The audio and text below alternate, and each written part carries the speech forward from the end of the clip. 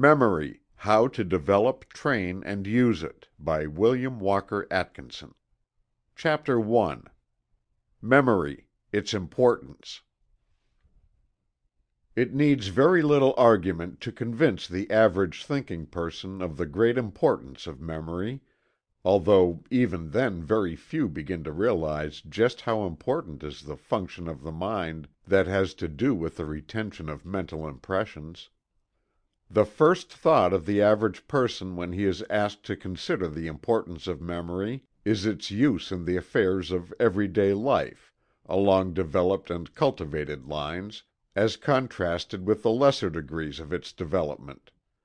In short, one generally thinks of memory in its phase of a "good memory" as contrasted with the opposite phase of a poor memory. But there is a much broader and fuller meaning of the term than that of even this important phase. It is true that the success of the individual in his every day business, profession, trade or other occupation depends very materially upon the possession of a good memory. His value in any walk in life depends to a great extent upon the degree of memory he may have developed. His memory of faces, names, facts, events, circumstances and other things concerning his every day work is the measure of his ability to accomplish his task. And in the social intercourse of men and women, the possession of a retentive memory, well stocked with available facts, renders its possessor a desirable member of society. And in the higher activities of thought the memory comes as an invaluable aid to the individual in marshaling the bits and sections of knowledge he may have acquired, and passing them in review before his cognitive faculties, thus does the soul review its mental possessions. As Alexander Smith has said, "A man's real possession is his memory; in nothing else is he rich, in nothing else is he poor." Richter has said. Memory is the only paradise from which we cannot be driven away; grant but memory to us, and we can lose nothing by death. Lactantius says: "Memory tempers prosperity, mitigates adversity, controls youth, and delights old age." But even the above phases of memory represent but a small segment of its complete circle. Memory is more than a "good memory." It is the means whereby we perform the largest share of our mental work. As Bacon has said, "all knowledge is but remembrance." And Emerson, "Memory is a primary and fundamental faculty, without which none other can work; the cement, the bitumen, the matrix in which the other faculties are embedded. Without it all life and thought were an unrelated succession." And Burke, "There is no faculty of the mind which can bring its energy into effect unless the memory be stored with ideas for it to look upon." And Basile, "Memory is the cabinet of imagination, the treasury of reason, the registry of conscience, and the council chamber of thought." Kant pronounced memory to be "the most wonderful of the faculties." Kay, one of the best authorities on the subject, has said regarding it: "Unless the mind possessed the power of treasuring up and recalling its past experiences, no knowledge of any kind could be acquired. If every sensation, thought or emotion passed entirely from the mind the moment it ceased to be present then it would be as if it had not been, and it could not be recognized or named should it happen to return. Such an one would be not only without knowledge, without experience gathered from the past, but without purpose, aim, or plan regarding the future, for these imply knowledge and require memory. Even voluntary motion, or motion for a purpose, could have no existence without memory for memory is involved in every purpose. Not only the learning of the scholar, but the inspiration of the poet, the genius of the painter, the heroism of the warrior, all depend upon memory. Nay, even consciousness itself could have no existence without memory, for every act of consciousness involves a change from a past state to a present, and did the past state vanish the moment it was past, there could be no consciousness of change. Memory, therefore, must be said to be involved in all conscious existence a property of every conscious being. In the building of character and individuality the memory plays an important part, for upon the strength of the impressions received, and the firmness with which they are retained, depends the fibre of character and individuality. Our experiences are indeed the stepping stones to greater attainments, and at the same time our guides and protectors from danger. If the memory serves us well in this respect we are saved the pain of repeating the mistakes of the past, and may also profit by remembering and thus avoiding the mistakes of others. As Beattie says: "When memory is preternaturally defective, experience and knowledge will be deficient in proportion, and imprudent conduct and absurd opinion are the necessary consequence." Bain says: a character retaining a feeble hold of bitter experience, or genuine delight, and unable to revive afterwards the impression of the time is in reality the victim of an intellectual weakness under the guise of a moral weakness. To have constantly before us an estimate of the things that affect us, true to the reality, is one precious condition for having our will always stimulated with an accurate reference to our happiness. The thoroughly educated man, in this respect, is that he can carry with him at all times the exact estimate of what he has enjoyed or suffered from every object that has ever affected him, and in case of encounter can present to the enemy as strong a front as if he were under the genuine impression. A full and accurate memory, for pleasure or for pain, is the intellectual basis both of prudence as regards self, and sympathy as regards others. So we see that the cultivation of the memory is far more than the cultivation and development of a single mental faculty. It is the cultivation and development of our entire mental being, the development of our selves. To many persons the words memory, recollection, and remembrance have the same meaning, but there is a great difference in the exact shade of meaning of each term. The student of this book should make the distinction between the terms, for by so doing he will be better able to grasp the various points of advice and instruction herein given. Let us examine these terms. Locke in his celebrated work the Essay Concerning Human Understanding, has clearly stated the difference between the meaning of these several terms. He says: "Memory is the power to revive again in our minds those ideas which after imprinting have disappeared, or have been laid aside out of sight. When an idea again recurs without the operation of the like object on the external sensory it is remembrance. If it be sought after by the mind, and with pain and endeavor found, and brought again into view, it is recollection. Fuller says, commenting on this: "Memory is the power of reproducing in the mind former impressions, or percepts. Remembrance and recollection are the exercise of that power the former being involuntary or spontaneous, the latter volitional. We remember because we cannot help it, but we recollect only through positive effort. The act of remembering, taken by itself, is involuntary. In other words, when the mind remembers without having tried to remember, it acts spontaneously. Thus it may be said, in the narrow, contrasted sense of the two terms, that we remember by chance, but recollect by intention, and if the endeavor be successful that which is reproduced becomes, by the very effort to bring it forth, more firmly entrenched in the mind than ever. But the new psychology makes a little different distinction from that of Locke, as given above.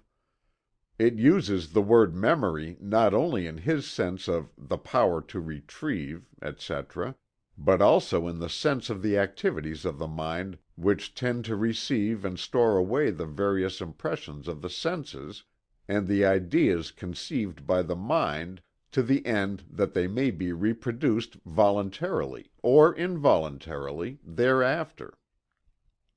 The distinction between remembrance and recollection, as made by Locke, is adopted as correct by the new psychology. It has long been recognized that the memory, in all of its phases, is capable of development, culture, training and guidance through intelligent exercise. Like any other faculty of the mind, or physical part, muscle or limb, it may be improved and strengthened. But until recent years the entire efforts of these memory developers were directed to the strengthening of that phase of the memory known as "recollection," which, you will remember, Locke defined as an idea or impression sought after by the mind and with pain and endeavor found and brought again into view. The new psychology goes much further than this. While pointing out the most improved and scientific methods for recollecting the impressions and ideas of the memory, it also instructs the student in the use of the proper methods whereby the memory may be stored with clear and distinct impressions, which will, thereafter, flow naturally and involuntarily into the field of consciousness when the mind is thinking upon the associated subject or line of thought, and which may also be recollected by a voluntary effort with far less expenditure of energy than under the old methods and systems. You will see this idea carried out in detail, as we progress with the various stages of the subject in this work. You will see that the first thing to do is to find something to remember; then to impress that thing clearly and distinctly upon the receptive tablets of the memory; then to exercise the remembrance in the direction of bringing out the stored away facts of the memory; then to acquire the scientific methods of recollecting special items of memory that may be necessary at some special time. This is the natural method in memory cultivation, as opposed to the artificial systems that you will find mentioned in another chapter. It is not only development of the memory, but also development of the mind itself in several of its regions and phases of activity. It is not merely a method of recollecting, but also a method of correct seeing, thinking and remembering. This method recognizes the truth of the verse of the poet Pope who said: "Remembrance and reflection how allied! What thin partition sense from thought divide!" End of chapter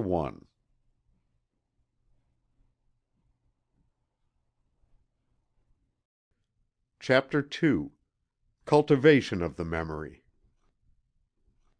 This book is written with the fundamental intention and idea of pointing out a rational and workable method whereby the memory may be developed, trained and cultivated.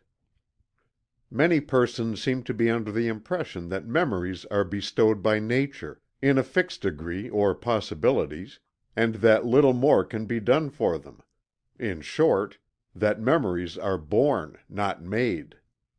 But the fallacy of any such idea is demonstrated by the investigations and experiments of all the leading authorities, as well as by the results obtained by persons who have developed and cultivated their own memories by individual effort, without the assistance of an instructor.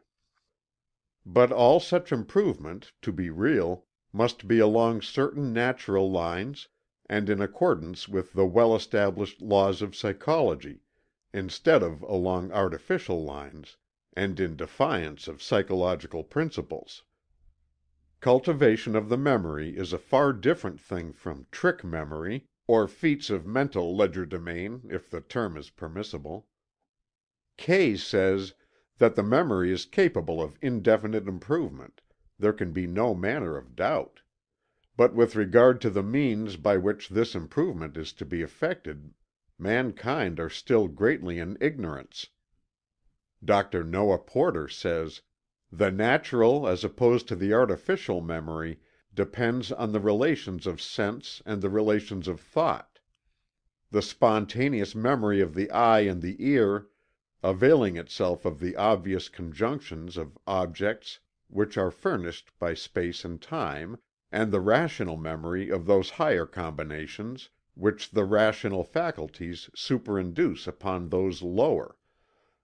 The artificial memory proposes to substitute for the natural and necessary relations under which all objects must present and arrange themselves, an entirely new set of relations that are purely arbitrary and mechanical, which excite little or no other interest than that they are to aid us in remembering.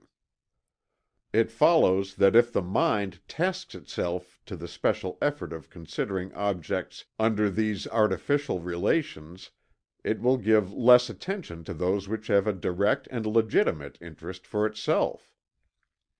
Granville says: "The defects of most methods which have been devised and employed for improving the memory, lies in the fact that while they serve to impress particular subjects on the mind they do not render the memory, as a whole, ready or attentive."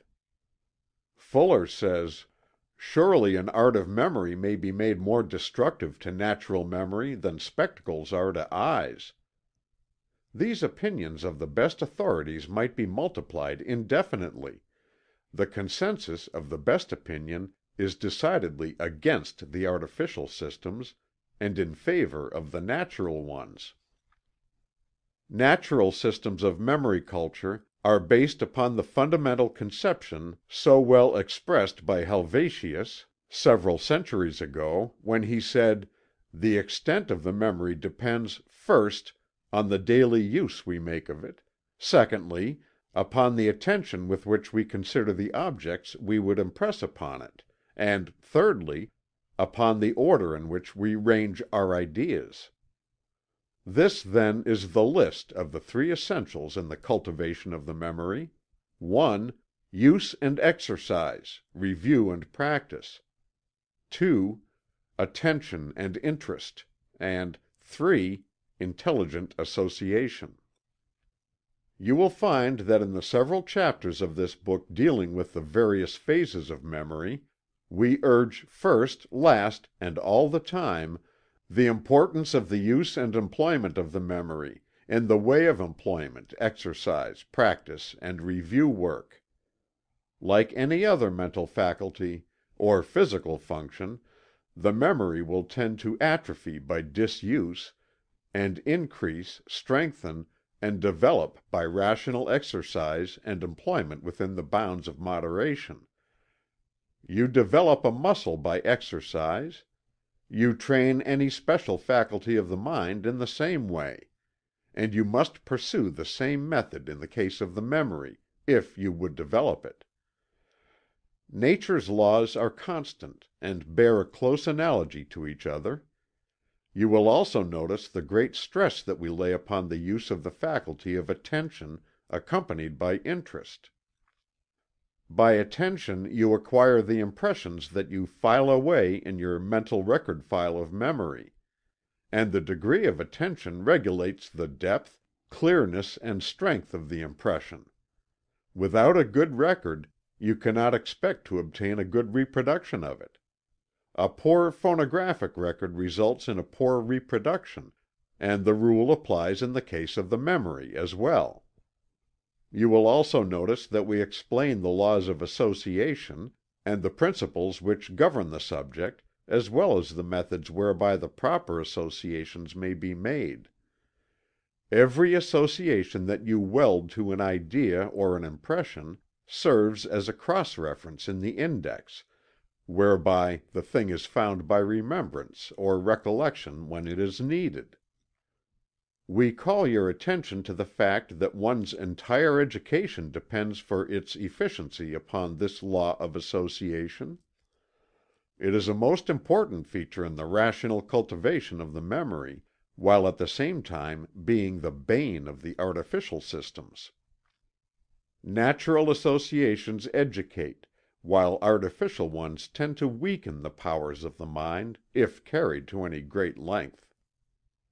There is no royal road to memory. The cultivation of the memory depends upon the practice along certain scientific lines, according to well established psychological laws. Those who hope for a sure "short cut" will be disappointed, for none such exists. As Halleck says, "The student ought not to be disappointed to find that memory is no exception to the rule of improvement by proper methodical and long continued exercise. There is no royal road, no short cut, to the improvement of either mind or muscle. But the student who follows the rules which psychology has laid down may know that he is walking in the shortest path, and not wandering aimlessly about.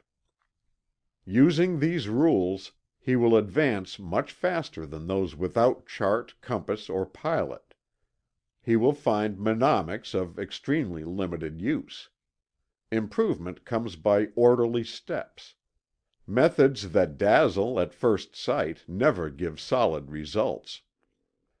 The student is urged to pay attention to what we have to say in other chapters of the book upon the subjects of Attention and Association. It is not necessary to state here the particulars that we mention there. The cultivation of the attention is a prerequisite for good memory, and deficiency in this respect means deficiency not only in the field of memory, but also in the general field of mental work. In all branches of the new psychology there is found a constant repetition of the injunction to cultivate the faculty of attention and concentration. Halleck says: "Haziness of perception lies at the root of many a bad memory. If perception is definite, the first step has been taken toward insuring a good memory. If the first impression is vivid, its effect upon the brain cells is more lasting. All persons ought to practice their visualizing power. This will react upon perception and make it more definite.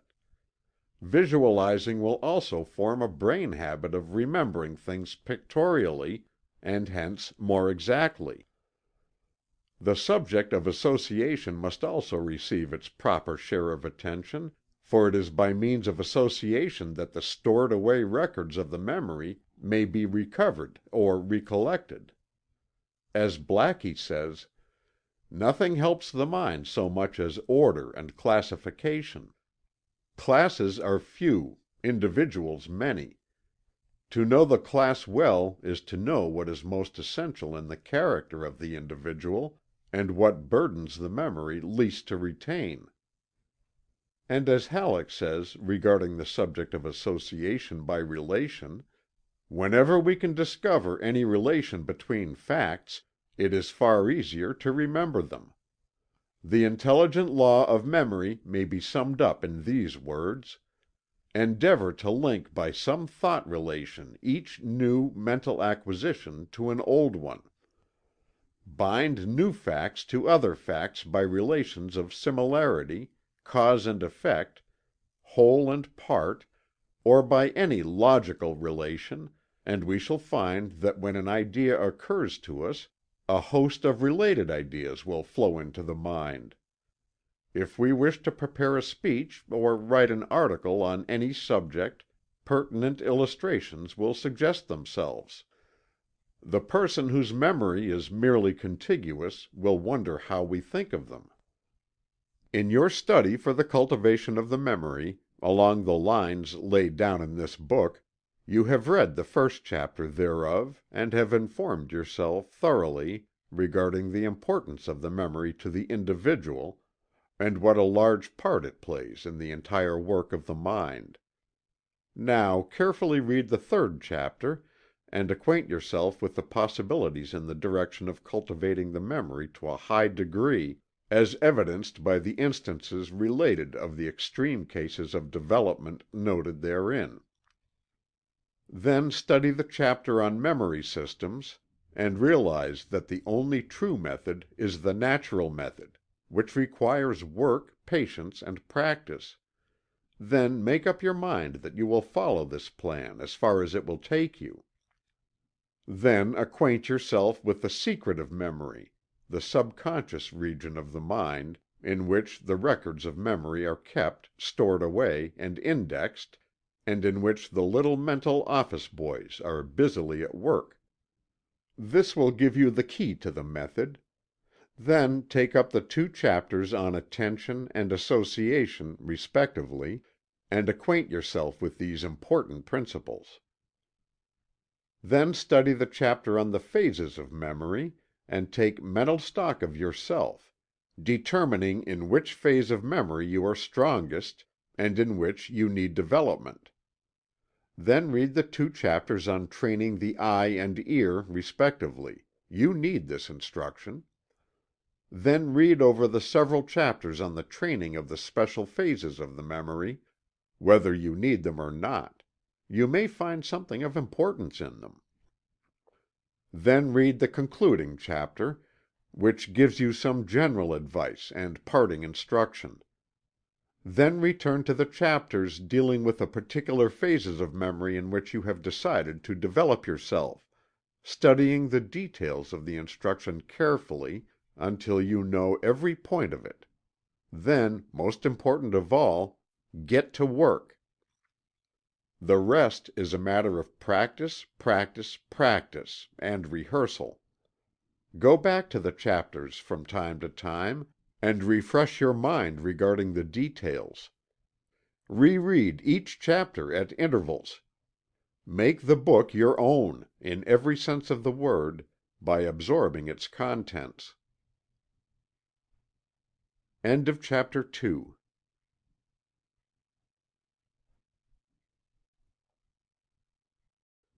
Chapter 3 Celebrated Cases of Memory in order that the student may appreciate the marvelous extent of development possible to the memory, we have thought it advisable to mention a number of celebrated cases, past and present. In so doing, we have no desire to hold up these cases as worthy of imitation, for they are exceptional and not necessary in everyday life. We mention them merely to show to what wonderful extent development along these lines is possible. In India, in the past, the sacred books were committed to memory, and handed down from teacher to student, for ages; and even today it is no uncommon thing for the student to be able to repeat, word for word, some voluminous religious work equal in extent to the New Testament. Max Muller states that the entire text and glossary of Panini's Sanskrit grammar, equal in extent to the entire Bible were handed down orally for several centuries before being committed to writing. There are Brahmins today who have committed to memory, and who can repeat at will, the entire collection of religious poems known as the Mahabharata, consisting of over 300,000 slokas or verses. Leland states that "the Slavonian minstrels of the present day have by heart, with remarkable accuracy, Immensely long epic poems. I have found the same among Algonquin Indians whose sagas, or mythic legends, are interminable, and yet are committed word by word accurately. I have heard in England of a lady ninety years of age whose memory was miraculous, and of which extraordinary instances are narrated by her friends. She attributed it to the fact that when young she had been made to learn a verse from the Bible every day, and then constantly review it. As her memory improved, she learned more, the result being that in the end she could repeat from memory any verse or chapter called for in the whole Scripture. It is related that Mithridates, the ancient warrior king, knew the name of every soldier in his great army, and conversed fluently in twenty two dialects. Pliny relates that Charmides could repeat the contents of every book in his large library. Hortensius, the Roman orator, had a remarkable memory which enabled him to retain and recollect the exact words of his opponent's argument, without making a single notation. On a wager he attended a great auction sale which lasted over an entire day, and then called off in their proper order every object sold, the name of its purchaser, and the price thereof. Seneca is said to have acquired the ability to memorize several thousand proper names, and to repeat them in the order in which they had been given him, and also to reverse the order and call off the list backward.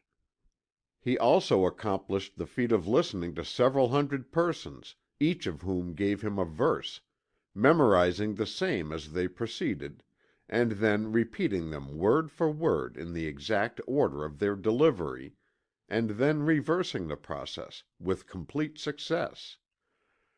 Eusebius stated that only the memory of Esdras saved the Hebrew Scriptures to the world, for when the Chaldeans destroyed the manuscripts Esdras was able to repeat them word by word to the scribes, who then reproduced them. The Mohammedan scholars are able to repeat the entire text of the Koran, letter perfect. Scaliger committed the entire text of the Iliad and the Odyssey in three weeks. Ben Jonson is said to have been able to repeat all of his own works from memory with the greatest ease. Bulwer could repeat the Odes of Horace from memory. Pascal could repeat the entire Bible from beginning to end, as well as being able to recall any given paragraph, verse, line, or chapter. Landor is said to have read a book but once, when he would dispose of it, having impressed it upon his memory, to be recalled years after if necessary. Byron could recite all of his own poems. Buffon could repeat his works from beginning to end. Bryant possessed the same ability to repeat his own works. Bishop Saunderson could repeat the greater part of Juvenal and Persius, all of Tully, and all of Horace. Fedosova, a Russian peasant, could repeat over twenty five thousand poems, folk songs, legends, fairy tales, war stories, etc., when she was over seventy years of age. The celebrated Blind Alec, an aged Scottish beggar, could repeat any verse in the Bible called for, as well as the entire text of all the chapters and books. The newspapers a few years ago contained the accounts of a man named Clark who lived in New York City. He is said to have been able to give the exact presidential vote in each State of the Union since the first election. He could give the population in every town of any size in the world either present or in the past, providing there was a record of the same. He could quote from Shakespeare for hours at a time, beginning at any given point in any play. He could recite the entire text of the Iliad in the original Greek. The historical case of the unnamed Dutchman is known to all students of memory. This man is said to have been able to take up a fresh newspaper, to read it all through including the advertisements, and then to repeat its contents, word for word, from beginning to end. On one occasion he is said to have heaped wonder upon wonder by repeating the contents of the paper backward, beginning with the last word and ending with the first. Lyon, the English actor is said to have duplicated this feat, using a large London paper and including the market quotations, reports of the debates in Parliament, the railroad time tables and the advertisements. A London waiter is said to have performed a similar feat, on a wager, he memorizing and correctly repeating the contents of an eight page paper. One of the most remarkable instances of extraordinary memory known to history is that of the child Christian Meineken. When less than four years of age he could repeat the entire Bible, two hundred hymns, five thousand Latin words, and much ecclesiastical history, theory, dogmas, arguments, and an encyclopedic quantity of theological literature. He is said to have practically retained every word that was read to him. His case was abnormal, and he died at an early age. John Stuart Mill is said to have acquired a fair knowledge of Greek at the age of three years and to have memorized Hume, Gibbon, and other historians at the age of eight. Shortly after he mastered and memorized Herodotus, Xenophon, some of Socrates, and six of Plato's dialogues. Richard Porson is said to have memorized the entire text of Homer, Horace, Cicero, Virgil, Livy, Shakespeare, Milton, and Gibbon. He is said to have been able to memorize any ordinary novel at one careful reading, and to have several times performed the feat of memorizing the entire contents of some English monthly review. De Rossi was able to perform the feat of repeating a hundred lines from any of the four great Italian poets, provided he was given a line at random from their works, his hundred lines following immediately after the given line. Of course this feat required the memorizing of the entire works of those poets, and the ability to take up the repetition from any given point, the latter feature being as remarkable as the former. There have been cases of printers being able to repeat, word for word, books of which they had set the type. Professor Lawson was able to teach his classes of the Scriptures without referring to the book. He claimed that if the entire stock of Bibles were to be destroyed, he could restore the book entire, from his memory. Rev. Thomas Fuller is said to have been able to walk down a long London street, reading the names of the signs on both sides, then recalling them in the order in which they had been seen, and then by reversing the order. There are many cases on record of persons who memorized the words of every known tongue of civilization, as well as a great number of dialects, languages, and tongues of savage races. Bossuet had memorized the entire Bible, and Homer, Horace, and Virgil beside. Niebuhr, the historian, was once employed in a government office, the records of which were destroyed. He, thereupon, restored the entire contents of the book of records which he had written, all from his memory. Asa Gray knew the names of ten thousand plants. Milton had a vocabulary of twenty thousand words, and Shakespeare one of twenty five thousand. Cuvier and Agassiz are said to have memorized lists of several thousand species and varieties of animals. Magliabechi, the librarian of Florence, is said to have known the location of every volume in the large library of which he was in charge, and the complete list of works along certain lines in all the other great libraries. He once claimed that he was able to repeat titles of over a half million of books in many languages and upon many subjects. In nearly every walk of life are to be found persons with memories wonderfully developed along the lines of their particular occupation. Librarians possess this faculty to an unusual degree. Skilled workers in the finer lines of manufacture also manifest a wonderful memory for the tiny parts of the manufactured article, etc.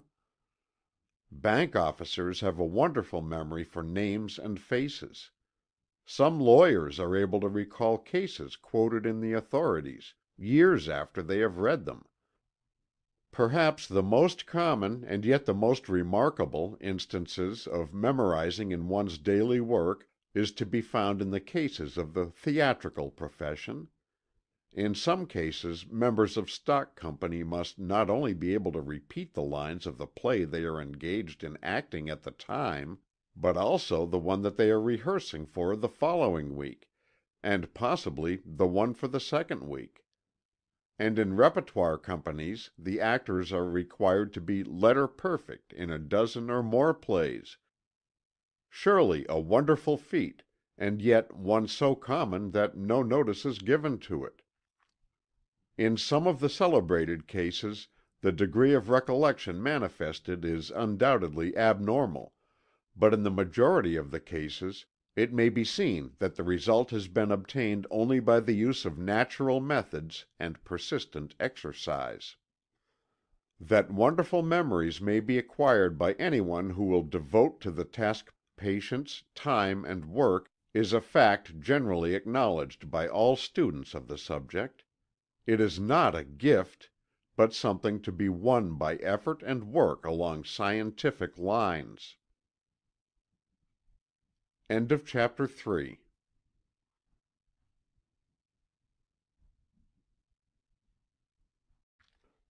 Chapter 4 Memory Systems The subject of memory development is not a new one by any means. For two thousand years, at least, there has been much thought devoted to the subject. Many books written thereupon, and many methods or "systems" invented the purpose of which has been the artificial training of the memory. Instead of endeavoring to develop the memory by scientific training and rational practice and exercise along natural lines, there seems to have always been an idea that one could improve on nature's methods, and that a plan might be devised by the use of some "trick" the memory might be taught to give up her hidden treasures. The law of association has been used in the majority of these systems, often to a ridiculous degree. Fanciful systems have been built up, all artificial in their character and nature, the use of which to any great extent is calculated to result in a decrease of the natural powers of remembrance and recollection, just as in the case of natural aids to the physical system there is always found a decrease in the natural powers. Nature prefers to do her own work, unaided. She may be trained, led, directed and harnessed, but she insists upon doing the work herself, or dropping the task. The principle of association is an important one, and forms a part of natural memory training, and should be so used. But when pressed into service in many of the artificial systems, the result is the erection of a complex and unnatural mental mechanism which is no more an improvement upon the natural methods than a wooden leg is an improvement upon the original limb. There are many points in some of these systems which may be employed to advantage in natural memory training, by divorcing them from their fantastic rules and complex arrangement. We ask you to run over the list of the principal systems with us, that you may discard the useless material by recognizing it as such, and cull the valuable for your own use. The ancient Greeks were fond of memory systems. Simonides, the Greek poet who lived about 500 B.C., was one of the early authorities and his work has influenced nearly all of the many memory systems that have sprung up since that time. There is a romantic story connected with the foundation of his system. It is related that the poet was present at a large banquet attended by some of the principal men of the place. He was called out by a message from home, and left before the close of the meal. Shortly after he left, the ceiling of the banquet hall fell upon the guests, killing all present in the room, and mutilating their bodies so terribly that their friends were unable to recognize them. Simonides, having a well developed memory for places and position, was able to recall the exact order in which each guest had been seated, and therefore was able to aid in the identification of the remains. This occurrence impressed him so forcibly that he devised a system of memory based upon the idea of position, which attained great popularity in Greece, and the leading writers of the day highly recommended it. The system of Simonides was based upon the idea of position. It was known as the topical system. His students were taught to picture in the mind a large building divided into sections, and then into rooms, halls, etc. The thing to be remembered was visualized as occupying some certain space or place in that building, the grouping being made according to association and resemblance. When one wished to recall the things to consciousness, all that was necessary was to visualize the mental building and then take an imaginary trip from room to room, calling off the various things as they had been placed. The Greeks thought very highly of this plan, and many variations of it were employed. Cicero said: "By those who would improve the memory, certain places must be fixed upon, and of those things which they desire to keep in memory, symbols must be conceived in the mind and ranged, as it were, in those places; thus the order of places would preserve the order of things, and the symbols of the things would denote the things themselves, so that we should use the places as waxen tablets and the symbols as letters." Quintilian advises students to "fix in their minds places of the greatest possible extent, diversified by considerable variety, such as a large house, for example divided into many apartments. Whatever is remarkable in it is carefully impressed on the mind, so that the thought may run over every part of it without hesitation or delay.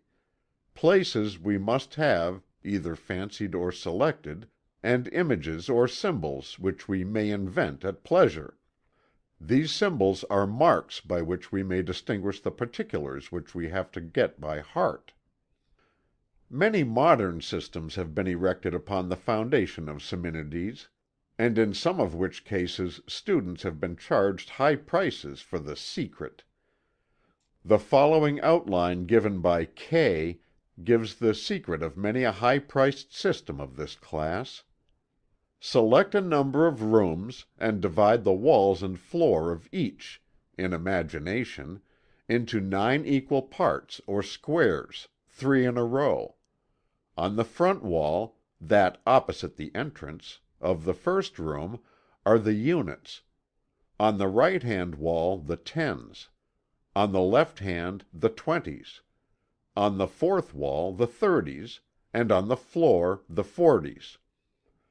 Numbers 10, 20, 30, and 40 each find a place on the roof above their respective walls, while 50 occupies the center of the room.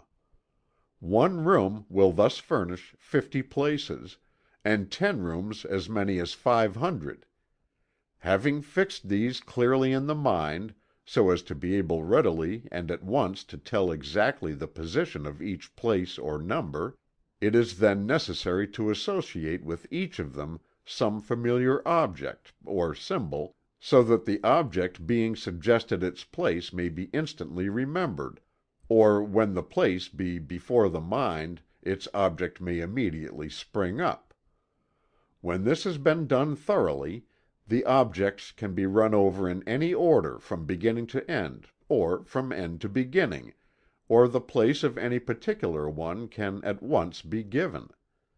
All that is further necessary is to associate the ideas we wish to remember with the objects in the various places, by which means they are easily remembered, and can be gone over in any order.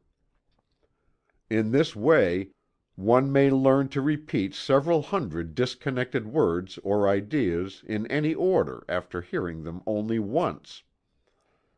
We do not consider it necessary to argue in detail the fact that this system is artificial, and cumbersome to a great degree.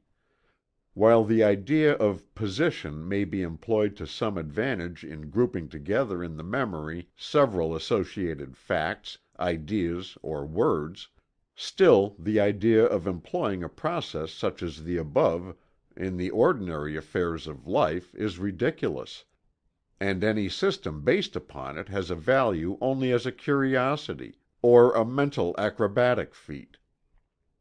Akin to the above is the idea underlying many other systems and secret methods. the idea of contiguity in which words are strung together by fanciful connecting links. Feinagle describes this underlying idea or principle as follows: "The recollection of them is assisted by associating some idea of relation between the two, and as we find by experience that whatever is ludicrous is calculated to make a strong impression on the mind, the more ridiculous the association is the better. The systems founded upon this idea may be employed to repeat a long string of disconnected words and similar things, but have but little practical value, notwithstanding the high prices charged for them. They serve merely as curiosities or methods of performing "tricks" to amuse one's friends. Dr. Coethe, a German teacher, about the middle of the nineteenth century, founded this last school of memory training, his ideas serving as the foundation for many teachers of high priced "systems" or secret methods since that time. The above description of Feinagle gives the key to the principle employed. The working of the principle is accomplished by the employment of intermediates, or correlatives as they are called. For instance, the word chimney and leaf would be connected as follows: chimney, smoke; wood, tree; leaf. Then there are systems or methods based on the old principle of the figure alphabet in which one is taught to remember dates by associating them with letters or words.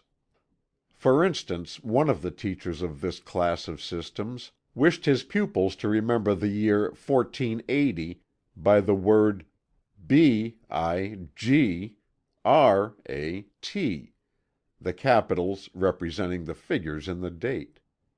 Comment is unnecessary. The student will find that nearly all the systems or secret methods that are being offered for sale in courses, often at a very high price, are merely variations, improvements upon, or combinations of the three forms of artificial methods named above. New changes are constantly being worked on these old plans, new tunes played on the same old instruments, new chimes sounded from the same old bells. And the result is ever the same, in these cases disappointment and disgust. There are a few natural systems on the market, nearly all of which contain information and instructions that make them worth the price at which they are sold. As for the others well, judge for yourself after purchasing them if you so desire. Regarding these artificial and fanciful systems, Kay says: "All such systems for the improvement of the memory belong to what we have considered the first or lowest form of it.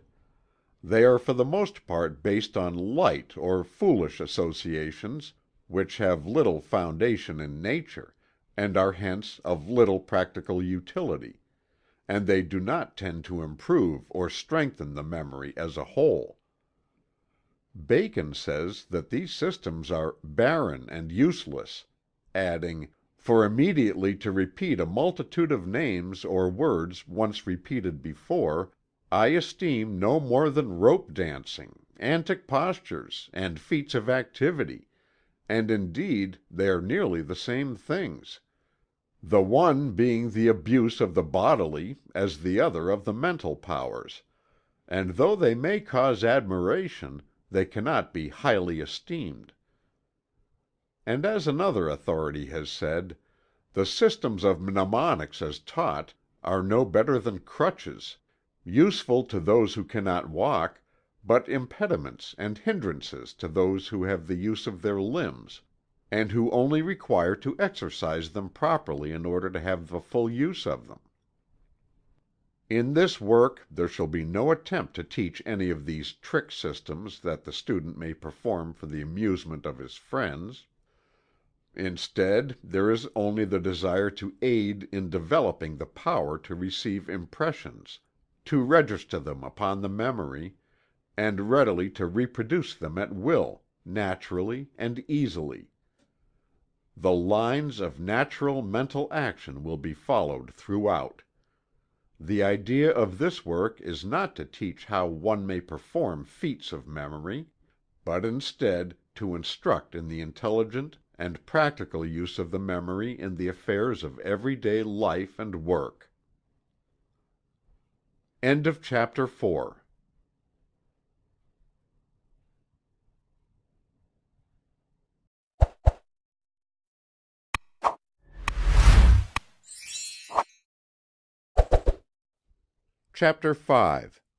Subconscious Record File The old writers on the subject were wont to consider the memory as a separate faculty of the mind; but this idea disappeared before the advancing tide of knowledge which resulted in the acceptance of the conception now known as the New Psychology. This new conception recognizes the existence of a vast out of consciousness region of the mind, one phase of which is known as the subconscious mind, or the subconscious field of mental activities. In this field of mentation the activities of memory have their seat. A careful consideration of the subject brings the certainty that the entire work of the memory is performed in this subconscious region of the mind. Only when the subconscious record is represented to the conscious field and recollection or remembrance results, does the memorized idea or impression emerge from the subconscious region. An understanding of this fact simplifies the entire subject of the memory, and enables us to perfect plans and methods whereby the memory may be developed, improved and trained, by means of the direction of the subconscious activities by the use of the conscious faculties and the will. Hering says: "Memory is a faculty not only of our conscious states, but also, and much more so, of our unconscious ones." Kay says: "It is impossible to understand the true nature of memory, or how to train it aright, unless we have a clear conception of the fact that there is much in the mind of which we are unconscious. The highest form of memory, as of all mental powers is the unconscious, when what we wish to recall comes to us spontaneously, without any conscious thought or search for it. Frequently when we wish to recall something that has previously been in the mind we are unable to do so by any conscious effort of the will. But we turn the attention to something else, and after a time the desired information comes up spontaneously when we are not consciously thinking of it.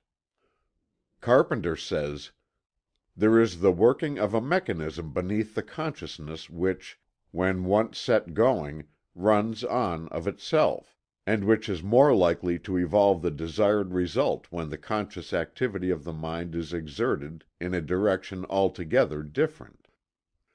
This subconscious region of the mind is the great record file of everything we have ever experienced, thought or known.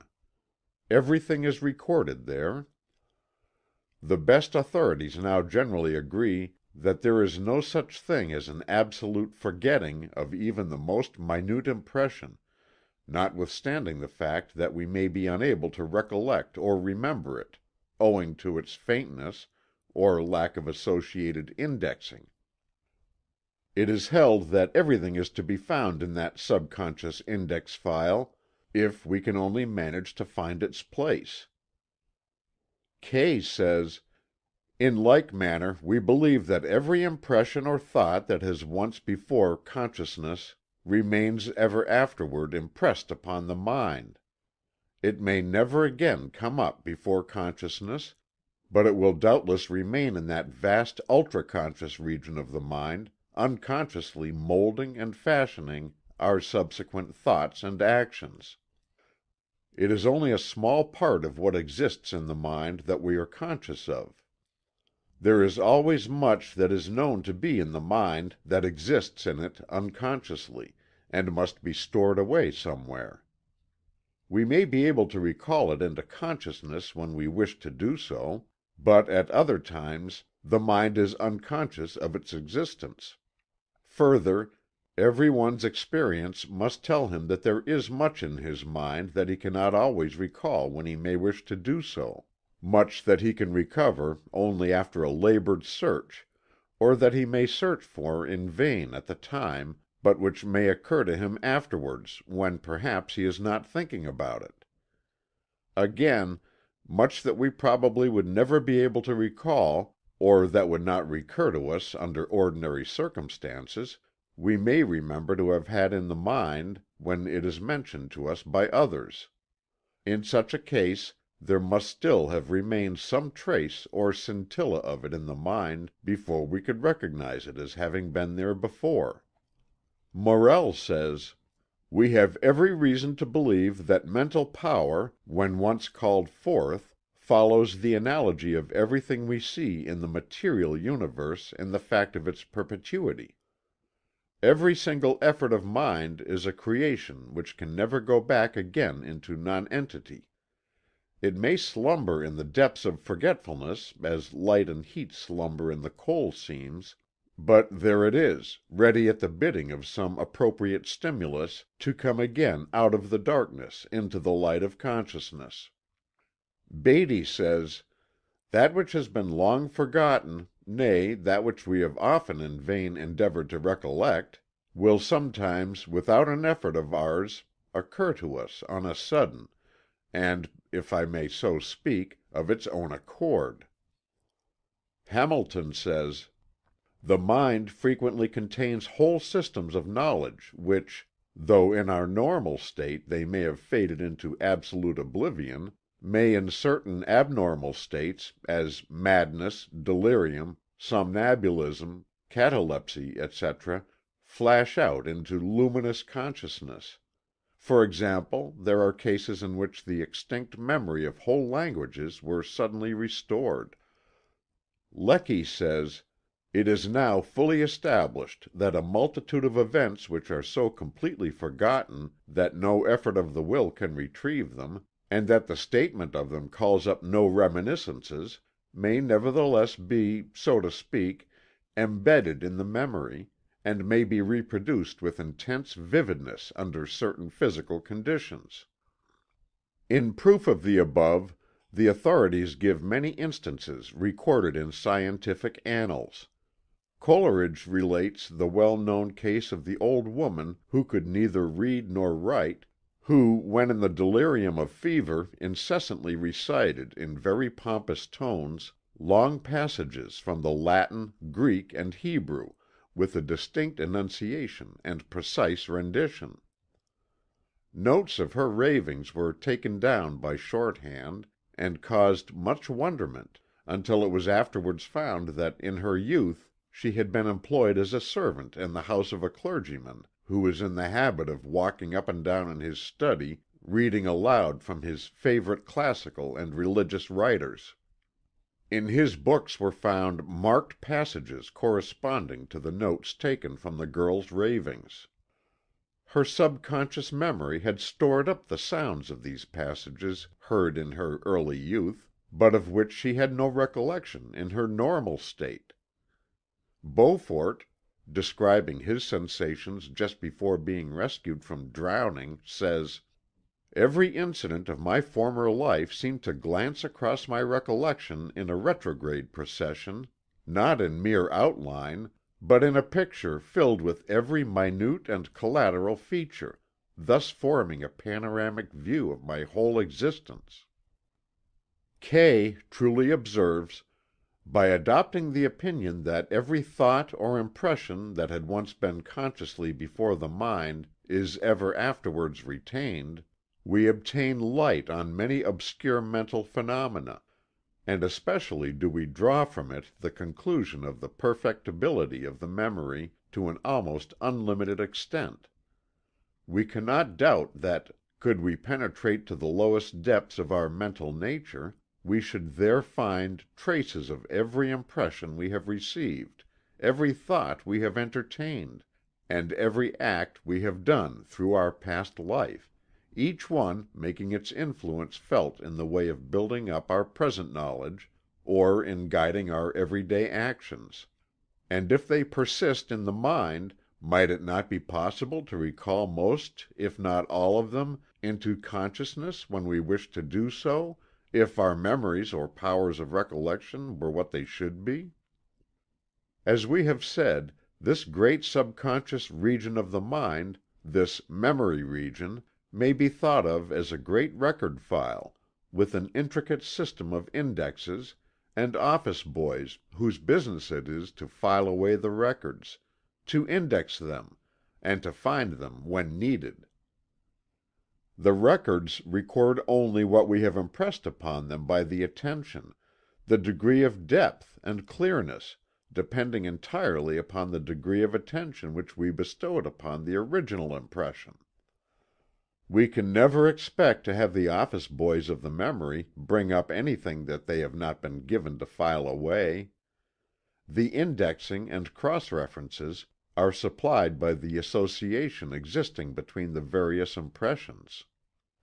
The more cross references or associations that are connected with an idea, thought or impression that is filed away in the memory, the greater the chances of it being found readily when wanted. These two features of attention and association, and the parts they play in the phenomena of memory, are mentioned in detail in other chapters of this book. These little office boys of the memory are an industrious and willing lot of little chaps but like all boys they do their best work when kept in practice. Idleness and lack of exercise cause them to become slothful and careless, and forgetful of the records under their charge. A little fresh exercise and work soon take the cobwebs out of the brains, and they spring eagerly to their tasks. They become familiar with their work when exercised properly, and soon become very expert. They have a tendency to remember on their own part, and when a certain record is called for often they grow accustomed to its place, and can find it without referring to the indexes at all. But their trouble comes from faint and almost illegible records, caused by poor attention.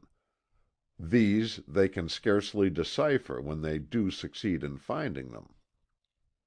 Lack of proper indexing by associations causes them much worry and extra work, and sometimes they are unable to find the records at all from this neglect.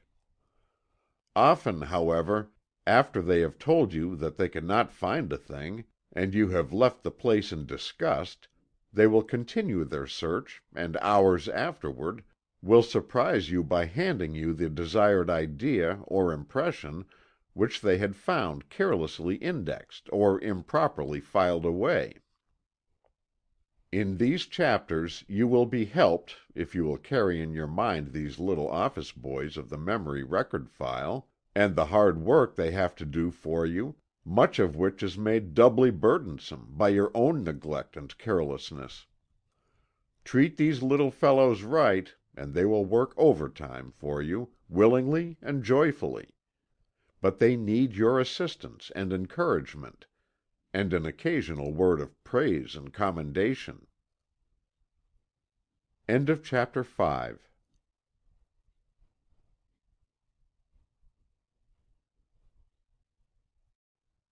Chapter 6 Attention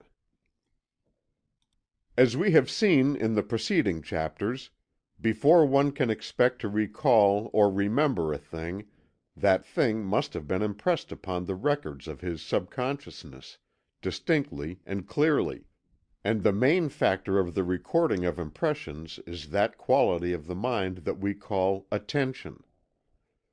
All the leading authorities on the subject of memory recognize and teach the value of attention in the cultivation and development of the memory. Tupper says: "Memory, the daughter of attention is the teeming mother of wisdom. Lowell says: "Attention is the stuff that memory is made of, and memory is accumulated genius." Hall says: "In the power of fixing the attention lies the most precious of the intellectual habits." Locke says When the ideas that offer themselves are taken notice of, and, as it were, registered in the memory, it is attention. Stewart says: "The permanence of the impression which anything leaves on the memory is proportionate to the degree of attention which was originally given to it." Thomson says: "The experiences most permanently impressed upon consciousness are those upon which the greatest amount of attention has been fixed." Beattie says: "The force wherewith anything strikes the mind is generally in proportion to the degree of attention bestowed upon it. The great art of memory is attention. Inattentive people have always bad memories." Kay says: "It is generally held by philosophers that without some degree of attention no impression of any duration could be made on the mind, or laid up in the memory." Hamilton says: "It is a law of the mind that the intensity of the present consciousness determines the vivacity of the future memory. Memory and consciousness are thus in the direct ratio of each other. Vivid consciousness, long memory; faint consciousness, short memory; no consciousness, no memory. An act of attention, that is an act of concentration, seems thus necessary to every exertion of consciousness, as a certain contraction of the pupil is requisite to every exertion of vision. Attention, then, is to consciousness what the contraction of the pupil is to sight, or to the eye of the mind microscope or telescope is to the bodily eye. It constitutes the better half of all intellectual power. We have quoted from the above authorities at considerable length, for the purpose of impressing upon your mind the importance of this subject of Attention. The subconscious regions of the mind are the great storehouses of the mental records of impressions from within and without. Its great system of filing, recording and indexing these records constitute that which we call memory. But before any of this work is possible, impressions must first have been received. And as you may see from the quotations just given, these impressions depend upon the power of attention given to the things making the impressions. If there has been given great attention, there will be clear and deep impressions. If there has been given but average attention, there will be but average impressions. If there has been given but faint attention, there will be but faint impressions. If there has been given no attention, there will be no records. One of the most common causes of poor attention is to be found in the lack of interest. We are apt to remember the things in which we have been most interested, because in that outpouring of interest there has been a high degree of attention manifested. A man may have a very poor memory for many things, but when it comes to the things in which his interest is involved, he often remembers the most minute details. What is called involuntary attention is that form of attention that follows upon interest, curiosity or desire; no special effort of the will being required in it. What is called voluntary attention is that form of attention that is bestowed upon objects not necessarily interesting, curious or attractive.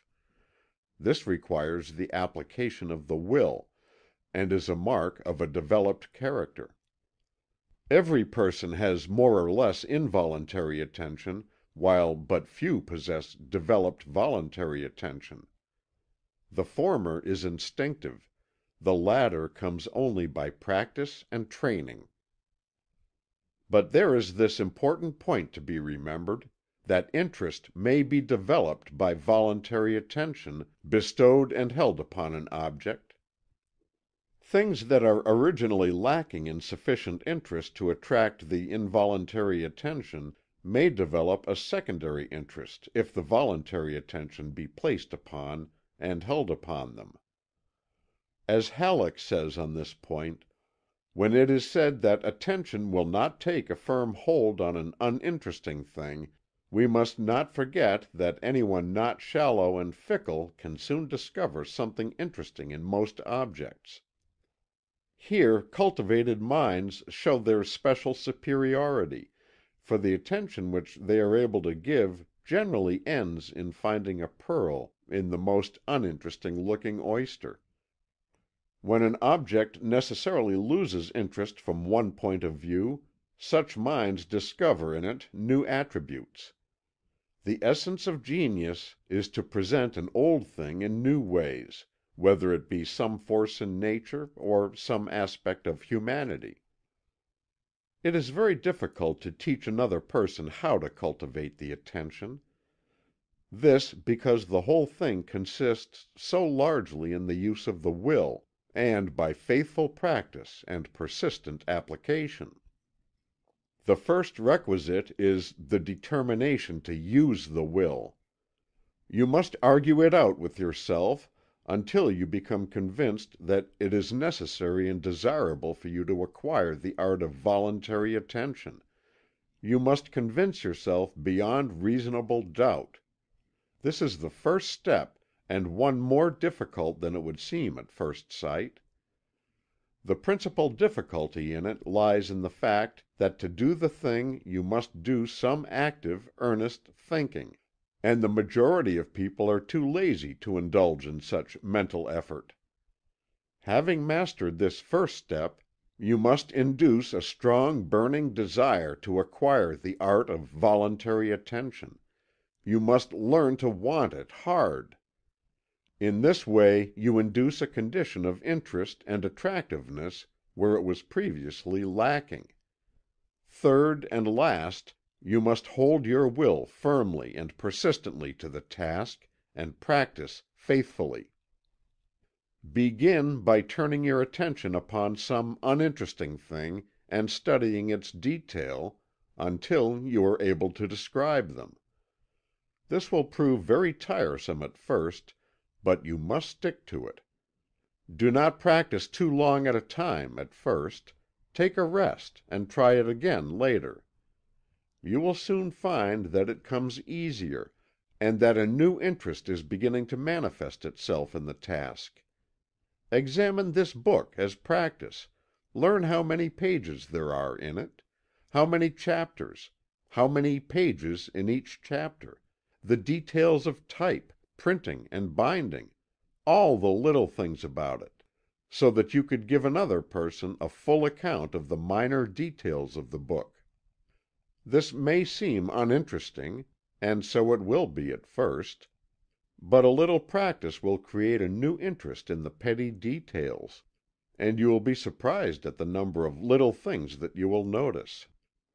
This plan, practiced on many things in spare hours, will develop the power of voluntary attention and perception in anyone, no matter how deficient he may have been in these things.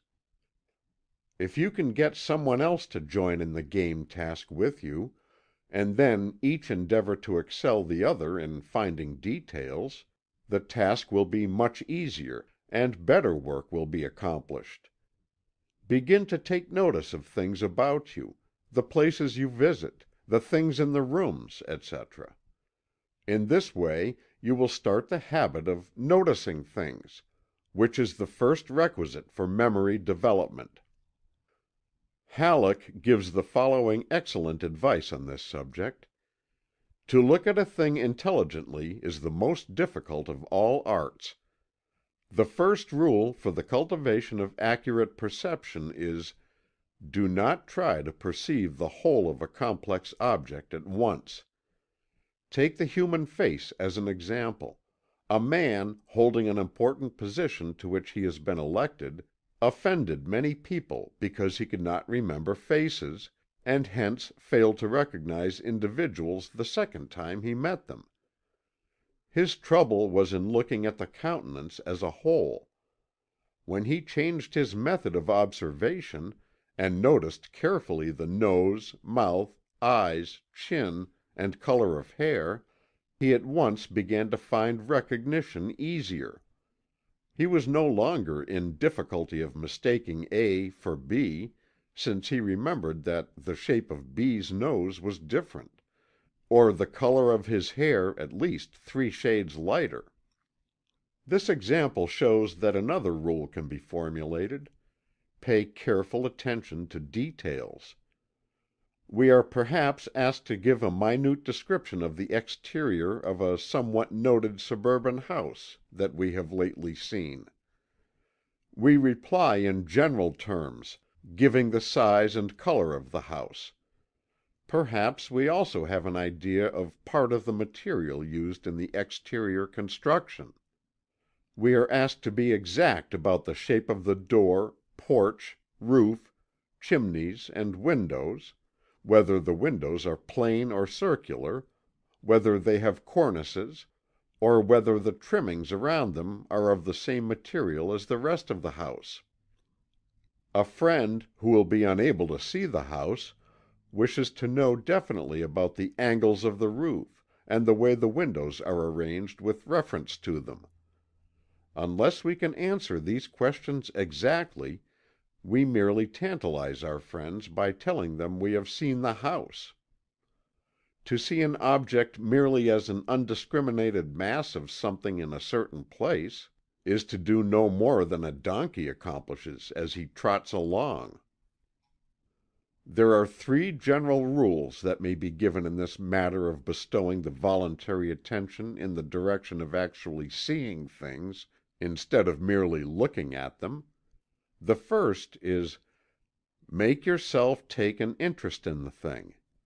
The second: See it as if you were taking note of it in order to repeat its details to a friend.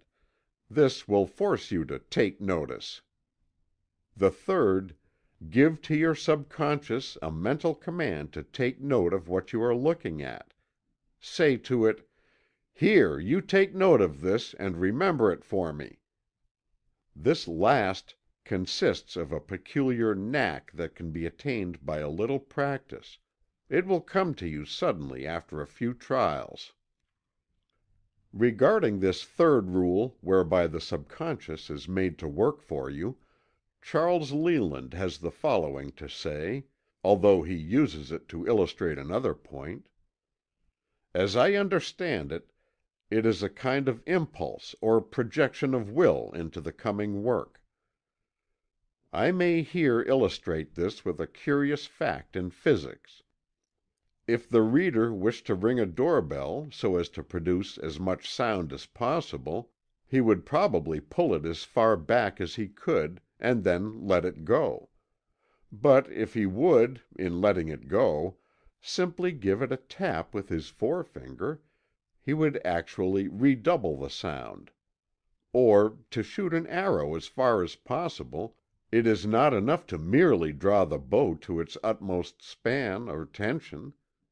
If, just as it goes, you will give the bow a quick push, though the effort be trifling, the arrow will fly almost as far again as it would have done without it. Or if, as is well known in wielding a very sharp sabre, we make the draw cut, that is, if to blow or chop, as with an axe, we also add a certain slight pull simultaneously, we can cut through a silk handkerchief or a sheep. Forethought command to the subconsciousness is the tap on the bell, the push on the bow, the draw on the sabre. It is the deliberate but yet rapid action of the mind when before dismissing thought, we bid the mind to consequently respond. It is more than merely thinking what we are to do; it is the bidding or ordering the self to fulfill a task before willing it. Remember first, last and always, that before you can remember or recollect, you must first perceive. And that perception is possible only through attention, and responds in degree to the latter. Therefore it has truly been said that "the great art of memory is attention." End of chapter VII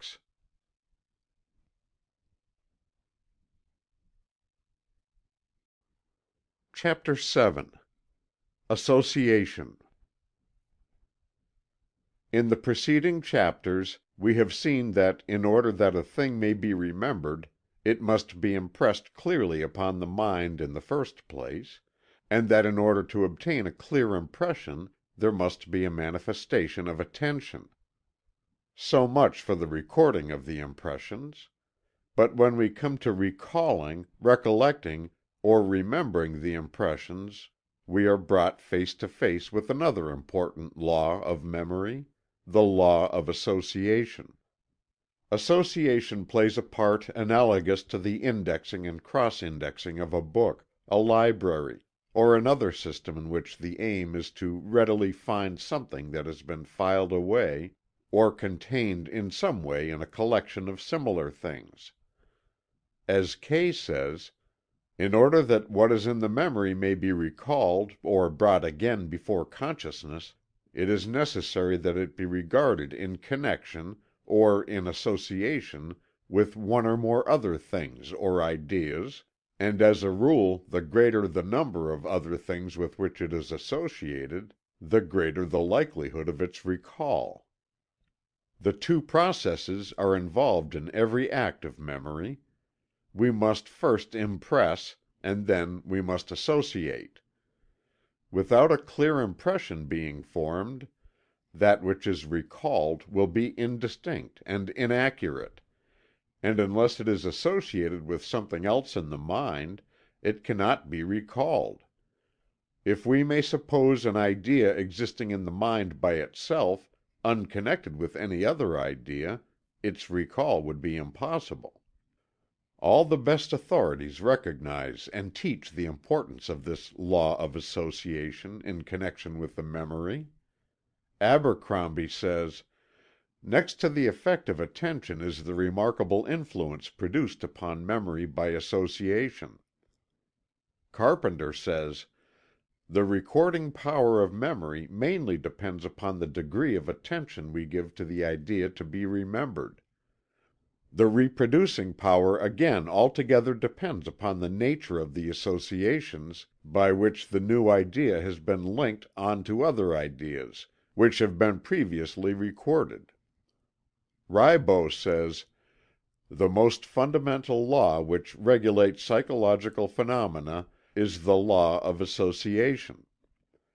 In its comprehensive character it is comparable to the law of attraction in the physical world. Mill says: "That which the law of gravitation is to astronomy, that which the elementary properties of the tissues are to physiology, the law of association of ideas is to psychology." Stewart says: "The connection between memory and the association of ideas is so striking that it has been supposed by some that the whole of the phenomena might be resolved into this principle. The association of ideas connects our various thoughts with each other, so as to present them to the mind in a certain order; but it presupposes the existence of those thoughts in the mind in other words, it presupposes a faculty of retaining the knowledge which we acquire. On the other hand, it is evident that without the associating principle, the power of retaining our thoughts, and of recognizing them when they occur to us, would have been of little use, for the most important articles of our knowledge might have remained latent in the mind, even when those occasions presented themselves to which they were immediately applicable. Association of ideas depends upon two principles known, respectively, as (1) the law of contiguity, and (2) the law of similarity.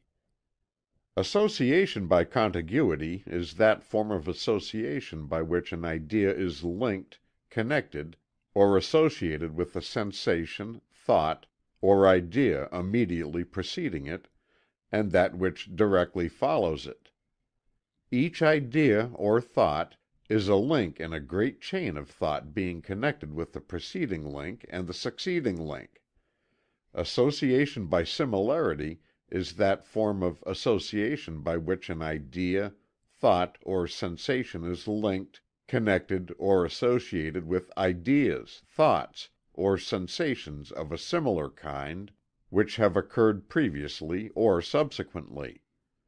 The first form of association is the relation of sequence; the second the relation of kind. Association by contiguity is the great law of thought as well as of memory. As Kay says: "The great law of mental association is that of contiguity, by means of which sensations and ideas that have been in the mind together, or in close succession, tend to unite together, or cohere in such a way that the one can afterward recall the other. The connection that naturally subsists between a sensation or idea in the mind, and that which immediately preceded or followed it, is of the strongest and most intimate nature. The two, strictly speaking, are but one, forming one complete thought. As Taine says: "To speak correctly, there is no isolated or separate sensation. A sensation is a state which begins as a continuation of preceding ones, and ends by losing itself in those following it. It is by an arbitrary severing, and for the convenience of language, that we set it apart as we do; its beginning is the end of another, and its ending the beginning of another. As Ribot says: "When we read or hear a sentence, for example. At the commencement of the fifth word something of the fourth word still remains." Association by contiguity may be separated into two sub classes: contiguity in time and contiguity in space. In contiguity in time there is manifested the tendency of the memory to recall the impressions in the same order in which they were received the first impression suggesting the second, and that the third, and so on. In this way the child learns to repeat the alphabet, and the adult the succeeding lines of a poem. As Priestley says: "In a poem the end of each preceding word being connected with the beginning of the succeeding one, we can easily repeat them in that order but we are not able to repeat them backwards till they have been frequently named in that order." Memory of words, or groups of words, depends upon this form of contiguous association. Some persons are able to repeat long poems, from beginning to end, with perfect ease, but are unable to repeat any particular sentence, or verse, without working down to it from the beginning. Contiguity in space is manifested in forms of recollection or remembrance by position. Thus by remembering the things connected with the position of a particular thing, we are enabled to recall the thing itself. As we have seen in a preceding chapter, some forms of memory systems have been based on this law. If you will recall some house or room in which you have been you will find that you will remember one object after another in the order of the relative positions, or contiguity in space, or position. Beginning with the front hall, you may travel in memory from one room to another, recalling each with the objects it contains, according to the degree of attention you bestowed upon them originally. Kay says of association by contiguity it is on this principle of contiguity that mnemonical systems are constructed, as when what we wish to remember is associated in the mind with a certain object or locality, the ideas associated will at once come up; or when each word or idea is associated with the one immediately preceding it, so that when the one is recalled the other comes up along with it and thus long lists of names or long passages of books can be readily learnt by heart. From the foregoing it will be seen that it is of great importance that we correlate our impressions with those preceding and following. The more closely knitted together our impressions are, the more closely will they cohere, and the greater will be the facility of remembering or recollecting them. We should endeavor to form our impressions of things so that they will be associated with other impressions, in time and space. Every other thing that is associated in the mind with a given thing serves as a loose end of memory, which if once grasped and followed up will lead us to the thing we desire to recall to mind. Association by similarity is the linking together of impressions of a similar kind, irrespective of time and place.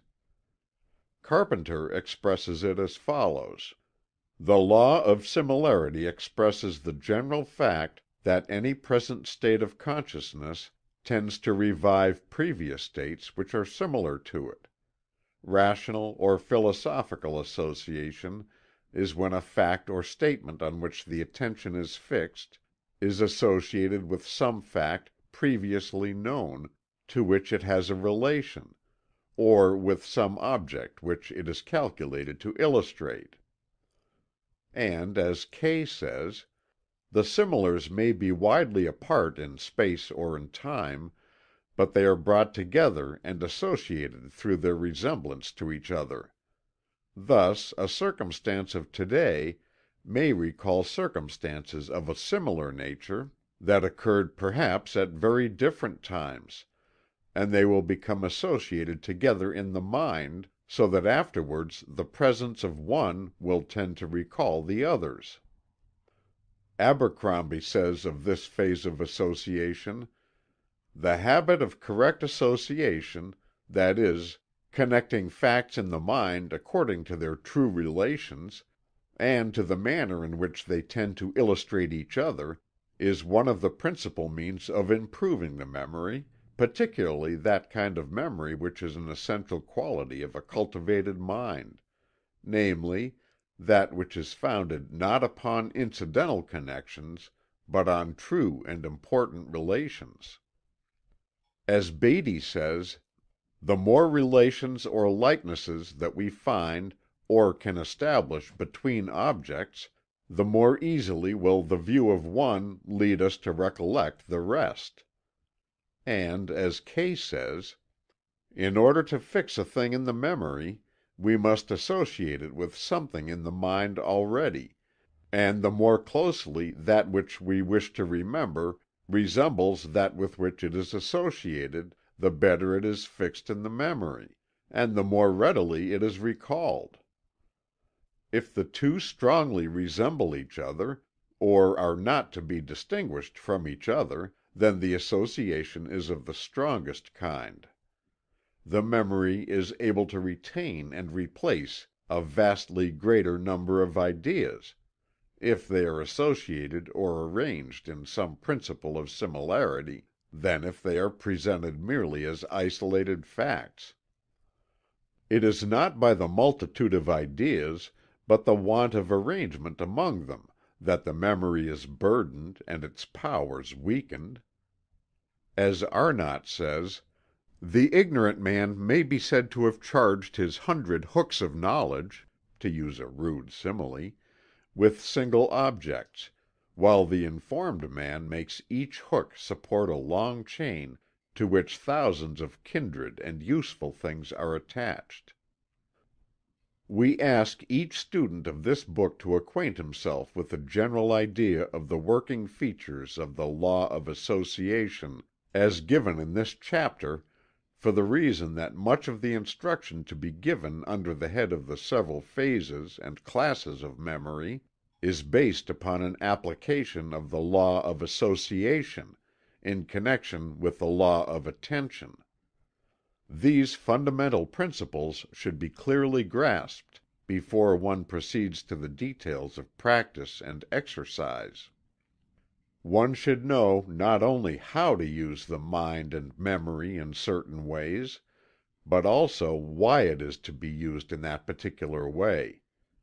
By understanding the reason of it, one is better able to follow out the directions. End of chapter 7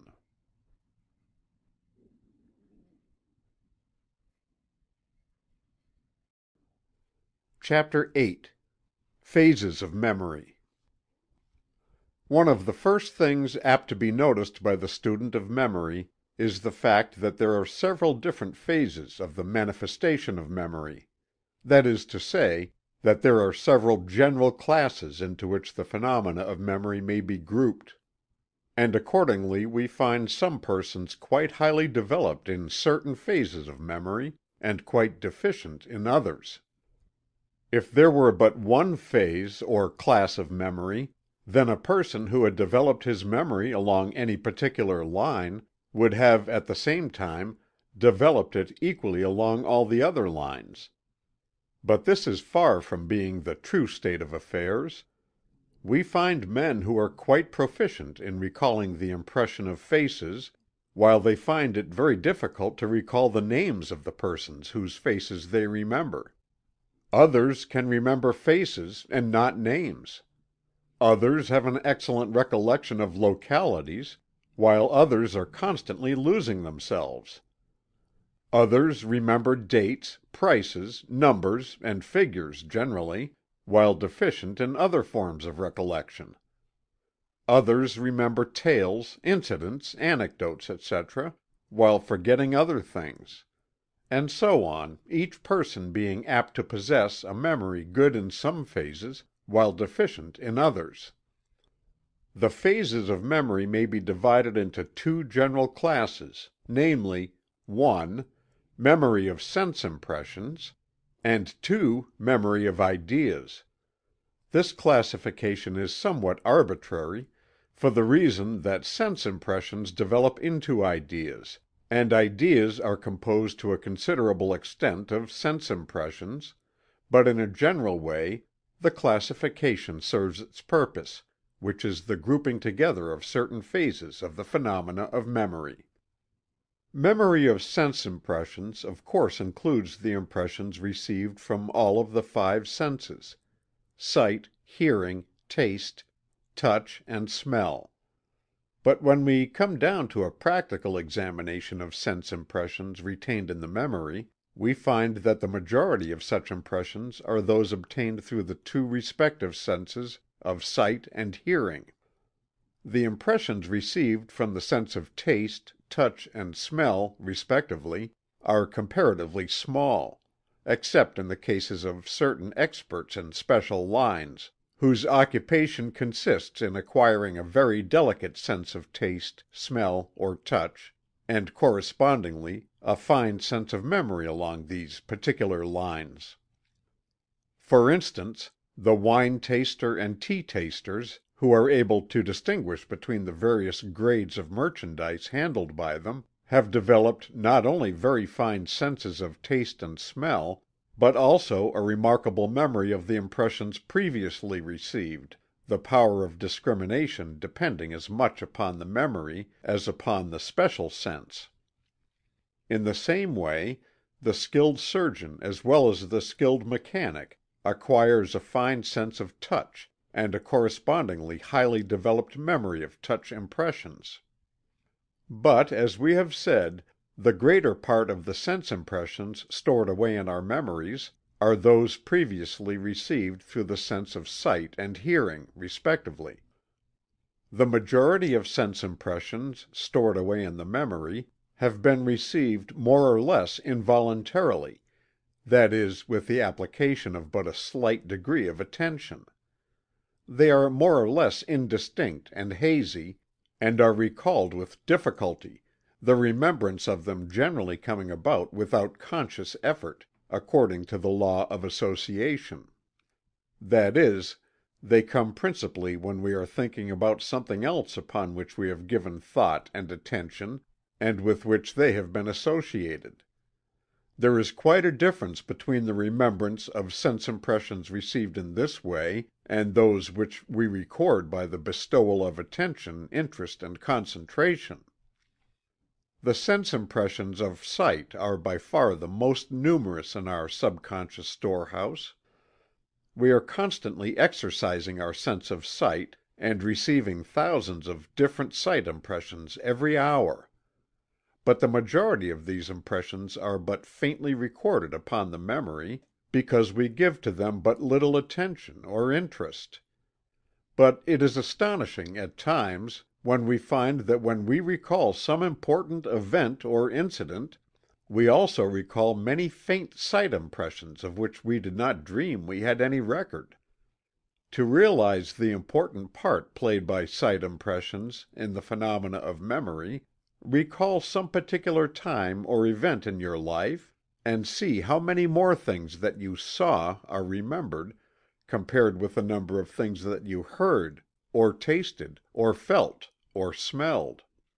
Second in number, however, are the impressions received through the sense of hearing, and consequently the memory stores away a great number of sound impressions. In some cases the impressions of sight and sound are joined together, as for instance in the case of words, in which not only the sound but the shape of the letters composing the word, or rather the word shape itself, are stored away together, and consequently are far more readily remembered or recollected than things of which but one sense impression is recorded. Teachers of memory use this fact as a means of helping their students to memorize words by speaking them aloud, and then writing them down. Many persons memorize names in this way, the impression of the written word being added to the impression of the sound, thus doubling the record. The more impressions that you can make regarding a thing, the greater are the chances of your easily recollecting it. Likewise, it is very important to attach an impression of a weaker sense to that of a stronger one, in order that the former may be memorized. For instance, if you have a good eye memory and a poor ear memory, it is well to attach your sound impressions to the sight impressions. And if you have a poor eye memory and a good ear memory, it is important to attach your sight impressions to your sound impressions. In this way you take advantage of the law of association, of which we have told you. Under the subclass of sight impressions are found the smaller divisions of memory known as memory of locality, memory of figures, memory of form, memory of color, and memory of written or printed words. Under the subclass of sound impressions are found the smaller divisions of memory known as memory of spoken words, memory of names, memory of stories, memory of music, etc. We shall pay special attention to these forms of memory in succeeding chapters. The second general class of memory, memory of ideas, includes the memory of facts, events, thoughts, lines of reasoning, etc., and is regarded as higher in the scale than the memory of sense impressions, although not more necessary nor useful to the average person. This form of memory of course accompanies the higher lines of intellectual effort and activities, and constitutes a large part of what is known as true education, that is education which teaches one to think instead of to merely memorize certain things taught in books or lectures. The well rounded man, mentally, is he who has developed his memory on all sides rather than the one who has developed but one special phase of the faculty. It is true that a man's interest and occupation certainly tend to develop his memory according to his daily needs and requirements, but it is well that he should give to the other parts of his memory field some exercise, in order that he may not grow one sided. As Halleck has said: "Many persons think that memory is mainly due to sight. But we have as many different kinds of memory as we have senses. To sight the watermelon is a long, greenish body, but this is its least important quality. Sight alone gives the poorest idea of the watermelon. We approach the vine where the fruit is growing, and in order to decide whether it is ripe, we tap the rind and judge by the sound. We must remember that a ripe watermelon has a certain resonance. By passing our hands over the melon, we learn that it has certain touch characteristics. We cut it open and learn the qualities of taste and smell. All this knowledge afforded by the different senses must enter into a perfected memory image. Hence we see that many complex processes go to form an idea of a thing. Napoleon was not content with only hearing a name. He wrote it down, and having satisfied his eye memory as well as his ear memory, he threw the paper away. In this book we shall point out the methods and processes calculated to round out the memory of the student. As a rule his strong phases of memory need but little attention, although even in these a little scientific knowledge will be of use. But in the weaker phases, those phases in which his memory is poor, he should exert a new energy and activity, to the end that these weaker regions of the memory may be cultivated and fertilized, and well stored with the seed impressions which will bear a good crop in time. There is no phase, field, or class of memory that is not capable of being highly developed by intelligent application. It requires practice, exercise, and work, but the reward is great. Many a man is handicapped by being deficient in certain phases of memory, while proficient in others. The remedy is in his own hands, and we feel that in this book we have given to each the means whereby he may acquire a good memory along any or all lines. End of chapter 8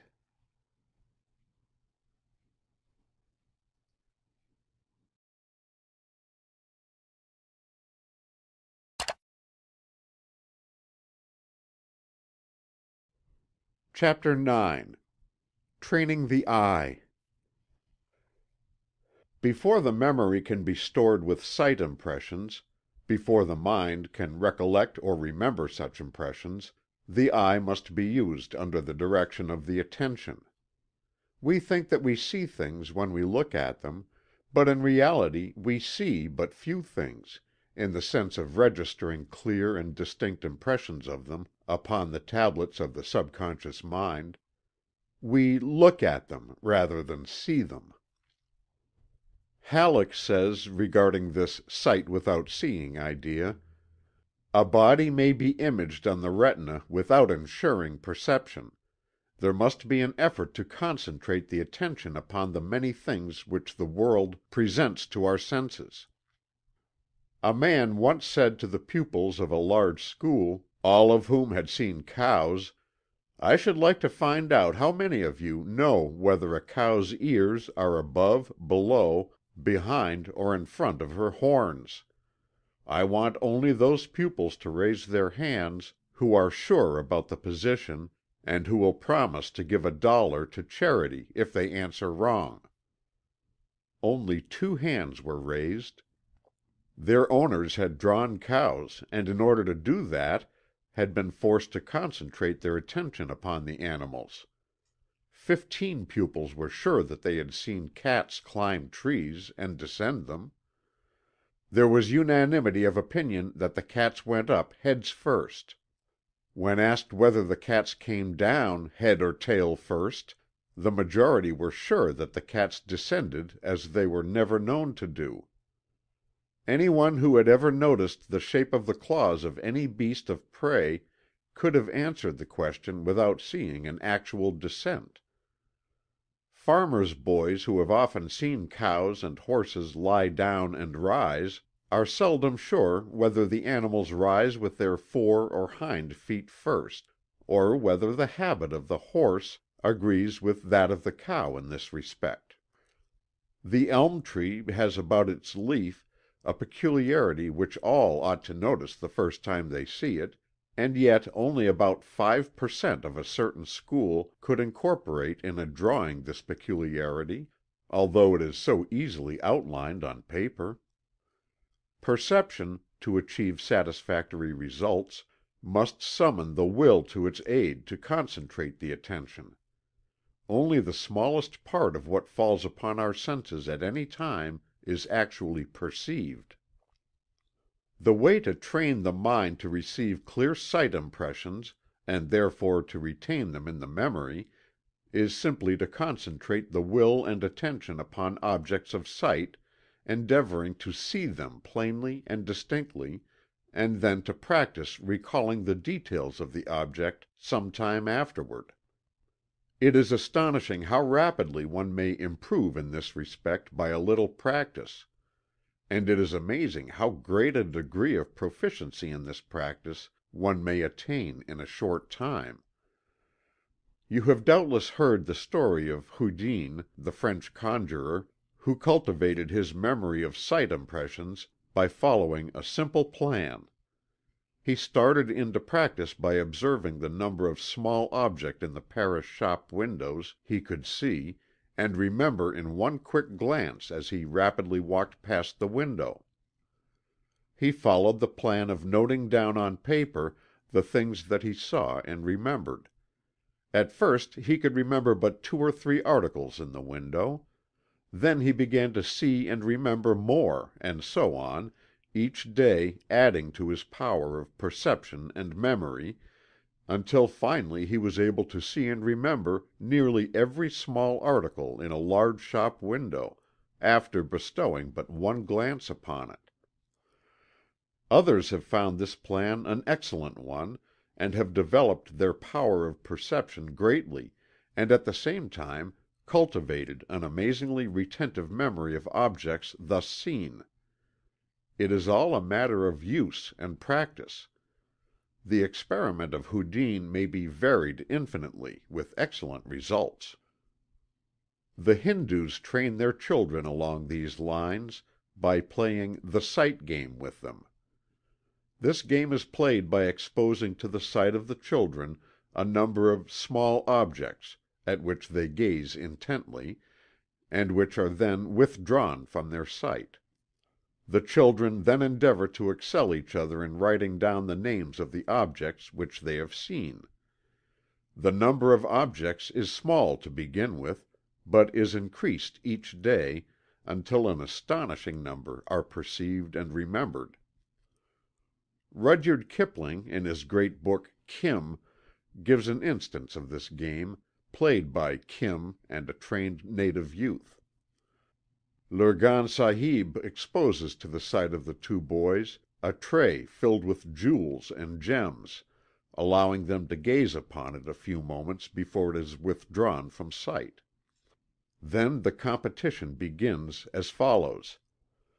There are under that paper five blue stones, one big, one smaller, and three small," said Kim in all haste. "There are four green stones and one with a hole in it. There is one yellow stone that I can see through, and one like a pipe stem. There are two red stones and and give me time." But Kim had reached the limit of his powers. Then came the turn of the native boy. "Hear my count," cried the native child. "First are two flawed sapphires, one of two ruttees and one of four, as I should judge. The four ruttee sapphire is chipped at the edge. There is one Turkestan turquoise, plain with green veins, and there are two inscribed, one with the name of God in gilt and the other being cracked across, for it came out of an old ring I cannot read. We have now the five blue stones four flamed emeralds there are, but one is drilled in two places, and one is a little carven." "Their weight?" said Lurgan Sahib, impassively. "Three, five, five and four ruttees, as I judge it. There is one piece of old greenish amber, and a cheap cut topaz from Europe. There is one ruby of Burma, one of two ruttees, without a flaw. And there is a balas ruby, flawed, of two ruttees. There is a carved ivory from China, representing a rat sucking an egg. And there is last aha! a ball of crystal as big as a bean set in gold leaf. Kim is mortified at this bad beating, and asks the secret. the answer is: By doing it many times over till it is done perfectly, for it is worth doing. Many teachers have followed plans similar to that just related. A number of small articles are exposed, and the pupils are trained to see and remember them, the process being gradually made more and more difficult. A well known American teacher was in the habit of rapidly making a number of dots on the blackboard, and then erasing them before the pupils could count them in the ordinary way. The children then endeavored to count their mental impressions, and before long they could correctly name the number up to ten or more, with ease. They said they could "see six," or "see ten," as the case may be, automatically and apparently without the labor of consciously counting them. It is related in works dealing with the detection of crime that in the celebrated "thieves' schools" in Europe the young thieves are trained in a similar way, the old scoundrels acting as teachers exposing a number of small articles to the young ones, and requiring them to repeat exactly what they had seen. Then follows a higher course in which the young thieves are required to memorize the objects in a room, the plan of houses, etc. They are sent forth to "spy out the land" for future robberies, in the guise of beggars soliciting alms, and thus getting a rapid peep into houses, offices and stores. It is said that in a single glance they will perceive the location of all of the doors, windows, locks, bolts, etc. Many nations have boys' games in which the youngsters are required to see and remember after taking a peep. The Italians have a game called Mora, in which one boy throws out a number of fingers, which must be instantly named by the other boy, a failure resulting in a forfeit. The Chinese youths have a similar game, while the Japanese boys reduce this to a science. A well trained Japanese youth will be able to remember the entire contents of a room after one keen glance around it. Many of the Orientals have developed this faculty to a degree almost beyond belief. But the principle is the same in all cases the gradual practice and exercise beginning with a small number of simple things, and then increasing the number and complexity of the objects. The faculty is not so rare as one might imagine at first thought. Take a man in a small business, and let him enter the store of a competitor, and see how many things he will observe and remember after a few minutes in the place. Let an actor visit a play in another theatre, and see how many details of the performance he will notice and remember. Let some women pay a visit to a new neighbor, and then see how many things about that house they will have seen and remembered to be retailed to their confidential friends afterward. It is the old story of attention following the interest, and memory following the attention. An expert whist player will see and remember every card played in the game, and just who played it. A chess or checker player will see and remember the previous moves in the game, if he be expert, and can relate them afterward. A woman will go shopping and will see and remember thousands of things that a man would never have seen, much less remembered. As Houdin said. Thus, for instance, I can safely assert that a lady seeing another pass at full speed in a carriage will have had time to analyze her toilet from her bonnet to her shoes, and be able to describe, not only the fashion and quality of the stuffs, but also say if the lace be real or only machine made. I have known ladies to do this. But remember this, for it is important. Whatever can be done in this direction by means of attention, inspired by interest, may be duplicated by attention directed by will. In other words, the desire to accomplish the task adds and creates an artificial interest just as effective as the natural feeling. And, as you progress, the interest in the game task will add new interest, and you will be able to duplicate any of the feats mentioned above. It is all a matter of attention, interest (natural or induced), and practice. Begin with a set of dominoes, if you like, and try to remember the spots on one of them rapidly glanced at, then two, then three. By increasing the number gradually, you will attain a power of perception and a memory of sight impressions that will appear almost marvelous. And not only will you begin to remember dominoes, but you will also be able to perceive and remember thousands of little details of interest in everything that have heretofore escaped your notice. The principle is very simple, but the results that may be obtained by practice are wonderful. The trouble with most of you is that you have been looking without seeing, gazing but not observing. The objects around you have been out of your mental focus. If you will but change your mental focus, by means of will and attention, you will be able to cure yourself of the careless methods of seeing and observing that have been hindrances to your success. You have been blaming it on your memory, but the fault is with your perception. How can the memory remember, when it is not given anything in the way of clear impressions? You have been like young infants in this matter. Now it is time for you to begin to sit up and take notice, no matter how old you may be. The whole thing, in a nutshell, is this: In order to remember the things that pass before your sight, you must begin to see with your mind, instead of with your retina. Let the impression get beyond your retina and into your mind.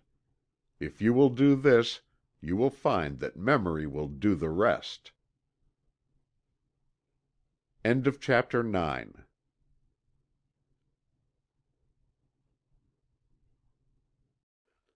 Chapter 10 Training the Ear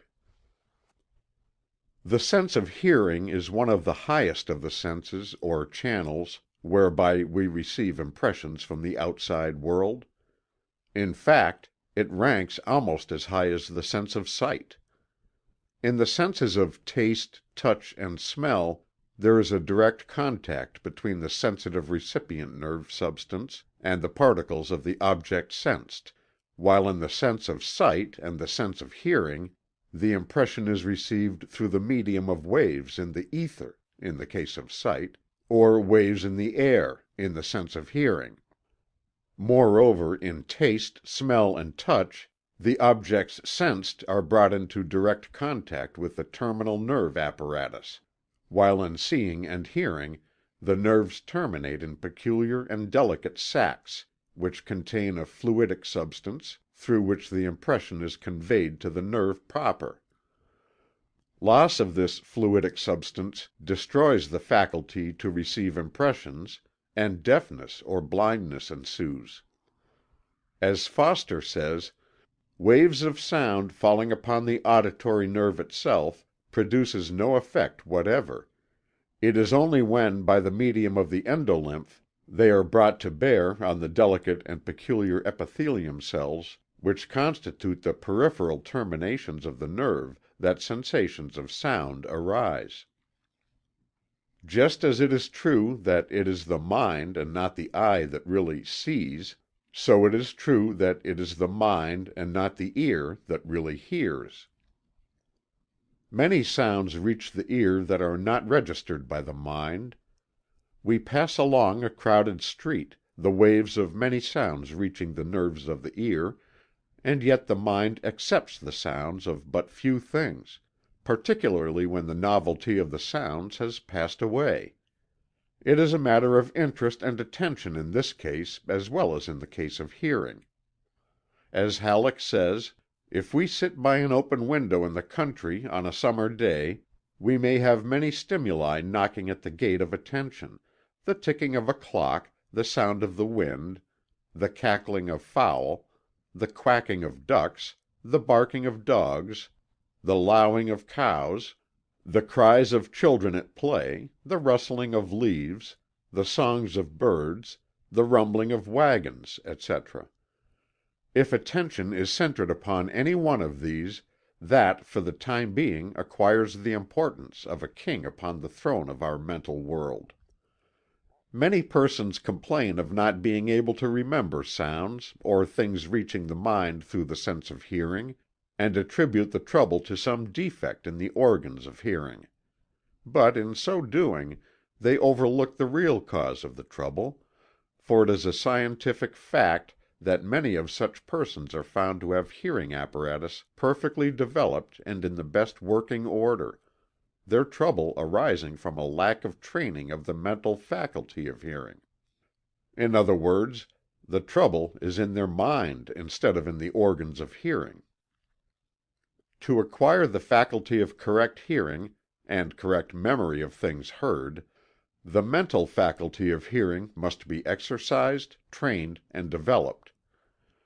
Given a number of people whose hearing apparatus are equally perfect, we will find that some hear much better than others, and some hear certain things better than they do certain other things, and that there is a great difference in the grades and degrees of memory of things heard.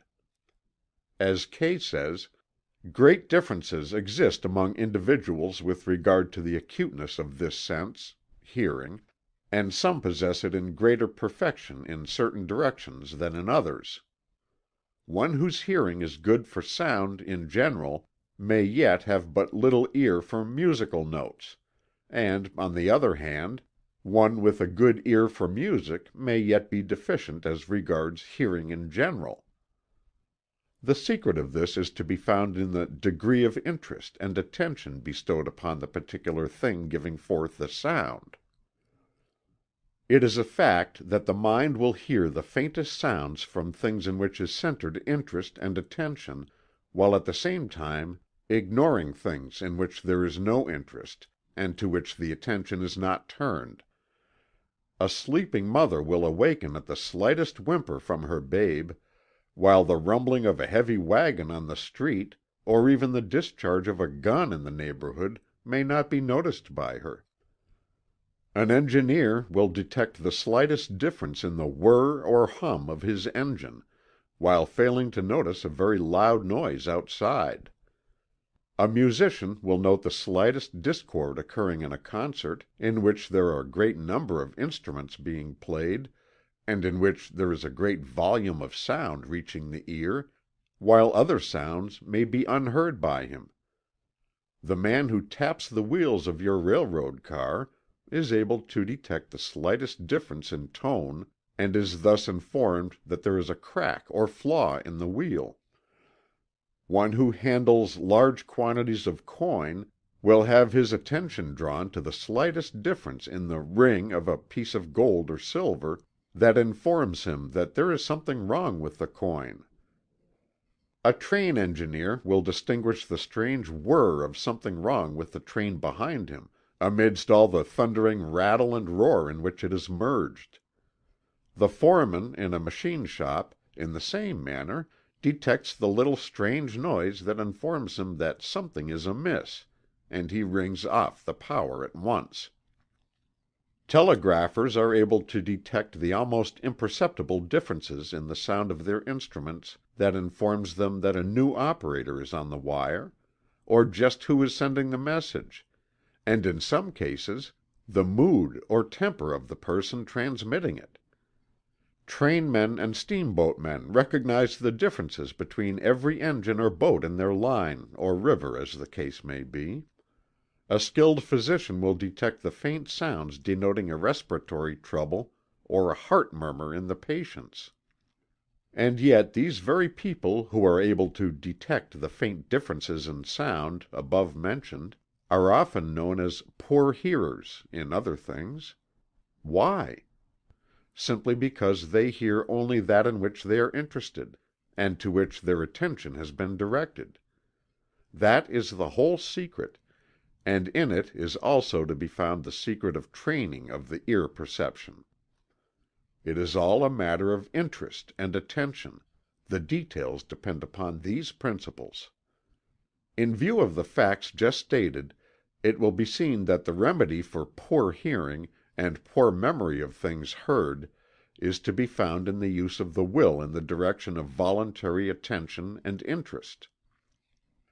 So true is this that some authorities go so far as to claim that many cases of supposed slight deafness are really but the result of lack of attention and concentration on the part of the person so troubled. Kay says: "What is commonly called deafness is not infrequently to be attributed to this cause, the sounds being heard but not being interpreted or recognized; sounds may be distinctly heard when the attention is directed toward them, that in ordinary circumstances would be imperceptible and people often fail to hear what is said to them because they are not paying attention. Harvey says: "That one half of the deafness that exists is the result of inattention cannot be doubted." There are but few persons who have not had the experience of listening to some bore, whose words were distinctly heard but the meaning of which was entirely lost, because of inattention and lack of interest. Kirkes sums the matter up in these words: "In hearing we must distinguish two different points: the audible sensation as it is developed, without any intellectual interference, and the conception which we form in consequence of that sensation. The reason that many persons do not remember things that they have heard, is simply because they have not listened properly. Poor listening is far more common than one would suppose at first. A little self examination will reveal to you the fact that you have fallen into the bad habit of inattention. One cannot listen to everything, of course; it would not be advisable; but one should acquire the habit of either really listening, or else refusing to listen at all.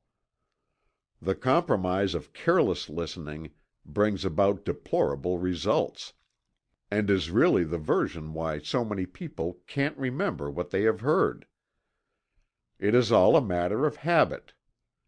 Persons who have poor memories of ear impressions should begin to listen in earnest. In order to reacquire their lost habit of proper listening, they must exercise voluntary attention and develop interest. The following suggestions may be useful in that direction: Try to memorize words that are spoken to you in conversation a few sentences, or even one, at a time. You will find that the effort made to fasten the sentence on your memory will result in a concentration of the attention on the words of the speaker. Do the same thing when you are listening to a preacher, actor, or lecturer.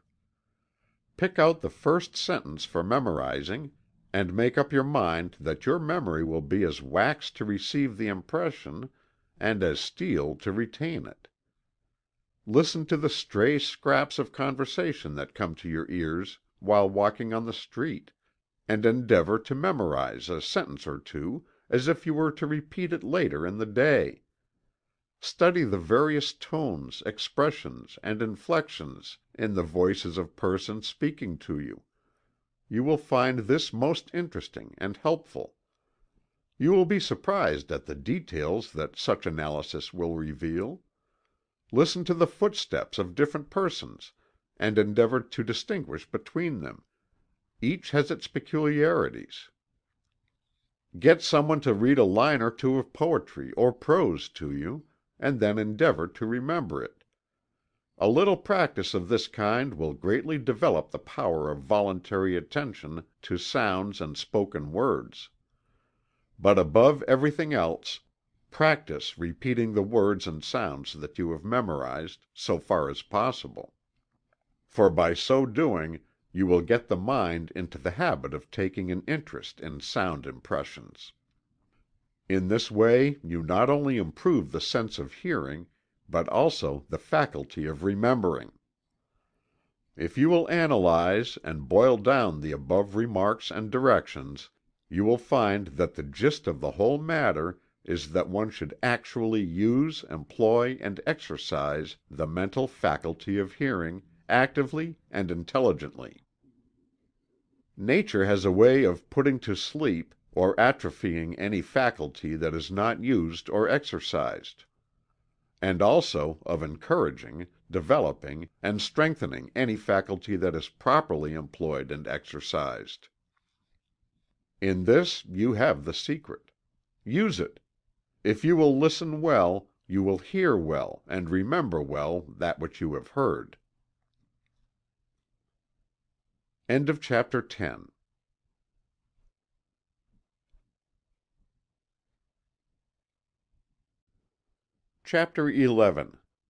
How to Remember Names. The phase of memory connected with the remembrance or recollection of names probably is of greater interest to the majority of persons than are any of the associated phases of the subject. On all hands are to be found people who are embarrassed by their failure to recall the name of some one whom they feel they know, but whose name has escaped them. This failure to remember the names of persons undoubtedly interferes with the business and professional success of many persons, and on the other hand the ability to recall names readily has aided many persons in the struggle for success. It would seem that there are a greater number of persons deficient in this phase of memory than in any other. As Holbrook has said: "The memory of names is a subject with which most persons must have a more than passing interest. The number of persons who never, or rarely, forget a name is exceedingly small; the number of those who have a poor memory for them is very large. The reason for this is partly a defect of mental development and partly a matter of habit. In either case it may be overcome by effort. I have satisfied myself by experience and observation that a memory for names may be increased not only two, but a hundredfold. You will find that the majority of successful men have been able to recall the faces and names of those with whom they came in contact, and it is an interesting subject for speculation as to just how much of their success was due to this faculty. Socrates is said to have easily remembered the names of all of his students, and his classes numbered thousands in the course of a year. Xenophon is said to have known the name of every one of his soldiers which faculty was shared by Washington and Napoleon also. Trajan is said to have known the names of all of the Praetorian Guards, numbering about twelve thousand. Pericles knew the face and name of every one of the citizens of Athens. Cineas is said to have known the names of all of the citizens of Rome. Themistocles knew the names of twenty thousand Athenians. Lucius Scipio could call by name every citizen of Rome. John Wesley could recall the names of thousands of persons whom he had met in his travels. Henry Clay was specially developed in this phase of memory, and there was a tradition among his followers that he remembered every one whom he met. Blaine had a similar reputation. There have been many theories advanced and explanations offered to account for the fact that the recollection of names is far more difficult than any other form of the activities of the memory. We shall not take up your time in going over these theories, but shall proceed upon the theory now generally accepted by the best authorities, that is, that the difficulty in the recollection of names is caused by the fact that names in themselves are uninteresting and therefore do not attract or hold the attention as do other objects presented to the mind. There is of course to be remembered the fact that sound impressions are apt to be more difficult of recollection than sight impressions, but the lack of interesting qualities in names is believed to be the principal obstacle and difficulty. Fuller says of this matter: "A proper noun or name when considered independently of accidental features of coincidence with something that is familiar, doesn't mean anything For this reason a mental picture of it is not easily formed. Which accounts for the fact that the primitive, tedious way of rote, or repetition, is that ordinarily employed to impress a proper noun on the memory, while a common noun being represented by some object having shape or appearance in the physical or mental perception, can thus be seen or imagined. In other words, a mental image of it can be formed and the name identified afterwards, through associating it with this mental image. We think that the case is fully stated in this quotation. But in spite of this difficulty, persons have and can greatly improve their memory of names. Many who were originally very deficient in this respect have not only improved the faculty far beyond its former condition, but have also developed exceptional ability in this special phase of memory, so that they became noted for their unfailing recollection of the names of those with whom they came in contact. Perhaps the best way to impress upon you the various methods that may be used for this purpose would be to relate to you the actual experience of a gentleman employed in a bank in one of the large cities of this country, who made a close study of the subject and developed himself far beyond the ordinary.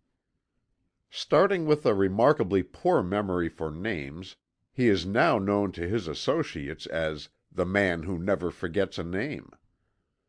This gentleman first took a number of courses in secret methods of developing the memory, but after thus spending much money he expressed his disgust with the whole idea of artificial memory training. He then started in to study the subject from the point of view of the new psychology, putting into effect all of the tested principles, and improving upon some of their details. We have had a number of conversations with this gentleman, and have found that his experience confirms many of our own ideas and theories, and the fact that he has demonstrated the correctness of the principles to such a remarkable degree renders his case one worthy of being stated in the direction of affording a guide and method for others who wish to develop their memory of names. The gentleman, who we shall call Mr. X., decided that the first thing for him to do was to develop his faculty of receiving clear and distinct sound impressions. In doing this he followed the plan outlined by us in our chapter on Training the Ear. He persevered and practiced along these lines until his hearing became very acute. He made a study of voices until he could classify them and analyze their characteristics. Then he found that he could hear names in a manner before impossible to him. That is, instead of merely catching a vague sound of a name, he would hear it so clearly and distinctly that a firm registration would be obtained on the records of his memory. For the first time in his life names began to mean something to him. He paid attention to every name he heard, just as he did to every note he handled. He would repeat a name to himself, after hearing it, and would thus strengthen the impression. If he came across an unusual name he would write it down several times, at the first opportunity, thus obtaining the benefit of a double sense impression, adding eye impression or ear impression. All this, of course, aroused his interest in the subject of names in general, which led him to the next step in his progress. Mr. X. then began to study names, their origin, their peculiarities, their differences, points of resemblances, etc. He made a hobby of names, and evinced all the joy of a collector when he was able to stick the pins of attention through the specimen of a new and unfamiliar species of name. He began to collect names, just as others collect beetles, stamps, coins, etc., and took quite a pride in his collection and in his knowledge of the subject. He read books on names from the libraries, giving their origin, etc. He had the Dickens delight in queer names, and would amuse his friends by relating the funny names he had seen on signs, and otherwise. He took a small city directory home with him, and would run over the pages in the evening, looking up new names, and classifying old ones into groups. He found that some names were derived from animals, and put these into a class by themselves the lions, wolves, foxes, lambs, hares, etc. Others were put into color group blacks, greens, whites, grays, blues, etc. Others belonged to the bird family crows, hawks, birds, drakes, cranes, doves, jays, etc. Others belonged to trades millers, smiths, coopers, maltsters, carpenters, bakers, painters, etc. Others were trees chestnuts, oakleys, walnuts, cherries, pines, etc. Then there were hills and dales, fields and mountains, lanes and brooks. Some were strong, others were gay, others were savage, others noble, and so on. It would take a whole book to tell you what the man found out about names. He came near becoming a crank on the subject. But his hobby began to manifest excellent results, for his interest had been awakened to an unusual degree. And he was becoming very proficient in his recollection of names, for they now meant something to him. He easily recalled all the regular customers at his bank quite a number, by the way, for the bank was a large one and many occasional depositors were delighted to have themselves called by name by our friend. Occasionally he would meet with a name that balked him, in which case he would repeat it over to himself, and write it a number of times until he had mastered it after that it never escaped him. Mr. X. would always repeat a name when it was spoken, and would at the same time look intently at the person bearing it, thus seeming to fix the two together in his mind at the same time. When he wanted them they would be found in each other's company. He also acquired the habit of visualizing the name that is, he would see its letters in his mind's eye, as a picture. This he regarded as a most important point, and we thoroughly agree with him. He used the law of association in the direction of associating a new man with a well remembered man of the same name. A new Mr. Schmitzenberger would be associated with an old customer of the same name. When he would see the new man he would think of the old one, and the name would flash into his mind.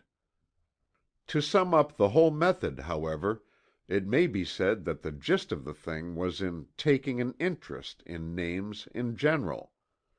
In this way an uninteresting subject was made interesting, and a man always has a good memory for the things in which he is interested. The case of Mr. X. is an extreme one, and the results obtained were beyond the ordinary. But if you will take a leaf from his book you may obtain the same results in the degree that you work for it. Make a study of names, start a collection, and you will have no trouble in developing a memory for them. This is the whole thing in a nutshell. End of chapter 11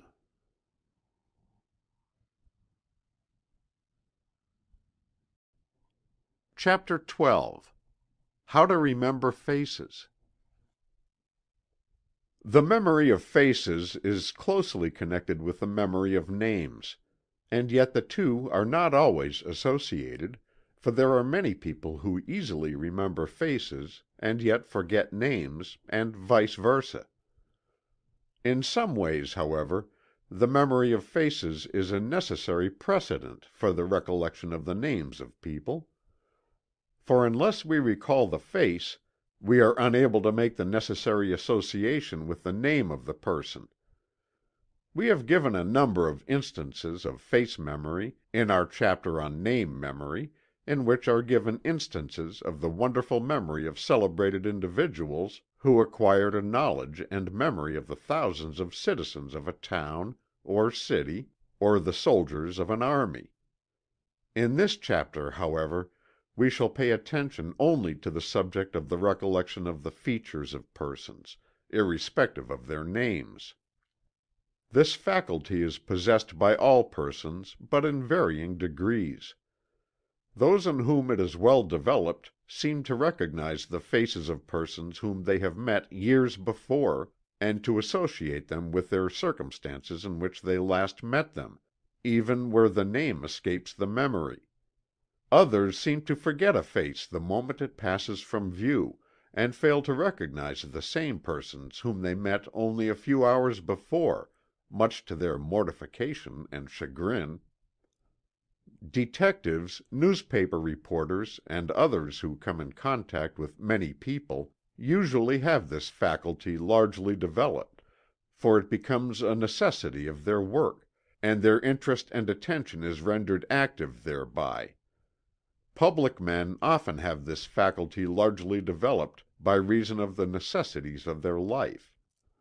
It is said that James G. Blaine never forgot the face of anyone whom he had met and conversed with a few moments.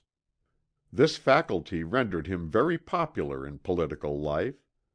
In this respect he resembled Henry Clay, who was noted for his memory of faces.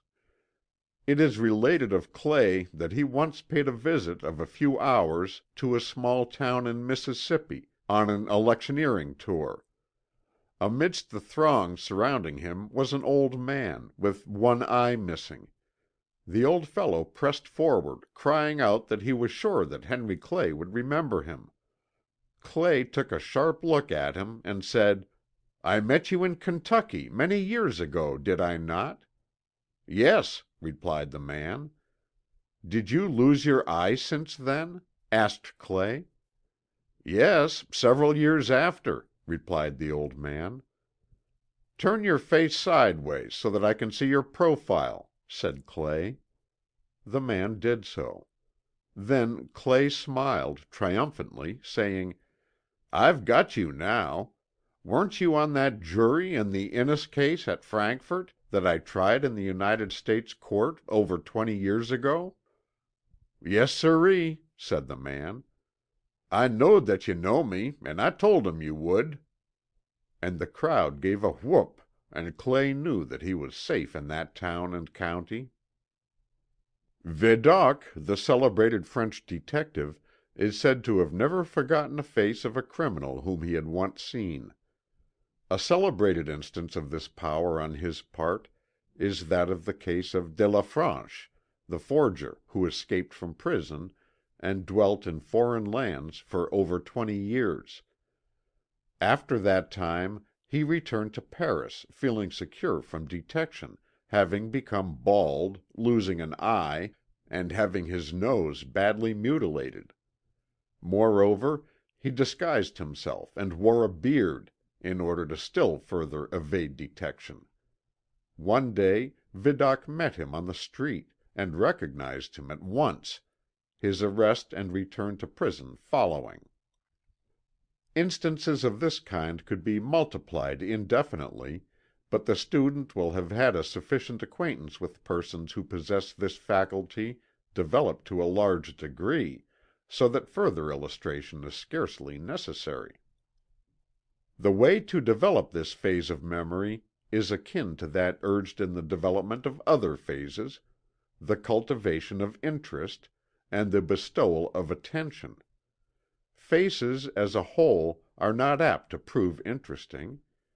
It is only by analyzing and classifying them that the study begins to grow of interest to us. The study of a good elementary work on physiognomy is recommended to those wishing to develop the faculty of remembering faces, for in such a work the student is led to notice the different kinds of noses, ears, eyes, chins, foreheads, etc., such notice and recognition tending to induce an interest in the subject of features. A rudimentary course of study in drawing faces, particularly in profile, will also tend to make one "take notice" and will awaken interest. If you are required to draw a nose, particularly from memory, you will be apt to give it your interested attention. The matter of interest is vital. If you were shown a man and told that the next time you met and recognized him he would hand you over five hundred dollars, you would be very apt to study his face carefully, and to recognize him later on; whereas the same man, if introduced casually as a "Mr. Jones," would arouse no interest, and the chances of recognition would be slim. Halleck says: "Every time we enter a street car we see different types of people, and there is a great deal to be noticed about each type. Every human countenance shows its past history to one who knows how to look. Successful gamblers often become so expert in noticing the slightest change of an opponent's facial expression that they will estimate the strength of his hand by the involuntary signs which appear in the face and which are frequently checked the instant they appear. Of all classes, perhaps artists are more apt to form a clear cut image of the features of persons whom they meet, particularly if they are portrait painters. There are instances of celebrated portrait painters who were able to execute a good portrait after having once carefully studied the face of the sitter, their memory enabling them to visualize the features at will. Some celebrated teachers of drawing have instructed their scholars to take a sharp, hasty glance at a nose, an eye, an ear, or chin, and then to so clearly visualize it that they could draw it perfectly. It is all a matter of interest, attention, and practice.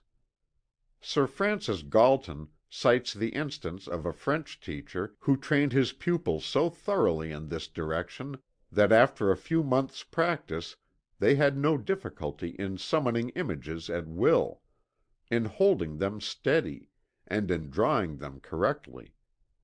He says of the faculty of visualization thus used: "A faculty that is of importance in all technical and artistic occupations, that gives accuracy to our perceptions, and justice to our generalizations, is starved by lazy disuse, instead of being cultivated judiciously in such a way as will, on the whole, bring the best return.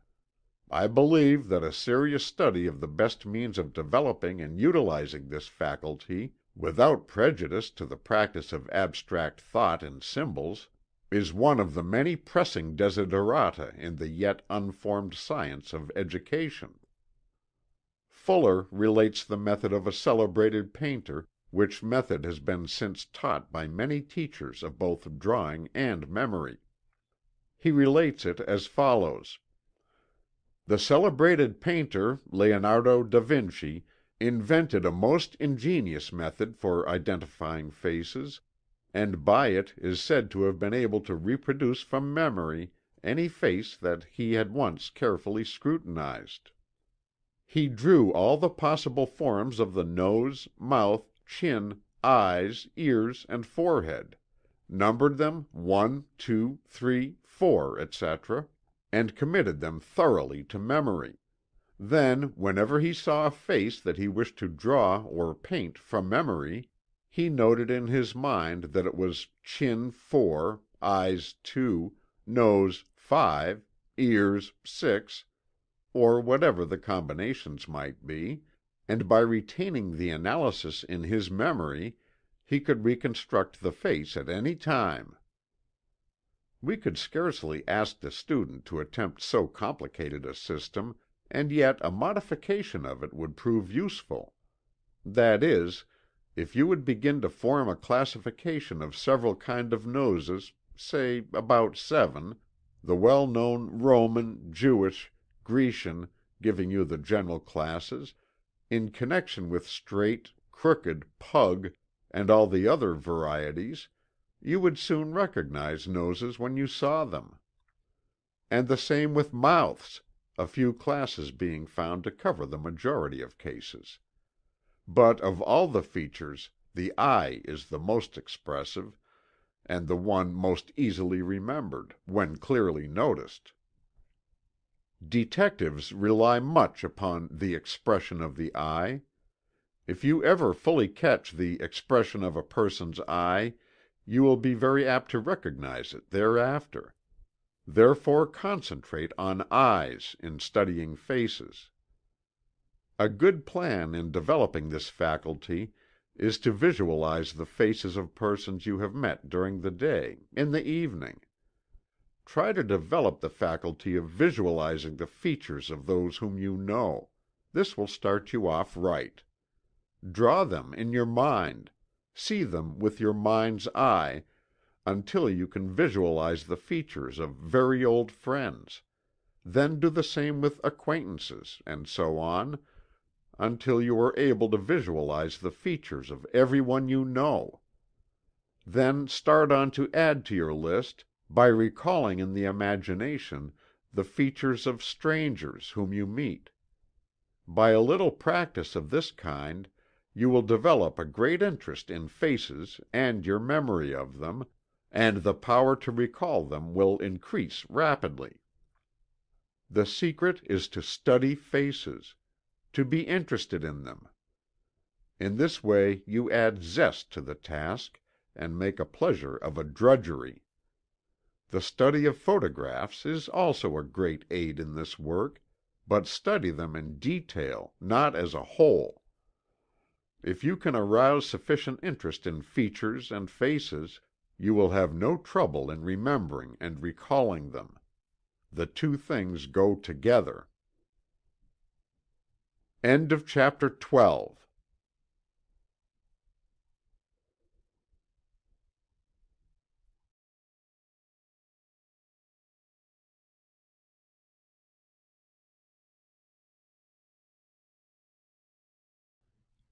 CHAPTER XIII How to Remember Places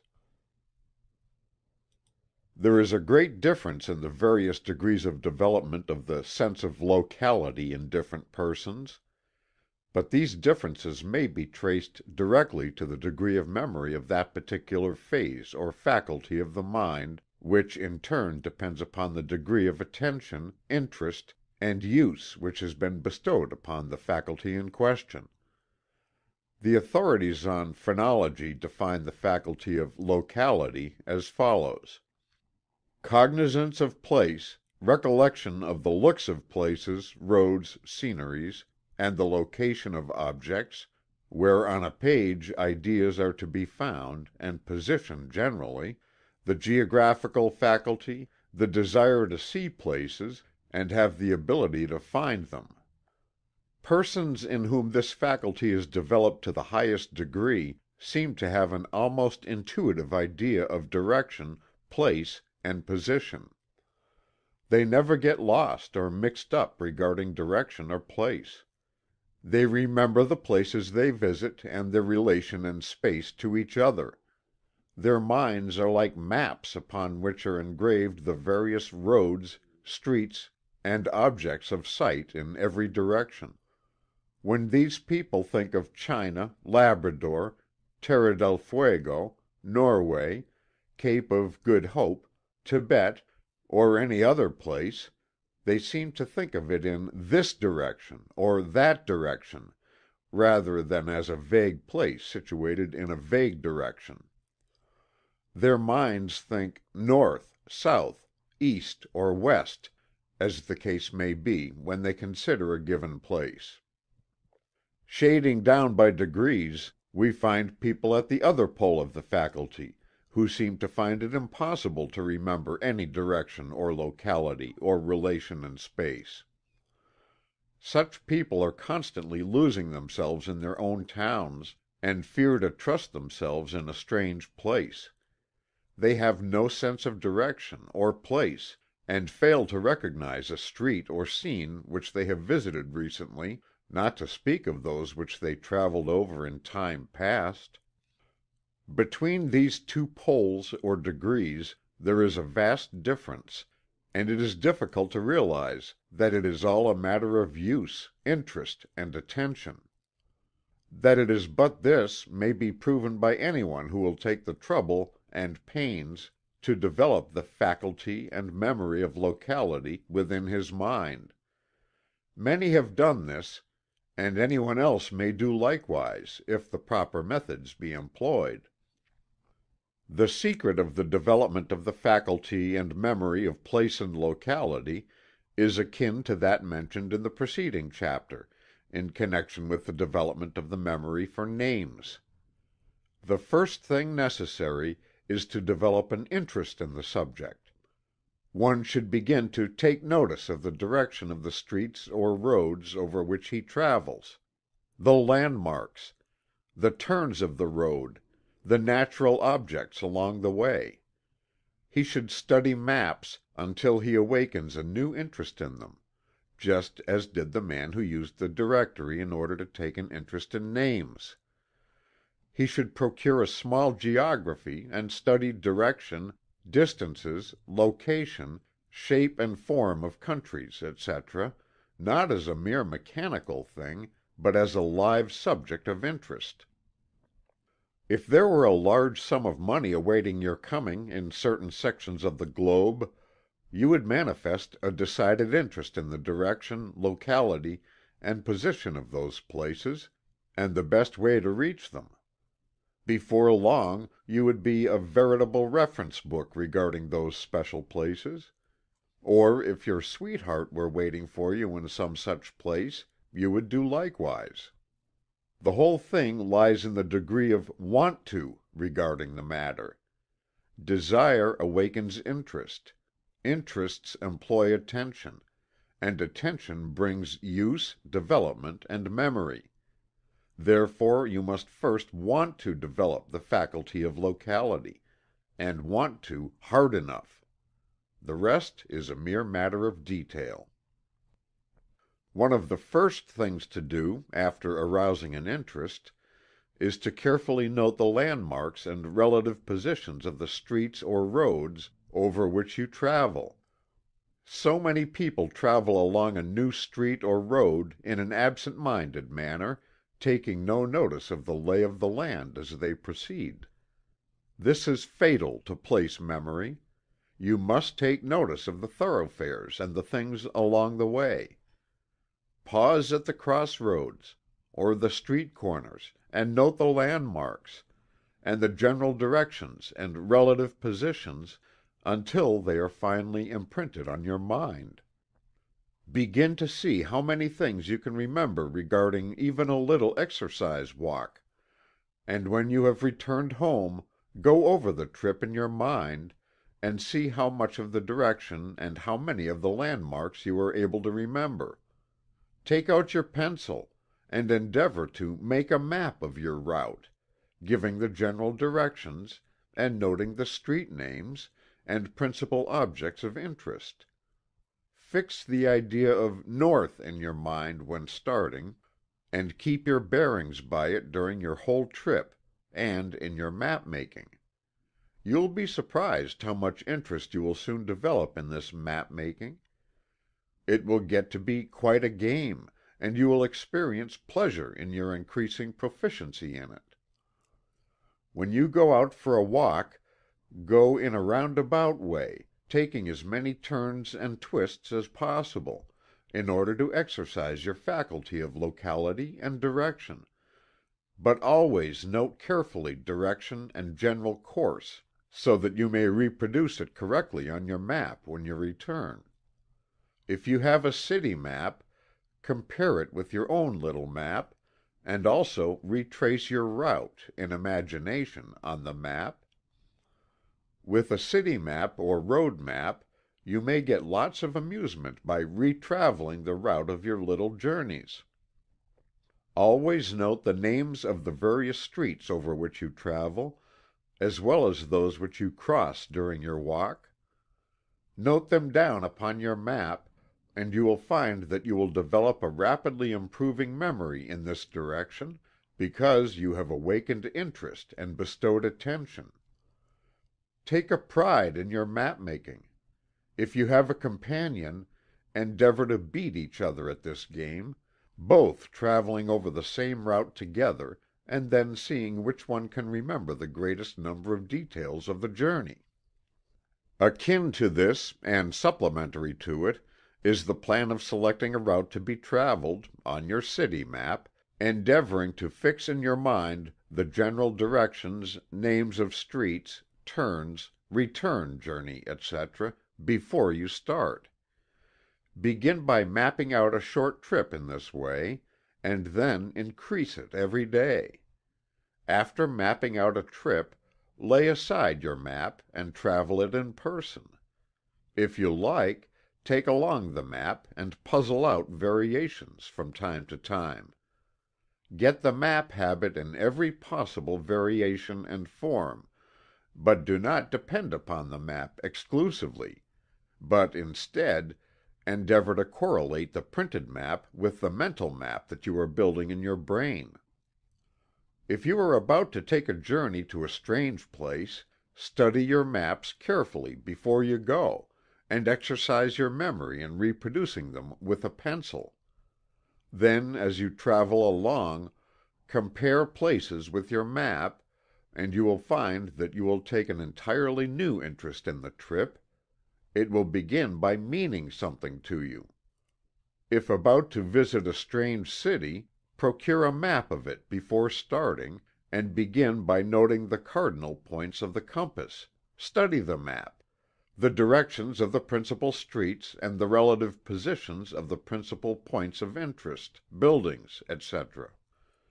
In this way you not only develop your memory of places, and render yourself proof against being lost, but you also provide a source of new and great interest in your visit. The above suggestions are capable of the greatest expansion and variation on the part of anyone who practices them. The whole thing depends upon the taking notice, and using the attention, and those things in turn depend upon the taking of interest in the subject. If anyone will wake up and take interest in the subject of locality and direction he may develop himself along the lines of place memory to an almost incredible degree, in a comparatively short time at that. There is no other phase of memory that so quickly responds to use and exercise as this one. We have in mind a lady who was notoriously deficient in the memory of place, and was sure to lose herself a few blocks from her stopping place, wherever she might be. She seemed absolutely devoid of the sense of direction or locality, and often lost herself in the hotel corridors, notwithstanding the fact that she traveled all over the world with her husband for years. The trouble undoubtedly arose from the fact that she depended altogether upon her husband as a pilot the couple being inseparable.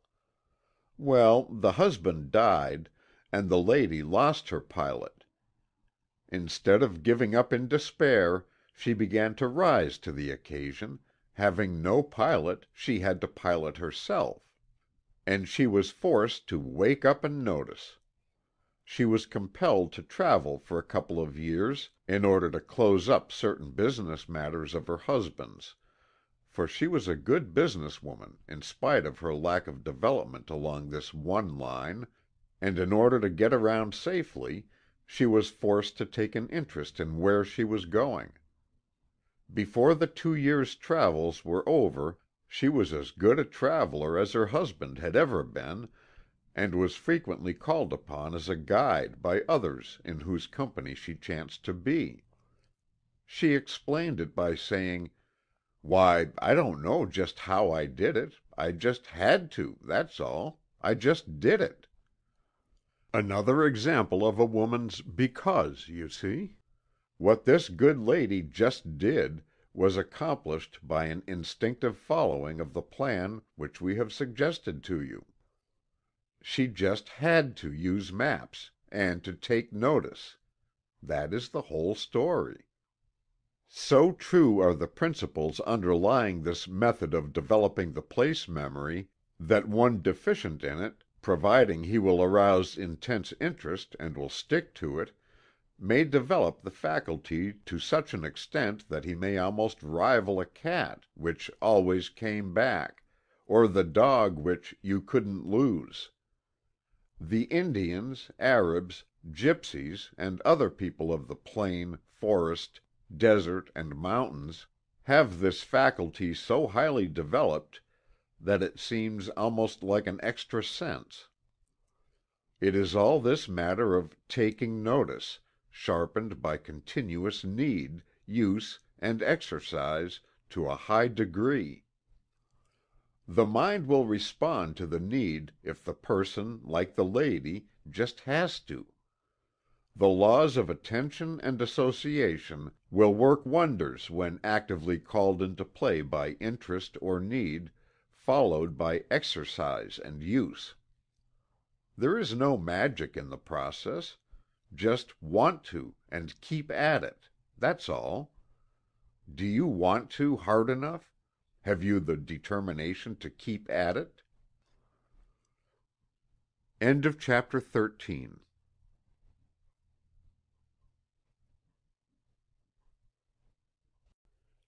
CHAPTER XIV How to Remember Numbers The faculty of number, that is the faculty of knowing, recognizing and remembering figures in the abstract and in their relation to each other, differs very materially among different individuals. To some, figures and numbers are apprehended and remembered with ease, while to others they possess no interest, attraction or affinity, and consequently are not apt to be remembered. It is generally admitted by the best authorities that the memorizing of dates, figures, numbers, etc., is the most difficult of any of the phases of memory. But all agree that the faculty may be developed by practice and interest.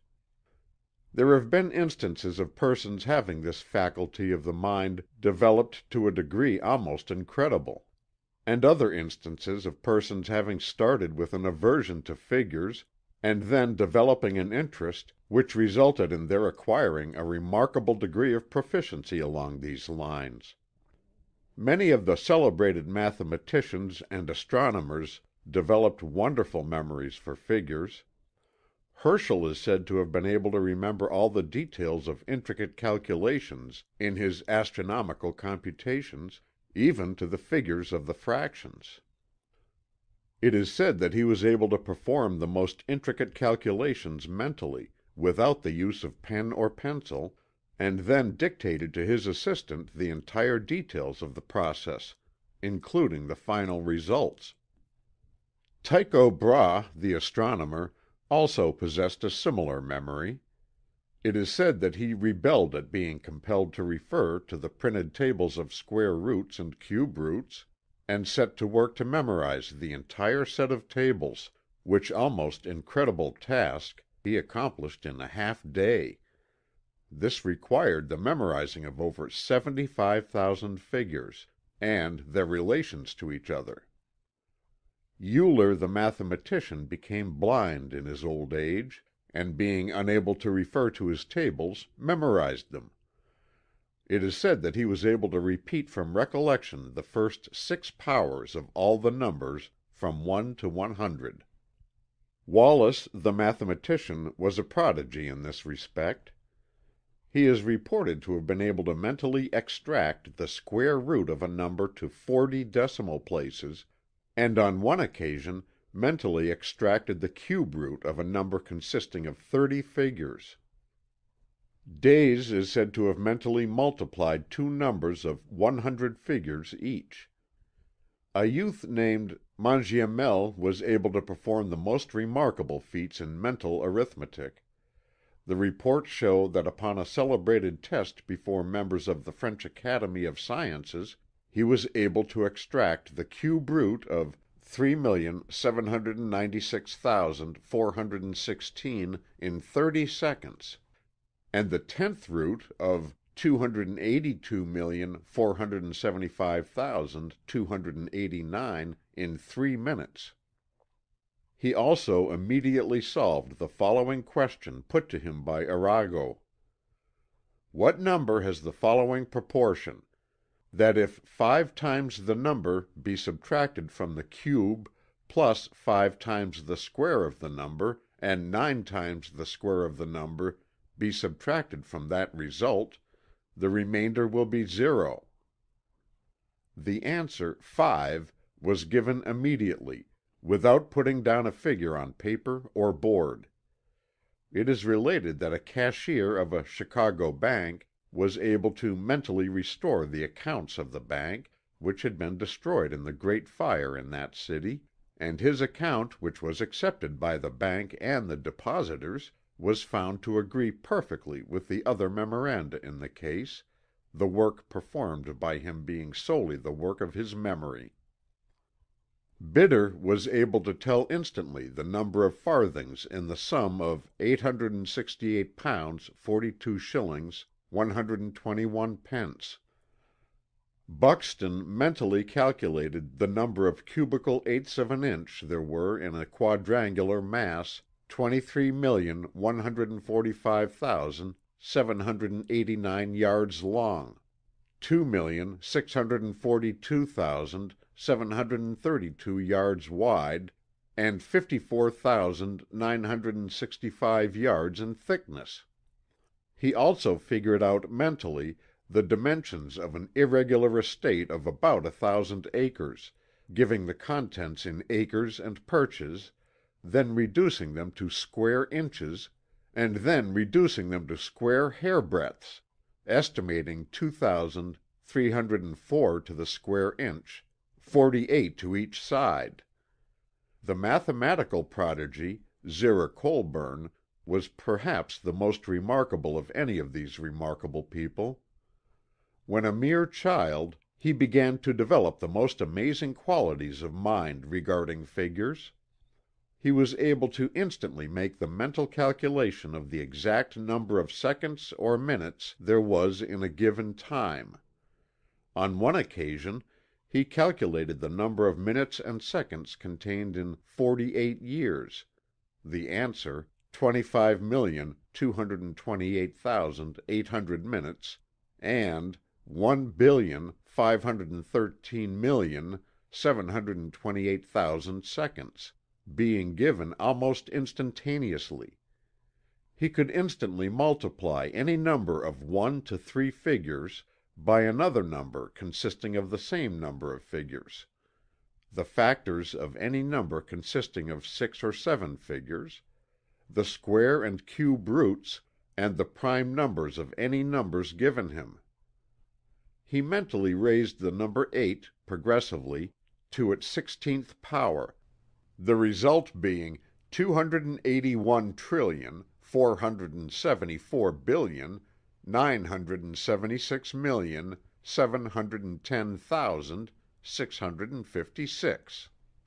and gave the square root of 106,929, which was 5. He mentally extracted the cube root of 268,336,125 and the squares of 244,999,755 and 1,224,000,000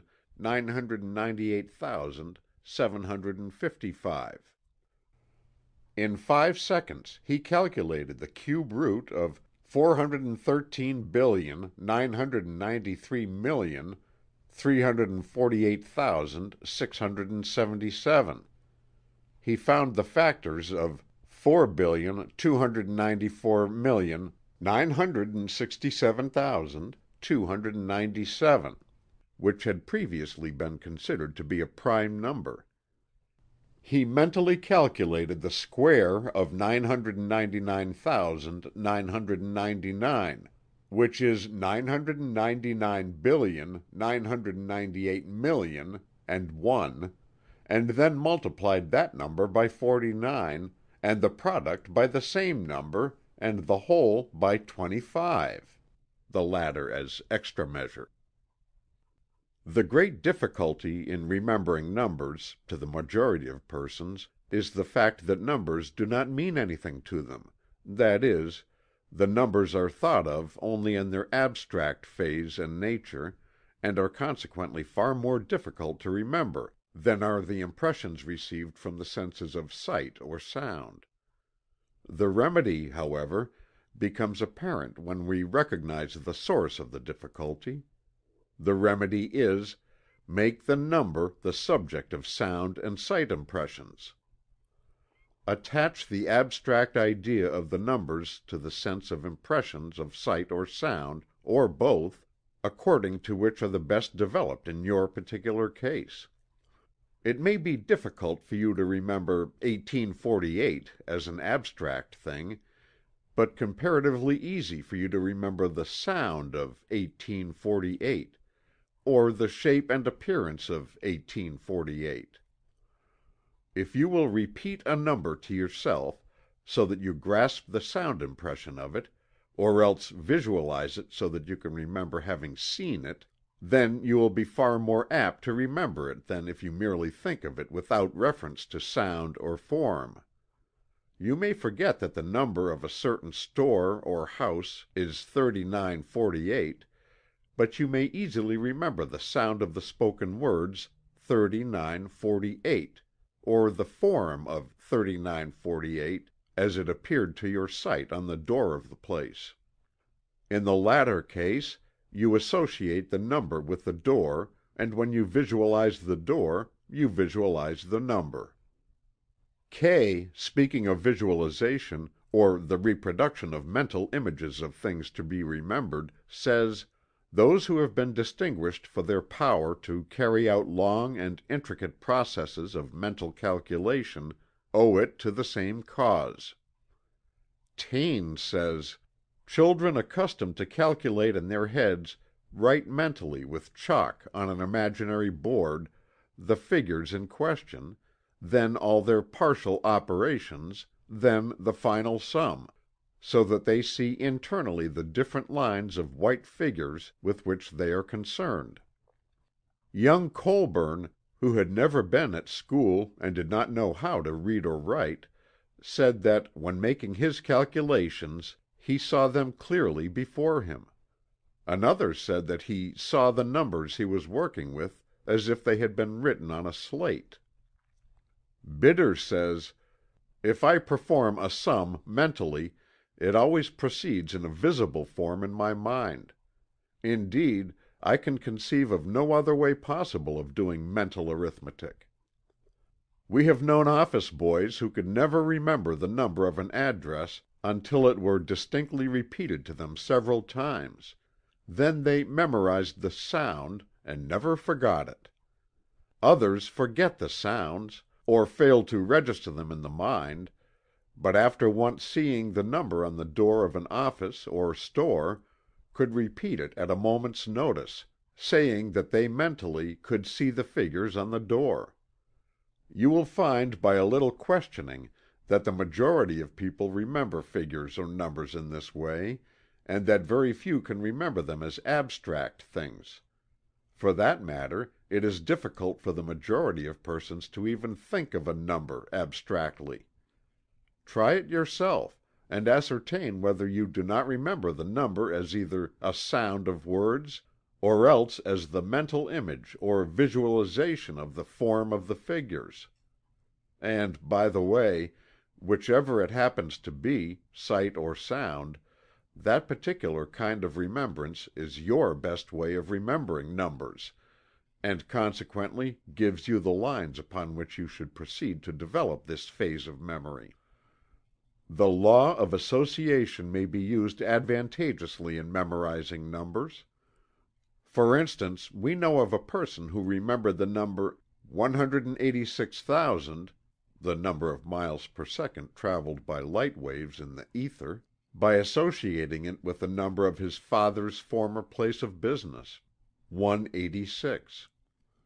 Another remembered his telephone number 1876 by recalling the date of the Declaration of Independence. Another, the number of States in the Union, by associating it with the last two figures of the number of his place of business.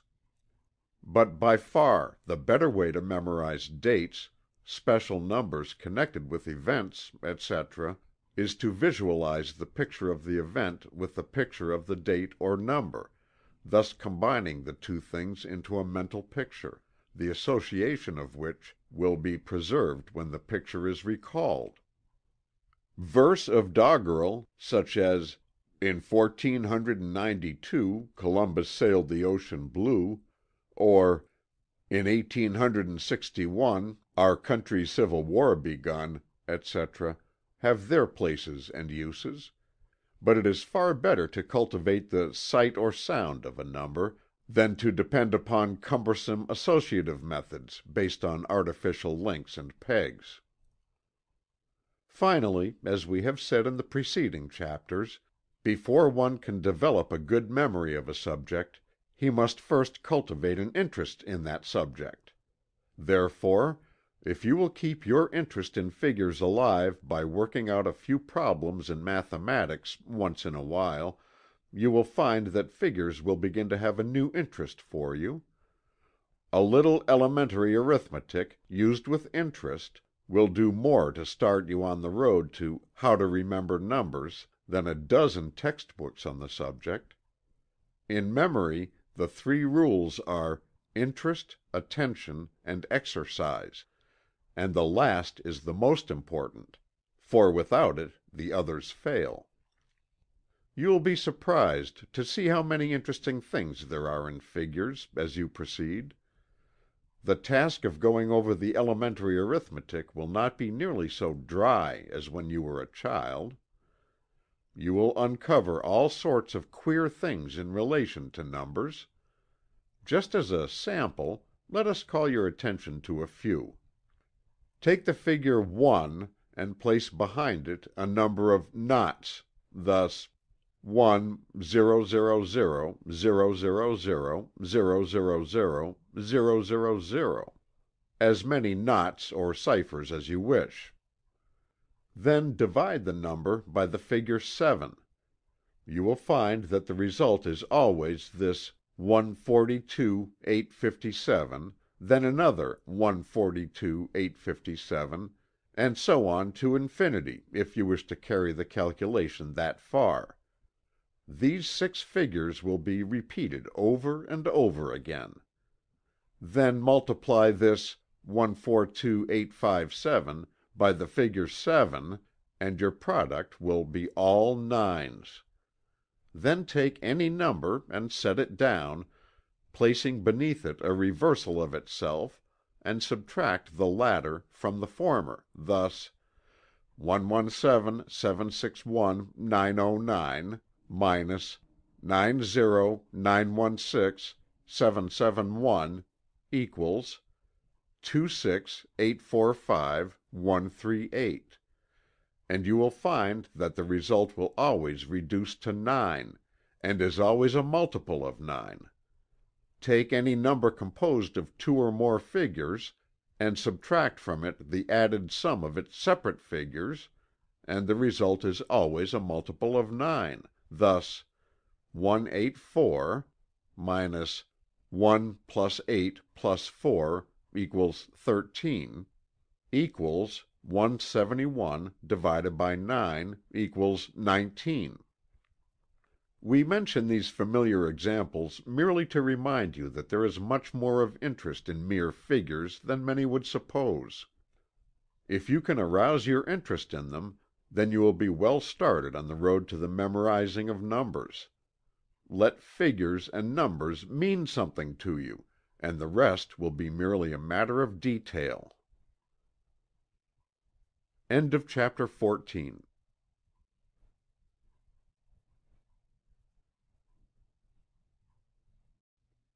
CHAPTER XV How to Remember Music Like all of the other faculties of the mind, that of music or tune is manifested in varying degrees by different individuals. To some music seems to be almost instinctively grasped, while to others it is acquired only by great effort and much labor. To some harmony is natural, and inharmony a matter of repulsion. While others fail to recognize the difference between the two except in extreme cases. Some seem to be the very soul of music, while others have no conception of what the soul of music may be. Then there is manifested the different phases of the knowledge of music. Some play correctly by ear, but are clumsy and inefficient when it comes to playing by note. Others play very correctly in a mechanical manner, but fail to retain the memory of music which they have heard. It is indeed a good musician who combines within himself or herself both of the two last mentioned faculties, the ear perception of music and the ability to execute correctly from notes. There are many cases of record in which extraordinary powers of memory of music have been manifested. Fuller relates the following instances of this particular phase of memory. Carolan, the greatest of Irish bards, once met a noted musician and challenged him to a test of their respective musical abilities. The defi was accepted and Carolan's rival played on his violin one of Vivaldi's most difficult concertos. On the conclusion of the performance Carolan, who had never heard the piece before, took his harp and played the concerto through from beginning to end without making a single error. His rival thereupon yielded the palm, thoroughly satisfied of Carolan's superiority, as well he might be. Beethoven could retain in his memory any musical composition, however complex, that he had listened to and could reproduce most of it.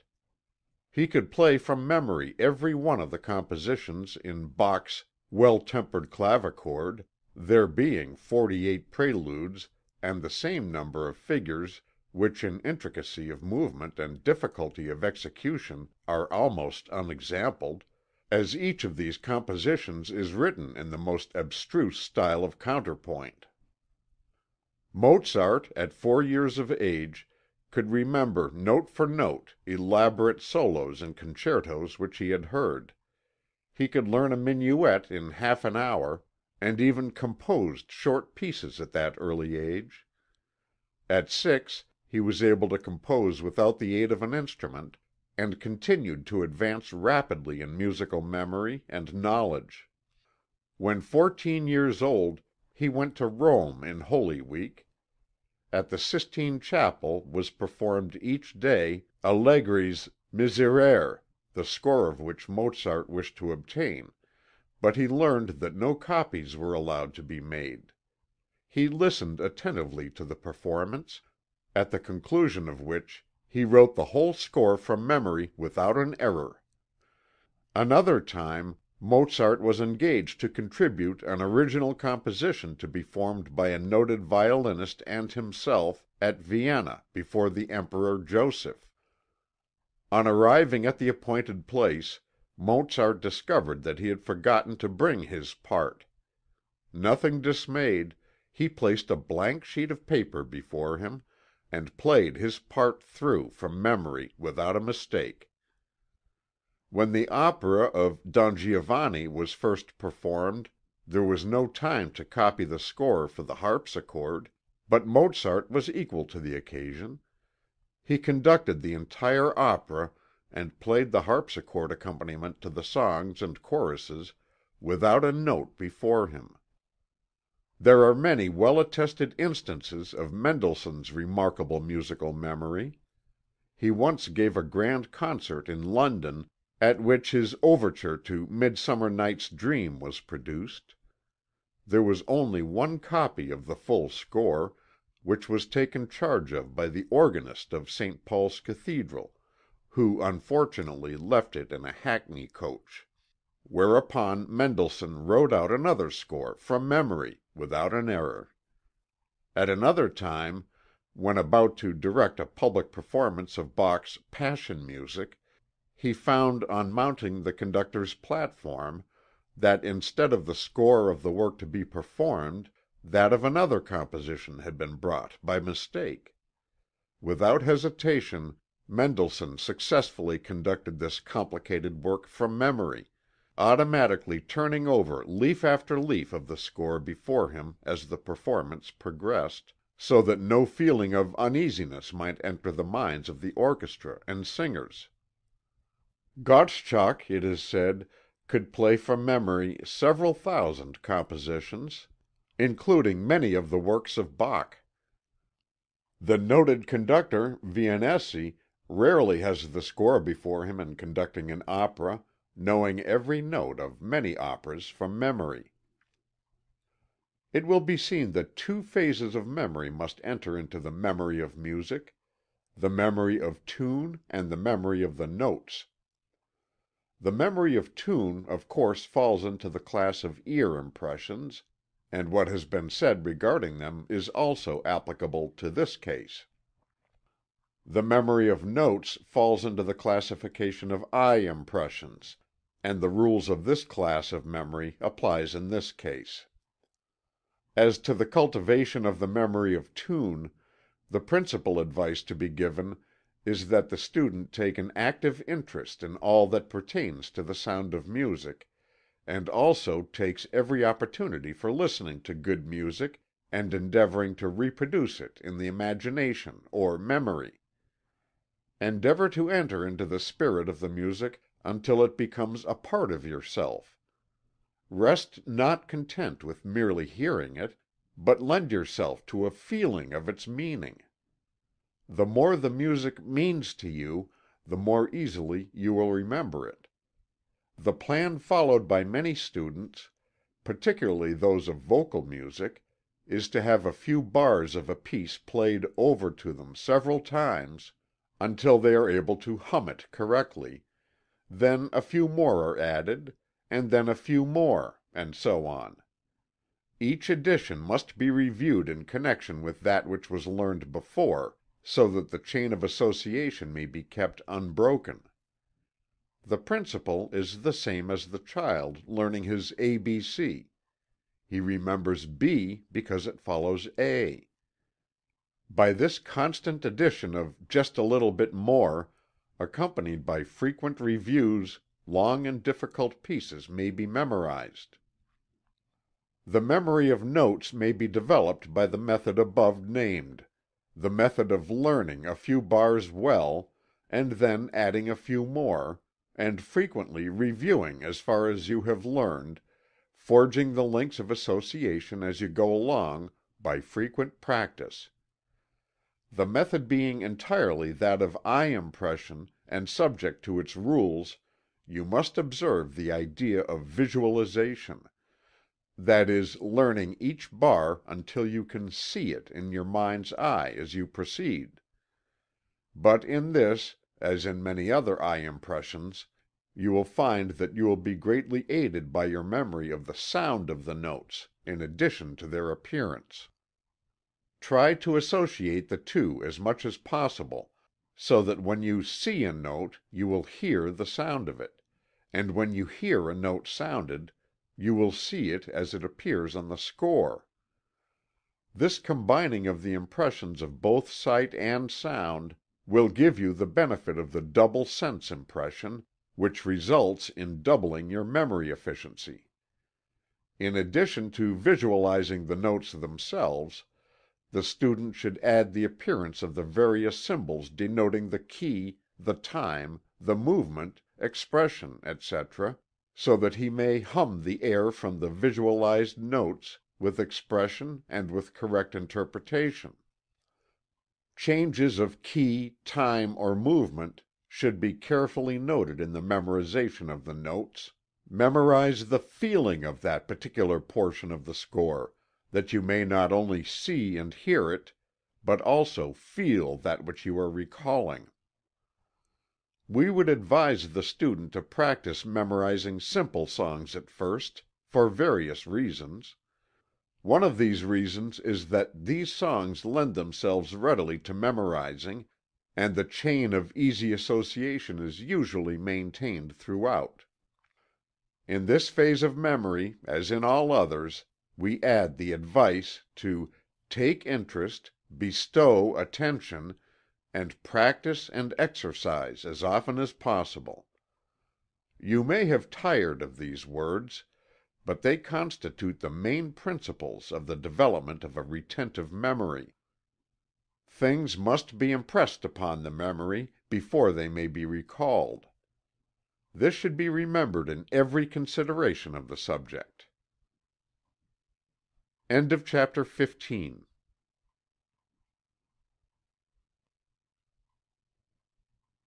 CHAPTER XVI How to Remember Occurrences The phase of memory which manifests in the recording of and recollection of the occurrences and details of one's everyday life is far more important than would appear at first thought. The average person is under the impression that he remembers very well the occurrences of his everyday business, professional or social life, and is apt to be surprised to have it suggested to him that he really remembers but very little of what happens to him during his waking hours. In order to prove how very little of this kind is really remembered, let each student lay down this book, at this place, and then quieting his mind, let him endeavor to recall the incidents of the same day of the preceding week. He will be surprised to see how very little of what happened on that day he is really capable of recollecting. Then let him try the same experiment with the occurrences of yesterday. This result will also excite surprise. It is true that if he is reminded of some particular occurrence, he will recall it, more or less distinctly, but beyond that he will remember nothing. Let him imagine himself called upon to testify in court regarding the happenings of the previous day, or the day of the week before, and he will realize his position. The reason for his failure to easily remember the events referred to is to be found in the fact that he made no effort at the time to impress these happenings upon his subconscious mentality. He allowed them to pass from his attention like the proverbial "water from the duck's back." He did not wish to be bothered with the recollection of trifles, and in endeavoring to escape from them he made the mistake of failing to store them away. There is a vast difference between dwelling on the past and storing away past records for possible future reference. To allow the records of each day to be destroyed is like tearing up the important business papers in an office in order to avoid giving them a little space in the files. It is not advisable to expend much mental effort in fastening each important detail of the day upon the mind, as it occurs, but there is an easier way that will accomplish the purpose, if one will but take a little trouble in that direction. We refer to the practice of reviewing the occurrences of each day, after the active work of the day is over. If you will give to the occurrences of each day a mental review in the evening, you will find that the act of reviewing will employ the attention to such an extent as to register the happenings in such a manner that they will be available if ever needed thereafter. It is akin to the filing of the business papers of the day, for possible future reference. Besides this advantage, these reviews will serve you well as a reminder of many little things of immediate importance which have escaped your recollection by reason of something that followed them in the field of attention. You will find that a little practice will enable you to review the events of the day, in a very short space of time, with a surprising degree of accuracy of detail. It seems that the mind will readily respond to this demand upon it. The process appears to be akin to a mental digestion, or rather a mental rumination similar to that of the cow when it chews the cud that it has previously gathered. The thing is largely a knack easily acquired by a little practice. It will pay you for the little trouble and time that you expend upon it. As we have said, not only do you gain the advantage of storing away these records of the day for future use, but you also have your attention called to many important details that have escaped you, and you will find that many ideas of importance will come to you in your moments of leisure rumination. Let this work be done in the evening, when you feel at ease, but do not do it after you retire. The bed is made for sleep, not for thinking. You will find that the subconsciousness will awaken to the fact that it will be called upon later for the records of the day, and will, accordingly, take notice of what happens, in a far more diligent and faithful manner. The subconsciousness responds to a call made upon it in an astonishing manner, when it once understands just what is required of it. You will see that much of the virtue of the plan recommended consists in the fact that in the review there is an employment of the attention in a manner impossible during the haste and rush of the day's work. The faint impressions are brought out for examination, and the attention of the examination and review greatly deepen the impression in each case, so that it may be reproduced thereafter. In a sentence, it is the deepening of the faint impressions of the day. Thurlow Weed, a well known politician of the last century, testifies to the efficacy of the above mentioned method in his Memoirs. His plan was slightly different from that mentioned by us, but you will at once see that it involves the same principles, the same psychology. Mr. Weed says: "Some of my friends used to think that I was cut out for a politician, but I saw at once a fatal weakness.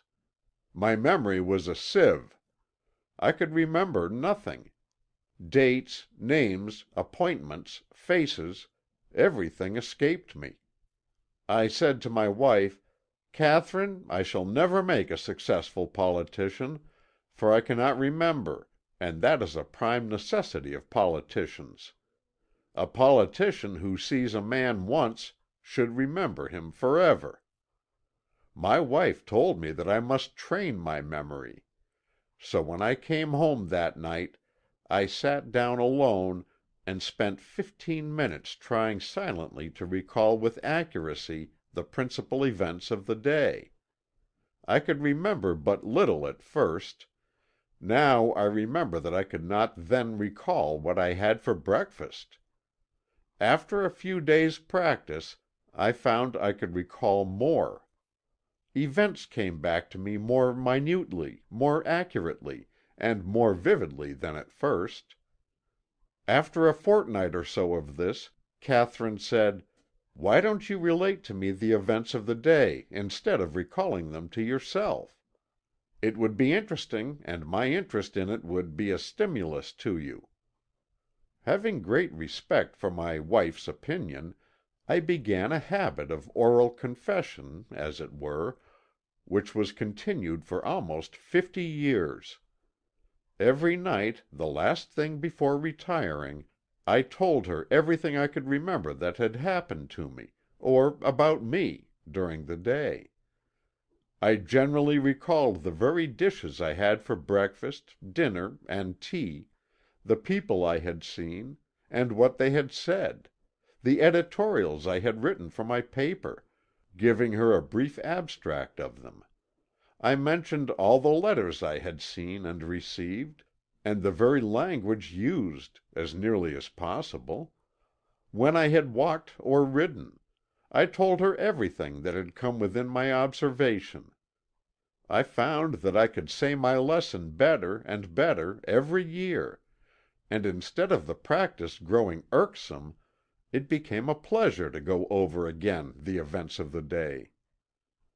I am indebted to this discipline for a memory of unusual tenacity, and I recommend the practice to all who wish to store up facts, or expect to have much to do with influencing men. The careful student, after reading these words of Thurlow Weed, will see that in them he has not only given a method of recalling the particular class of occurrences mentioned in this lesson, but has also pointed out a way whereby the entire field of memory may be trained and developed. The habit of reviewing and telling the things that one perceives, does and thinks during the day, naturally sharpens the powers of future observation, attention and perception.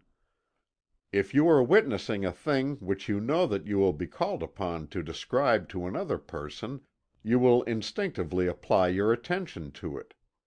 The knowledge that you will be called upon for a description of a thing will give the zest of interest or necessity to it, which may be lacking otherwise. If you will "sense" things with the knowledge that you will be called upon to tell of them later on, you will give the interest and attention that go to make sharp, clear and deep impressions on the memory. In this case the seeing and hearing has a meaning to you, and a purpose. In addition to this, the work of review establishes a desirable habit of mind. If you don't care to relate the occurrences to another person, learn to tell them to yourself in the evening. Play the part yourself. There is a valuable secret of memory embedded in this chapter if you are wise enough to apply it. End of chapter 16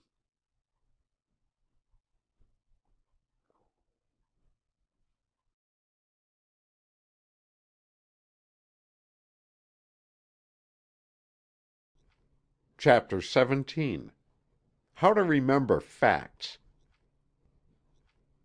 In speaking of this phase of memory we use the word "fact" in the sense of an ascertained item of knowledge, rather than in the sense of a happening, etc.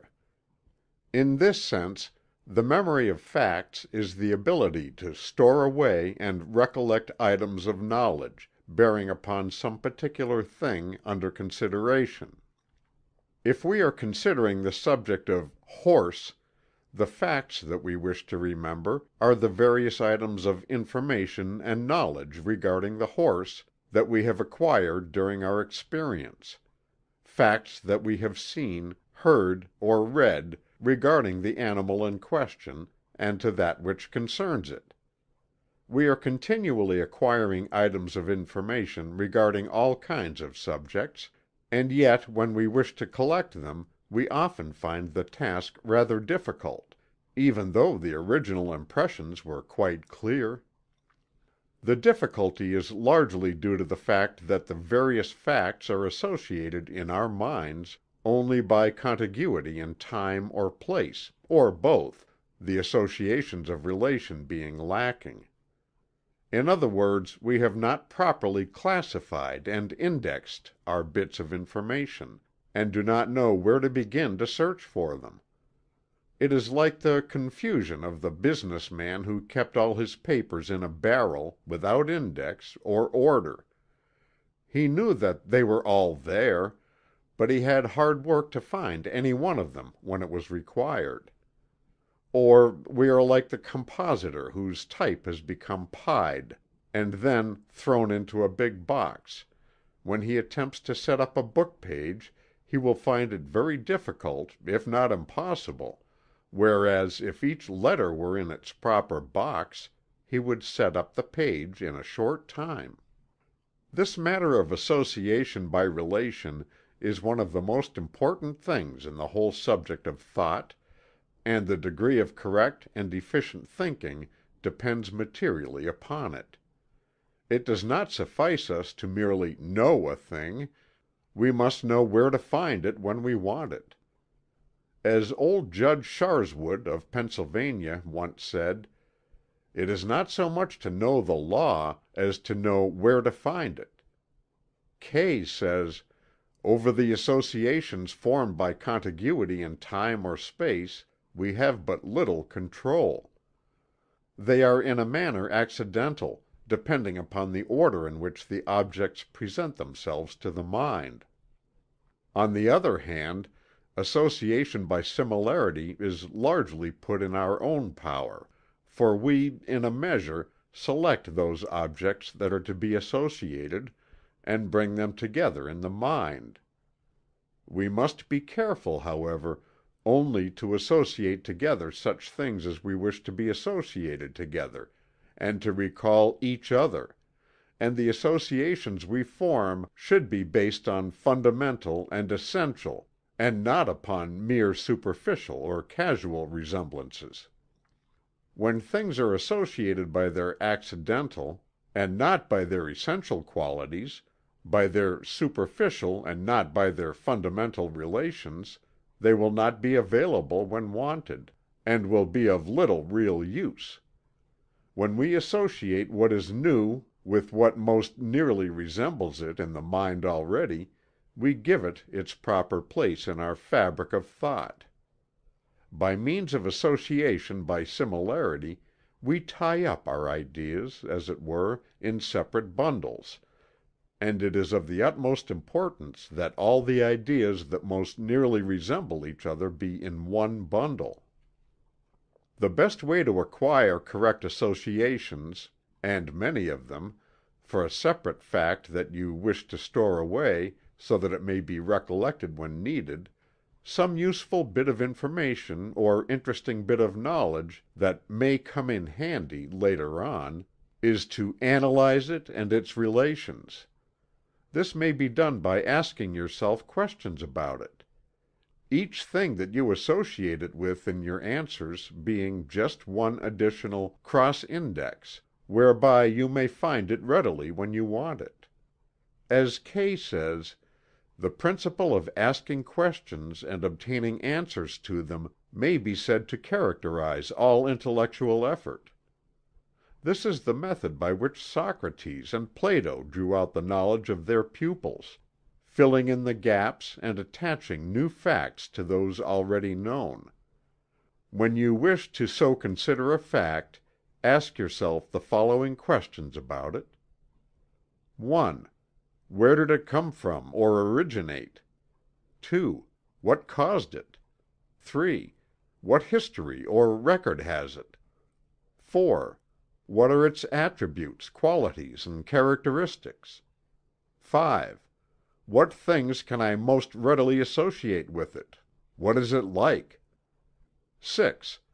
What is it good for? How may it be used? What can I do with it? 7. What does it prove? What can be deduced from it? 8. What are its natural results? What happens because of it? 9. What is its future, and its natural or probable end or finish? 10. What do I think of it, on the whole? What are my general impressions regarding it? 11. What do I know about it, in the way of general information? 12. What have I heard about it, and from whom, and when? If you will take the trouble to put any fact through the above rigid examination, you will not only attach it to hundreds of convenient and familiar other facts, so that you will remember it readily upon occasion, but you will also create a new subject of general information in your mind, of which this particular fact will be the central thought. Similar systems of analysis have been published and sold by various teachers at high prices, and many men have considered that the results justified the expenditure. So do not pass it by lightly.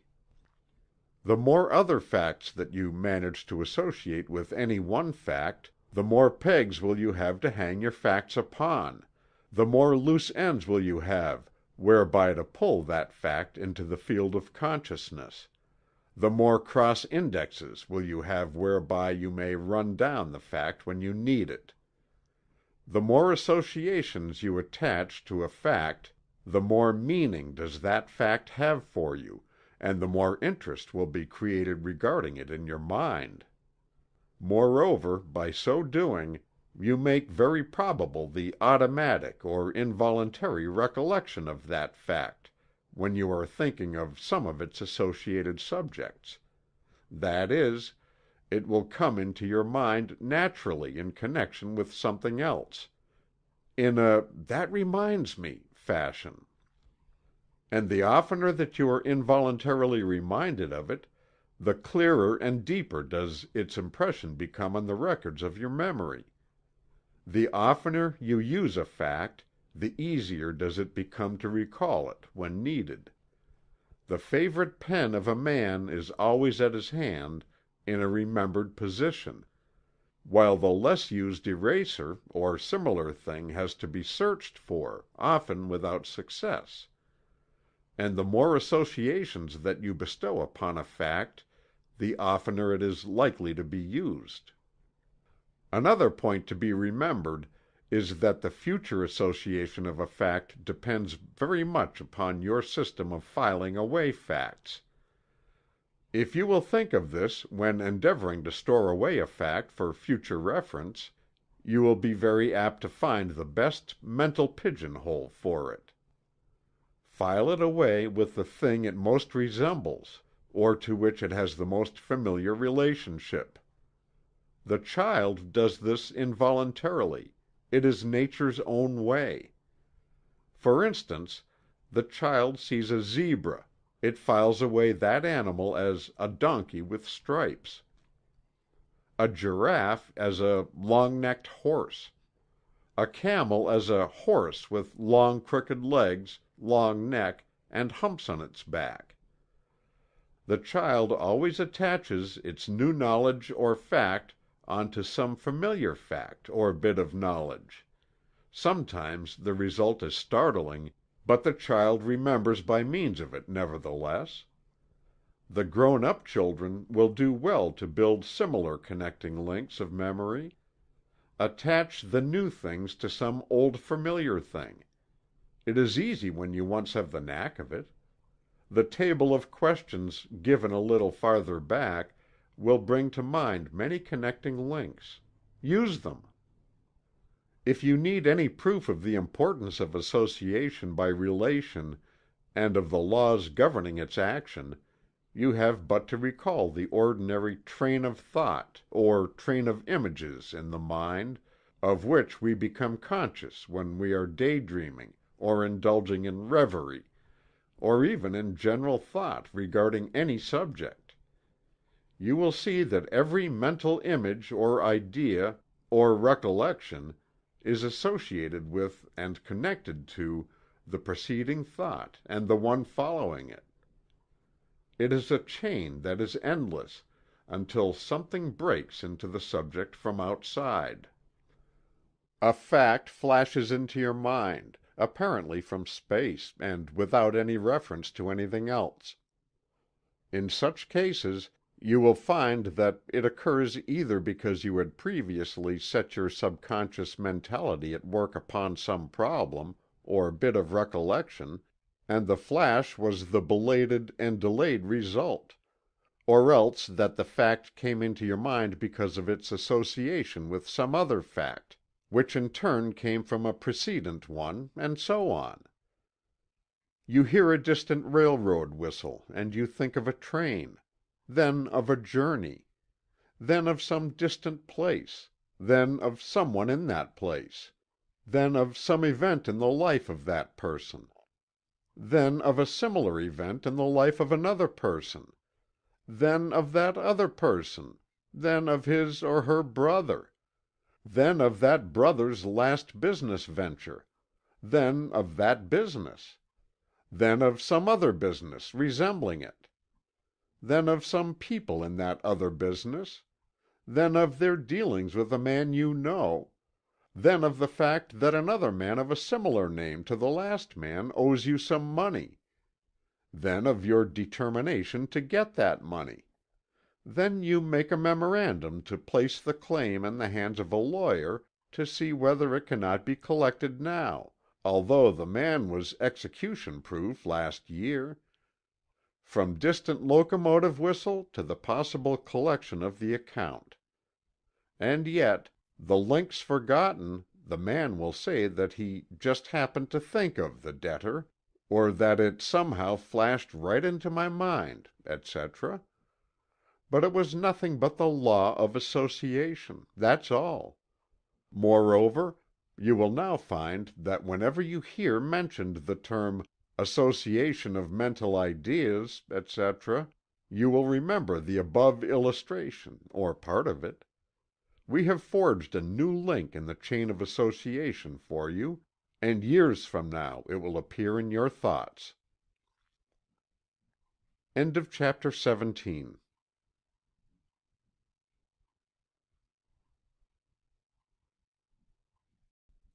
Chapter 18 How to Remember Words, etc.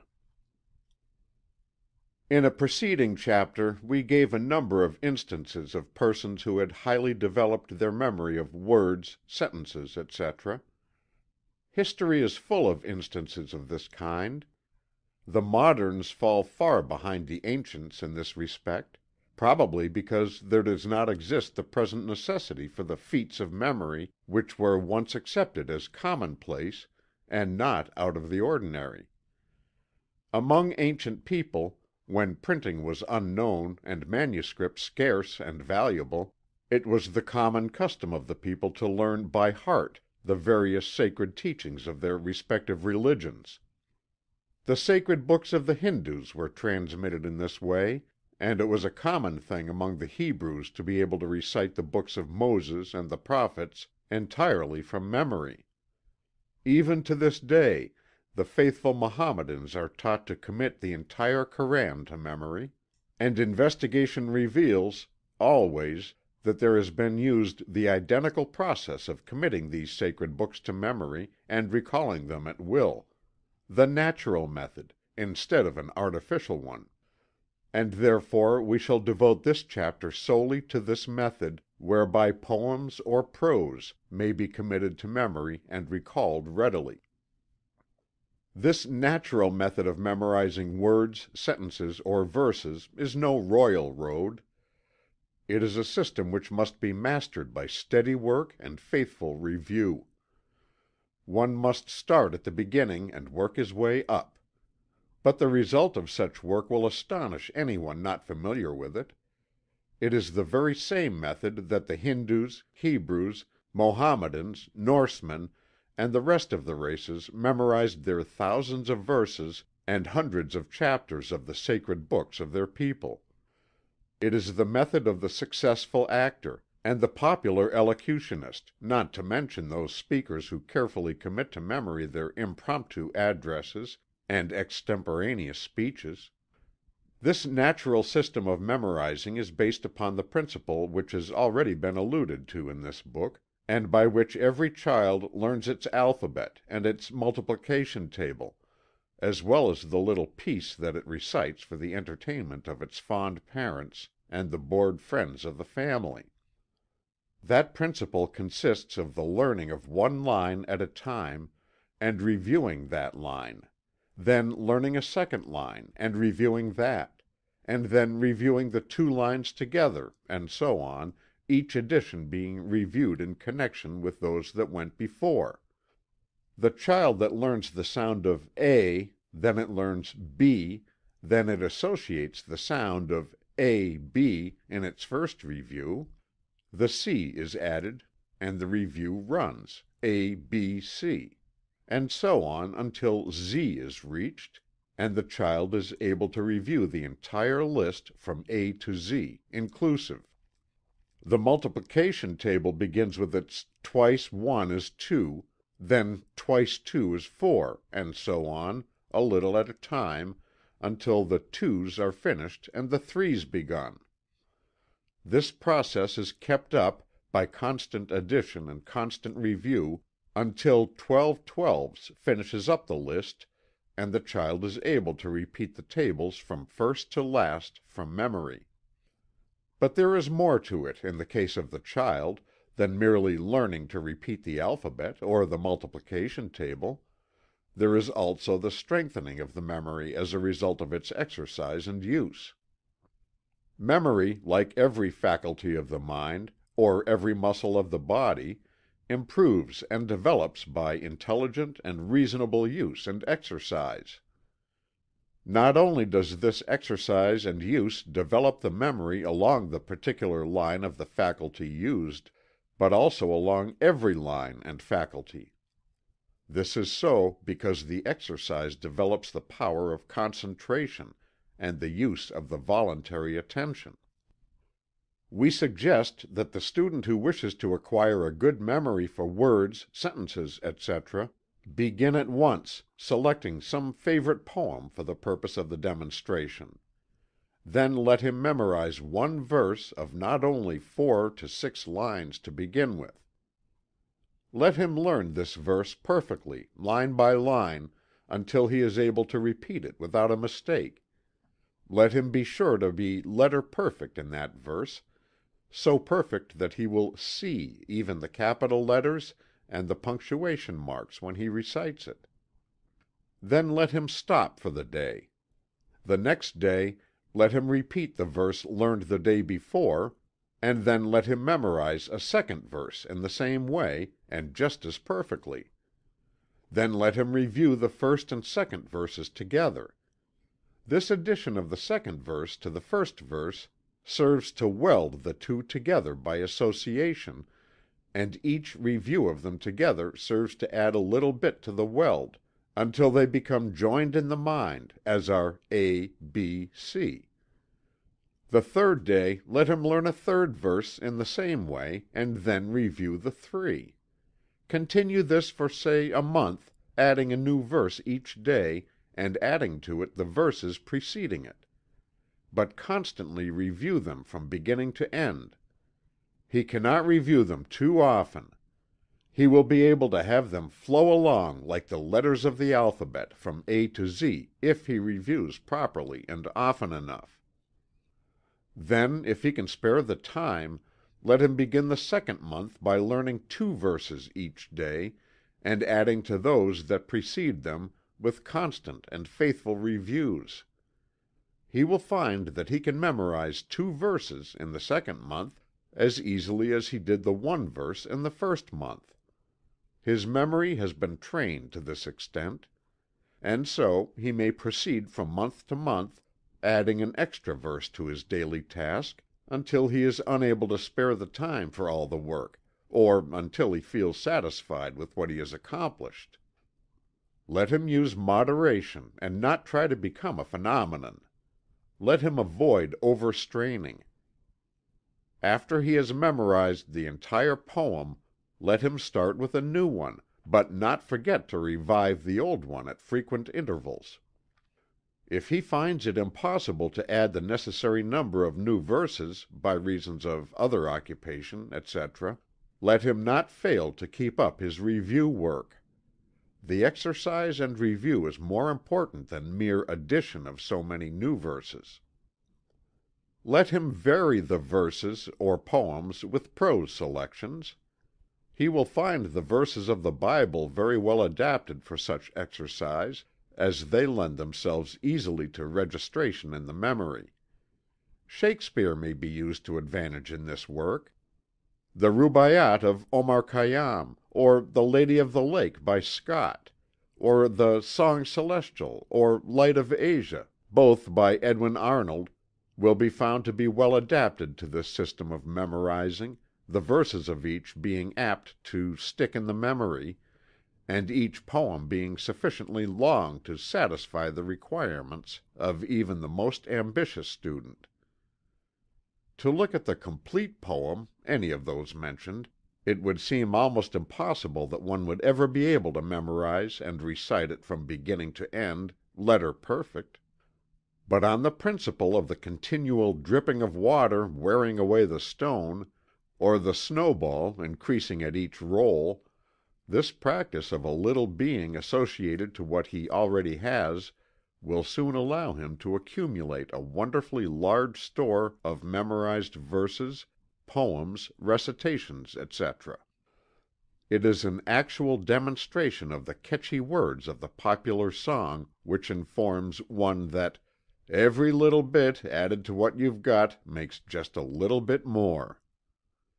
After he has acquired quite a large assortment of memorized selections, he will find it impossible to review them all at one time. But he should be sure to review them all at intervals no matter how many days may elapse between each review. The student who has familiarized himself with the principles upon which memory depends, as given in the preceding chapters, will at once see that the three principles of Attention, Association and Repetition are employed in the natural method herein recommended. Attention must be given in order to memorize each verse in the first place, association is employed in the relationship created between the old verses and the new ones, and repetition is employed by the frequent reviewing, which serves to deepen the memory impression each time the poem is repeated. Moreover the principle of interest is invoked in the gradual progress made, and the accomplishment of what at first seemed to be an impossible task, the game element is thus supplied, which serves as an incentive. These combined principles render this method an ideal one, and it is not to be wondered that the race has so recognized it from the earliest times. End of Chapter XIX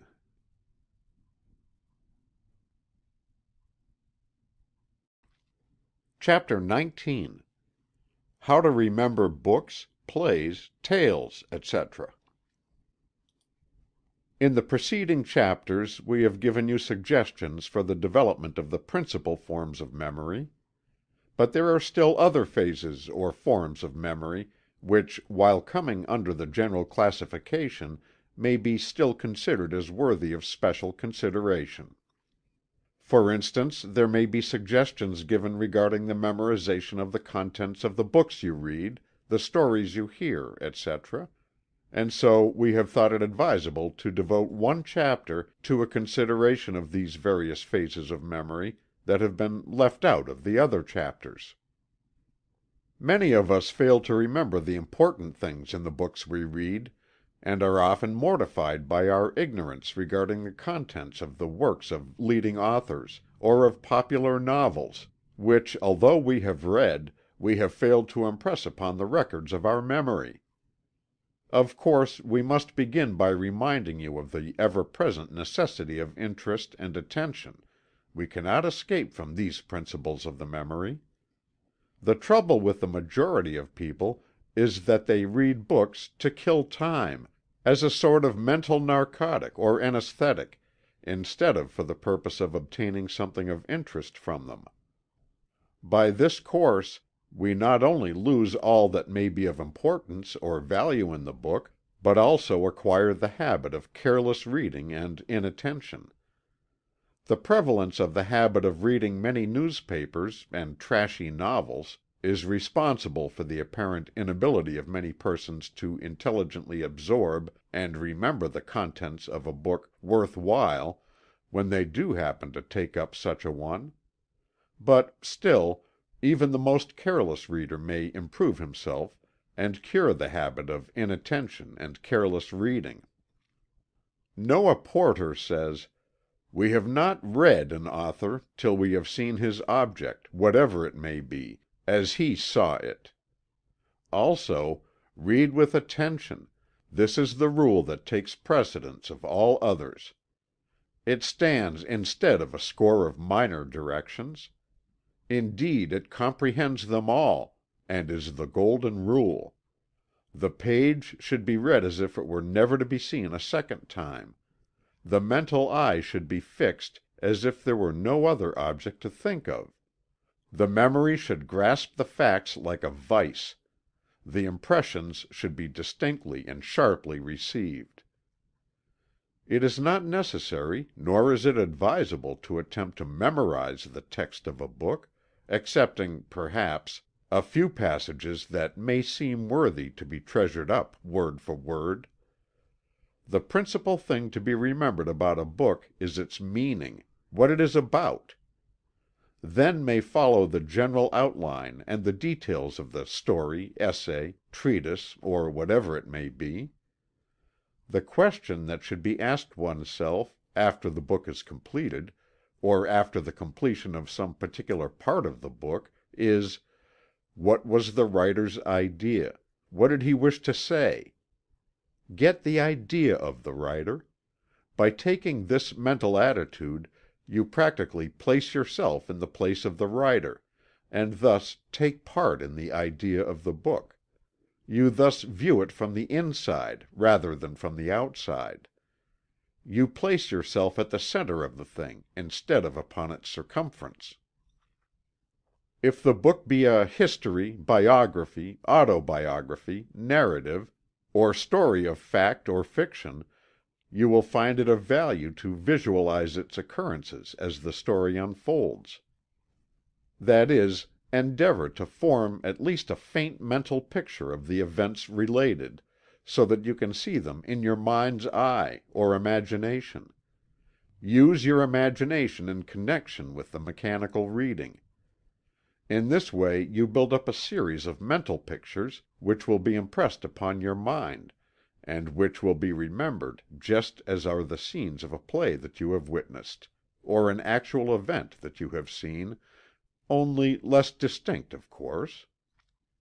Particularly you should endeavor to form a clear mental picture of each character, until each one is endowed with at least a semblance of reality to you. By doing this you will impart a naturalness to the events of the story, and you will obtain a new pleasure from your reading. Of course, this plan will make you read more slowly, and many trashy tales will cease to interest you, for they do not contain the real elements of interest, but this is no loss, but is a decided gain for you. At the end of each reading, take the time to mentally review the progress of the story. Let the characters and scenes pass before your mental vision as in a moving picture. And when the book is finally completed, review it as a whole. By following this course you will not only acquire the habit of easily remembering the tales and books that you have read, but will also obtain much pleasure by re reading favorite stories in your imagination, years after. You will find that your favorite characters will take on a new reality for you, and will become as old friends in whose company you may enjoy yourself at any time, and whom you may dismiss when they tire you, without offense. In the case of scientific treatises, essays, etc., you may follow a similar plan by dividing the work into small sections and mentally reviewing the thought not the words of each section until you make it your own, and then by adding new sections to your review you may gradually absorb and master the entire work. All this requires time, work and patience but you will be repaid for your expenditure. You will find that this plan will soon render you impatient at books of little consequence, and will drive you to the best books on any given subject. You will begin to begrudge your time and attention, and hesitate about bestowing them upon any but the very best books. But in this you gain. In order to fully acquaint yourself with a book before reading it you should familiarize yourself with its general character. To do this you should pay attention to the full title, and the subtitle if there be any, the name of the author and the list of other books that he has written, if they are noted on the title page, or the one preceding it, according to the usual custom. You should read the preface and study carefully the table of contents, that you may know the field or general subject covered by the book in other words, endeavor to get the general outline of the book, into which you may afterwards fill in the details. In reading a book of serious import you should make it a point to fully grasp the meaning of each paragraph before passing on to the next one. Let nothing pass you that you do not understand, at least in a general way. Consult the dictionary for words not familiar to you, so that you may grasp the full idea intended to be expressed. At the end of each chapter, section and part you should review that which you have read, until you are able to form a mental picture of the general ideas contained therein. To those who wish to remember the dramatic productions that they have attended we would say that the principles above mentioned may be applied to this form of memory as well as to the memory of books. By taking an interest in each character as it appears, by studying carefully each action and scene and then reviewing each act in the intervals between the acts, and by finally reviewing the entire play after your return home, you will fasten the whole play as a complete mental picture, on the records of your memory. If you have acquainted yourself with what we have just said regarding the recollection of the contents of books, you will be able to modify and adapt them to the purpose of recollecting plays and dramatic productions. You will find that the oftener you review a play the more clearly you will remember it. Many little details overlooked at first will come into the field of consciousness and fit into their proper places. Sermons, lectures and other discourses may be remembered by bestowing interest and attention upon them, and by attempting to grasp each general idea advanced and by noting the passage from one general idea to another. If you will practice this a few times, you will find that when you come to review the discourse and this you should always do, it is the natural way of developing memory the little details will come up and fit into their proper places. In this form of memory, the important thing is to train the memory by exercise and review. You will find that at each review of a discourse you will have made progress. By practice and exercise the subconscious mentality will do better work, and will show that it is rising to its new responsibilities. You have allowed it to sleep during the many discourses to which you have listened, and it must be taught new habits. Let it know that it is expected to retain that which it hears, and then exercise it frequently by reviews of discourses, and you will be surprised at the degree of the work it will perform for you. Not only will you remember better, but you will hear better and more intelligently.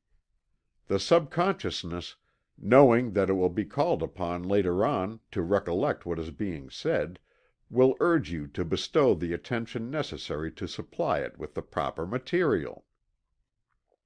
To those who have had trouble in remembering discourses, we urge that they should begin to attend lectures and other forms of discourse, with the distinct purpose of developing that form of memory. Give to the subconscious mentality the positive command that it shall attend to what is being said, and shall record the same in such a way that when you review the discourse afterward you will be presented with a good synopsis or syllabus of it.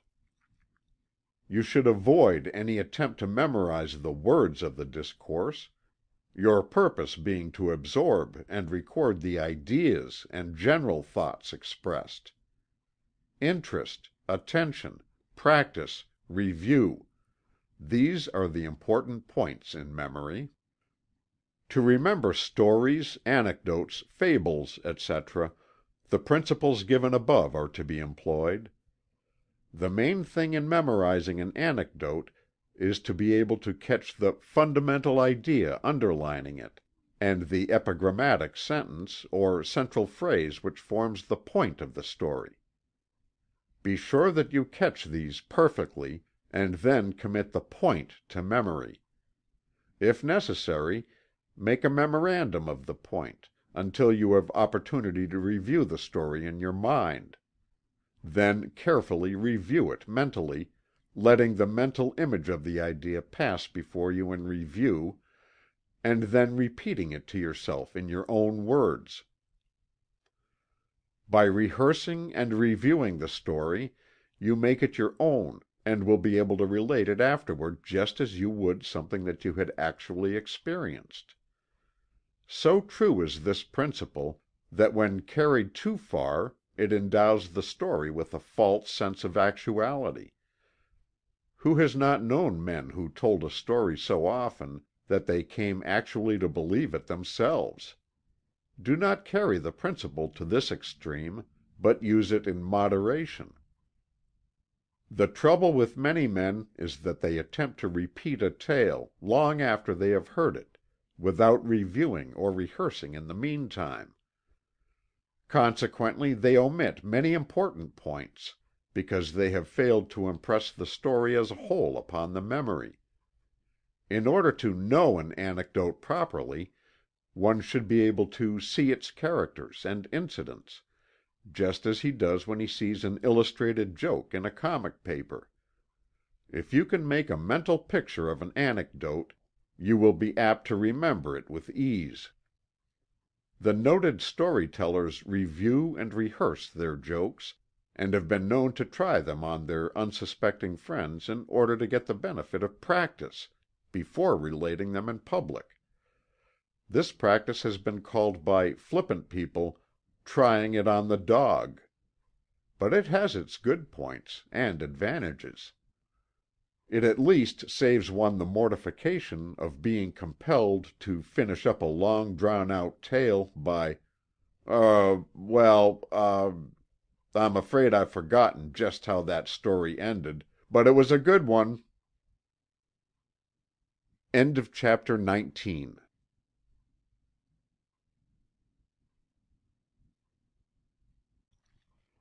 CHAPTER XX General Instructions in this chapter we shall call your attention to certain of the general principles already mentioned in the preceding chapters, for the purpose of further impressing them upon your mind, and in order that you may be able to think of and to consider them independent of the details of the special phases of memory. This chapter may be considered in the nature of a general review of certain fundamental principles mentioned in the body of the work.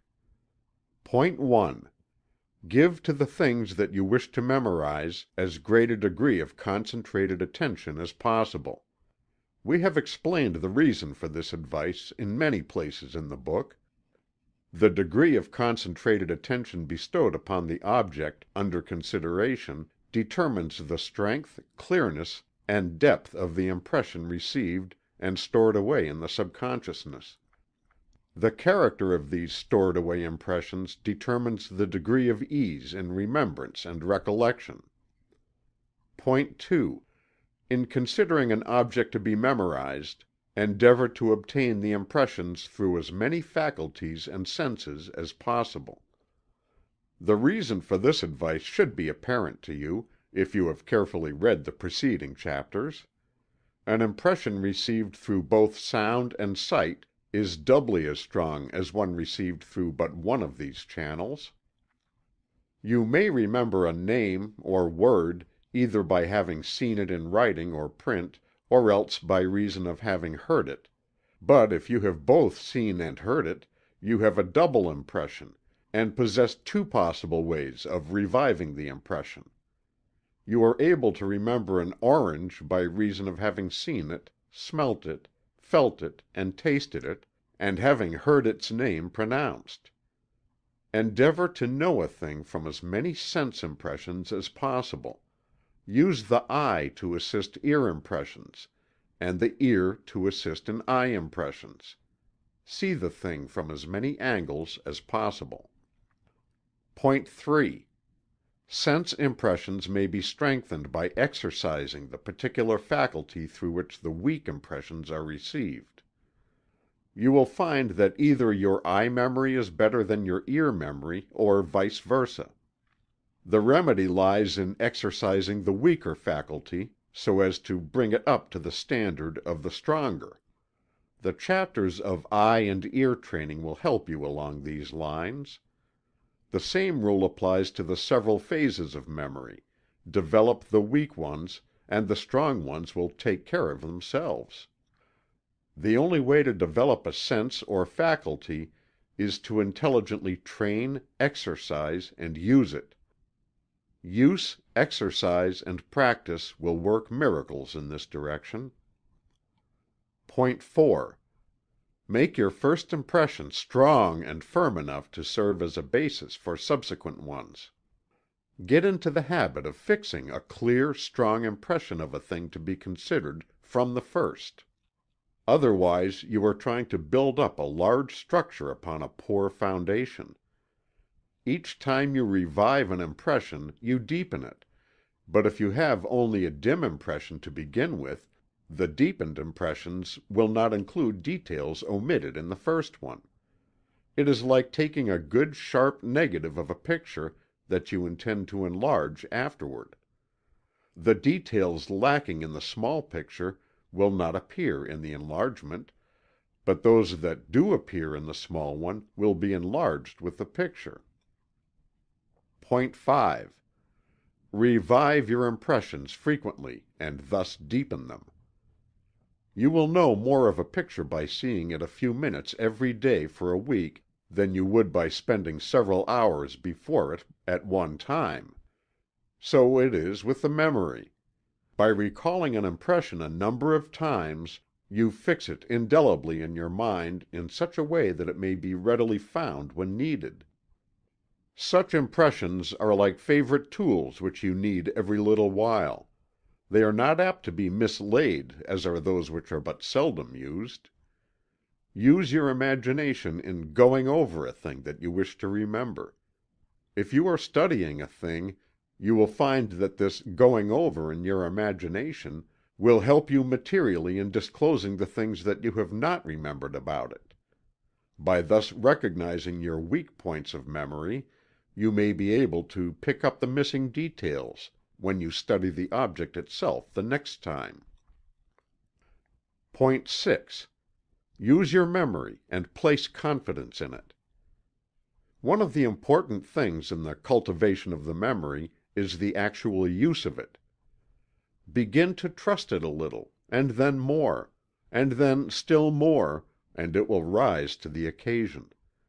The man who has to tie a string around his finger in order to remember certain things, soon begins to cease to use his memory, and in the end forgets to remember the string, or what it is for. There are many details, of course, with which it is folly to charge the memory, but one should never allow his memory to fall into disuse. If you are in an occupation in which the work is done by mechanical helps, then you should exercise the memory by learning verses or other things, in order to keep it in active practice. Do not allow your memory to atrophy. Point 7. Establish as many associations for an impression as possible. If you have studied the preceding chapters, you will recognize the value of this point. Association is memory's method of indexing and cross indexing. Each association renders it easier to remember or recollect the thing. Each association gives you another string to your mental bow. Endeavor to associate a new bit of knowledge with something already known by and familiar to you. In this way, to avoid the danger of having the thing isolated and alone in your mind, without a label, or index number and name, Connect your object or thought to be remembered with other objects or thoughts, by the association of contiguity in space and time, and by relationship of kind, resemblance, or oppositeness. Sometimes the latter is very useful, as in the case of the man who said that "Smith reminds me so much of Brown he's so different." You will often be able to remember a thing by remembering something else that happened at the same place, or about the same time. These things give you the loose ends of recollection whereby you may unwind the ball of memory. In the same way, one is often able to recollect names by slowly running over the alphabet, with a pencil, until the sight of the capital first letter of the name brings the memory of those following it. This, however, only when the name has previously been memorized by sight. In the same way the first few notes of a musical selection will enable you to remember the whole air, or the first words of a sentence, the entire speech or selection following it. In trying to remember a thing which has escaped you, you will find it helpful to think of something associated with that thing, even remotely. A little practice will enable you to recollect the thing along the lines of the faintest association or clue. Some men are adept memory detectives, following this plan. The loose end in memory is all the expert requires. Any associations furnish these loose ends. An interesting and important fact to remember in this connection is that if you have some one thing that tends to escape your memory, you may counteract the trouble by noting the associated things that have previously served to bring it into mind with you. The associated thing once noted may thereafter be used as a loose end with which to unwind the elusive fact or impression. This idea of association is quite fascinating when you begin to employ it in your memory exercises and work. And you will find many little methods of using it. But always use natural association, and avoid the temptation of endeavoring to tie your memory up with the red tape of the artificial systems. Point 8. Group your impressions. This is but a form of association, but is very important. If you can arrange your bits of knowledge and fact into logical groups, you will always be master of your subject. By associating your knowledge with other knowledge along the same general lines, both by resemblances and by opposites, you will be able to find what you need just when you need it. Napoleon Bonaparte had a mind trained along these lines. He said that his memory was like a large case of small drawers and pigeon holes, in which he filed his information according to its kind. In order to do this he used the methods mentioned in this book of comparing the new thing with the old ones, and then deciding into which group it naturally fitted. This is largely a matter of practice and knack, but it may be acquired by a little thought and care aided by practice. And it will repay one well for the trouble in acquiring it.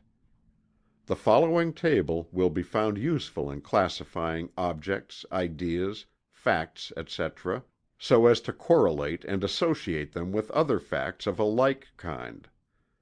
The table is to be used in the line of questions addressed to oneself regarding the thing under consideration. It somewhat resembles the table of questions given in chapter XVII of this book, but has the advantage of brevity. Memorize this table and use it. You will be delighted at the results, after you have caught the knack of applying it. Query Table Ask yourself the following questions regarding the thing under consideration. It will draw out many bits of information and associated knowledge in your mind. 1. What? 2. Whence? 3. Where? 4. When? 5. How? 6. Why? 7. Whither? While the above seven queries are given you as a means of acquiring clear impressions and associations, they will also serve as a magic key to knowledge, if you use them intelligently. If you can answer these questions regarding anything, you will know a great deal about that particular thing. And after you have answered them fully, there will be but little unexpressed knowledge regarding that thing left in your memory. Try them on one thing you cannot understand them otherwise, unless you have a very good imagination. Finis End of chapter 20 End of Memory How to Develop, Train and Use It by William Walker Atkinson. This recording has been by Roger Melin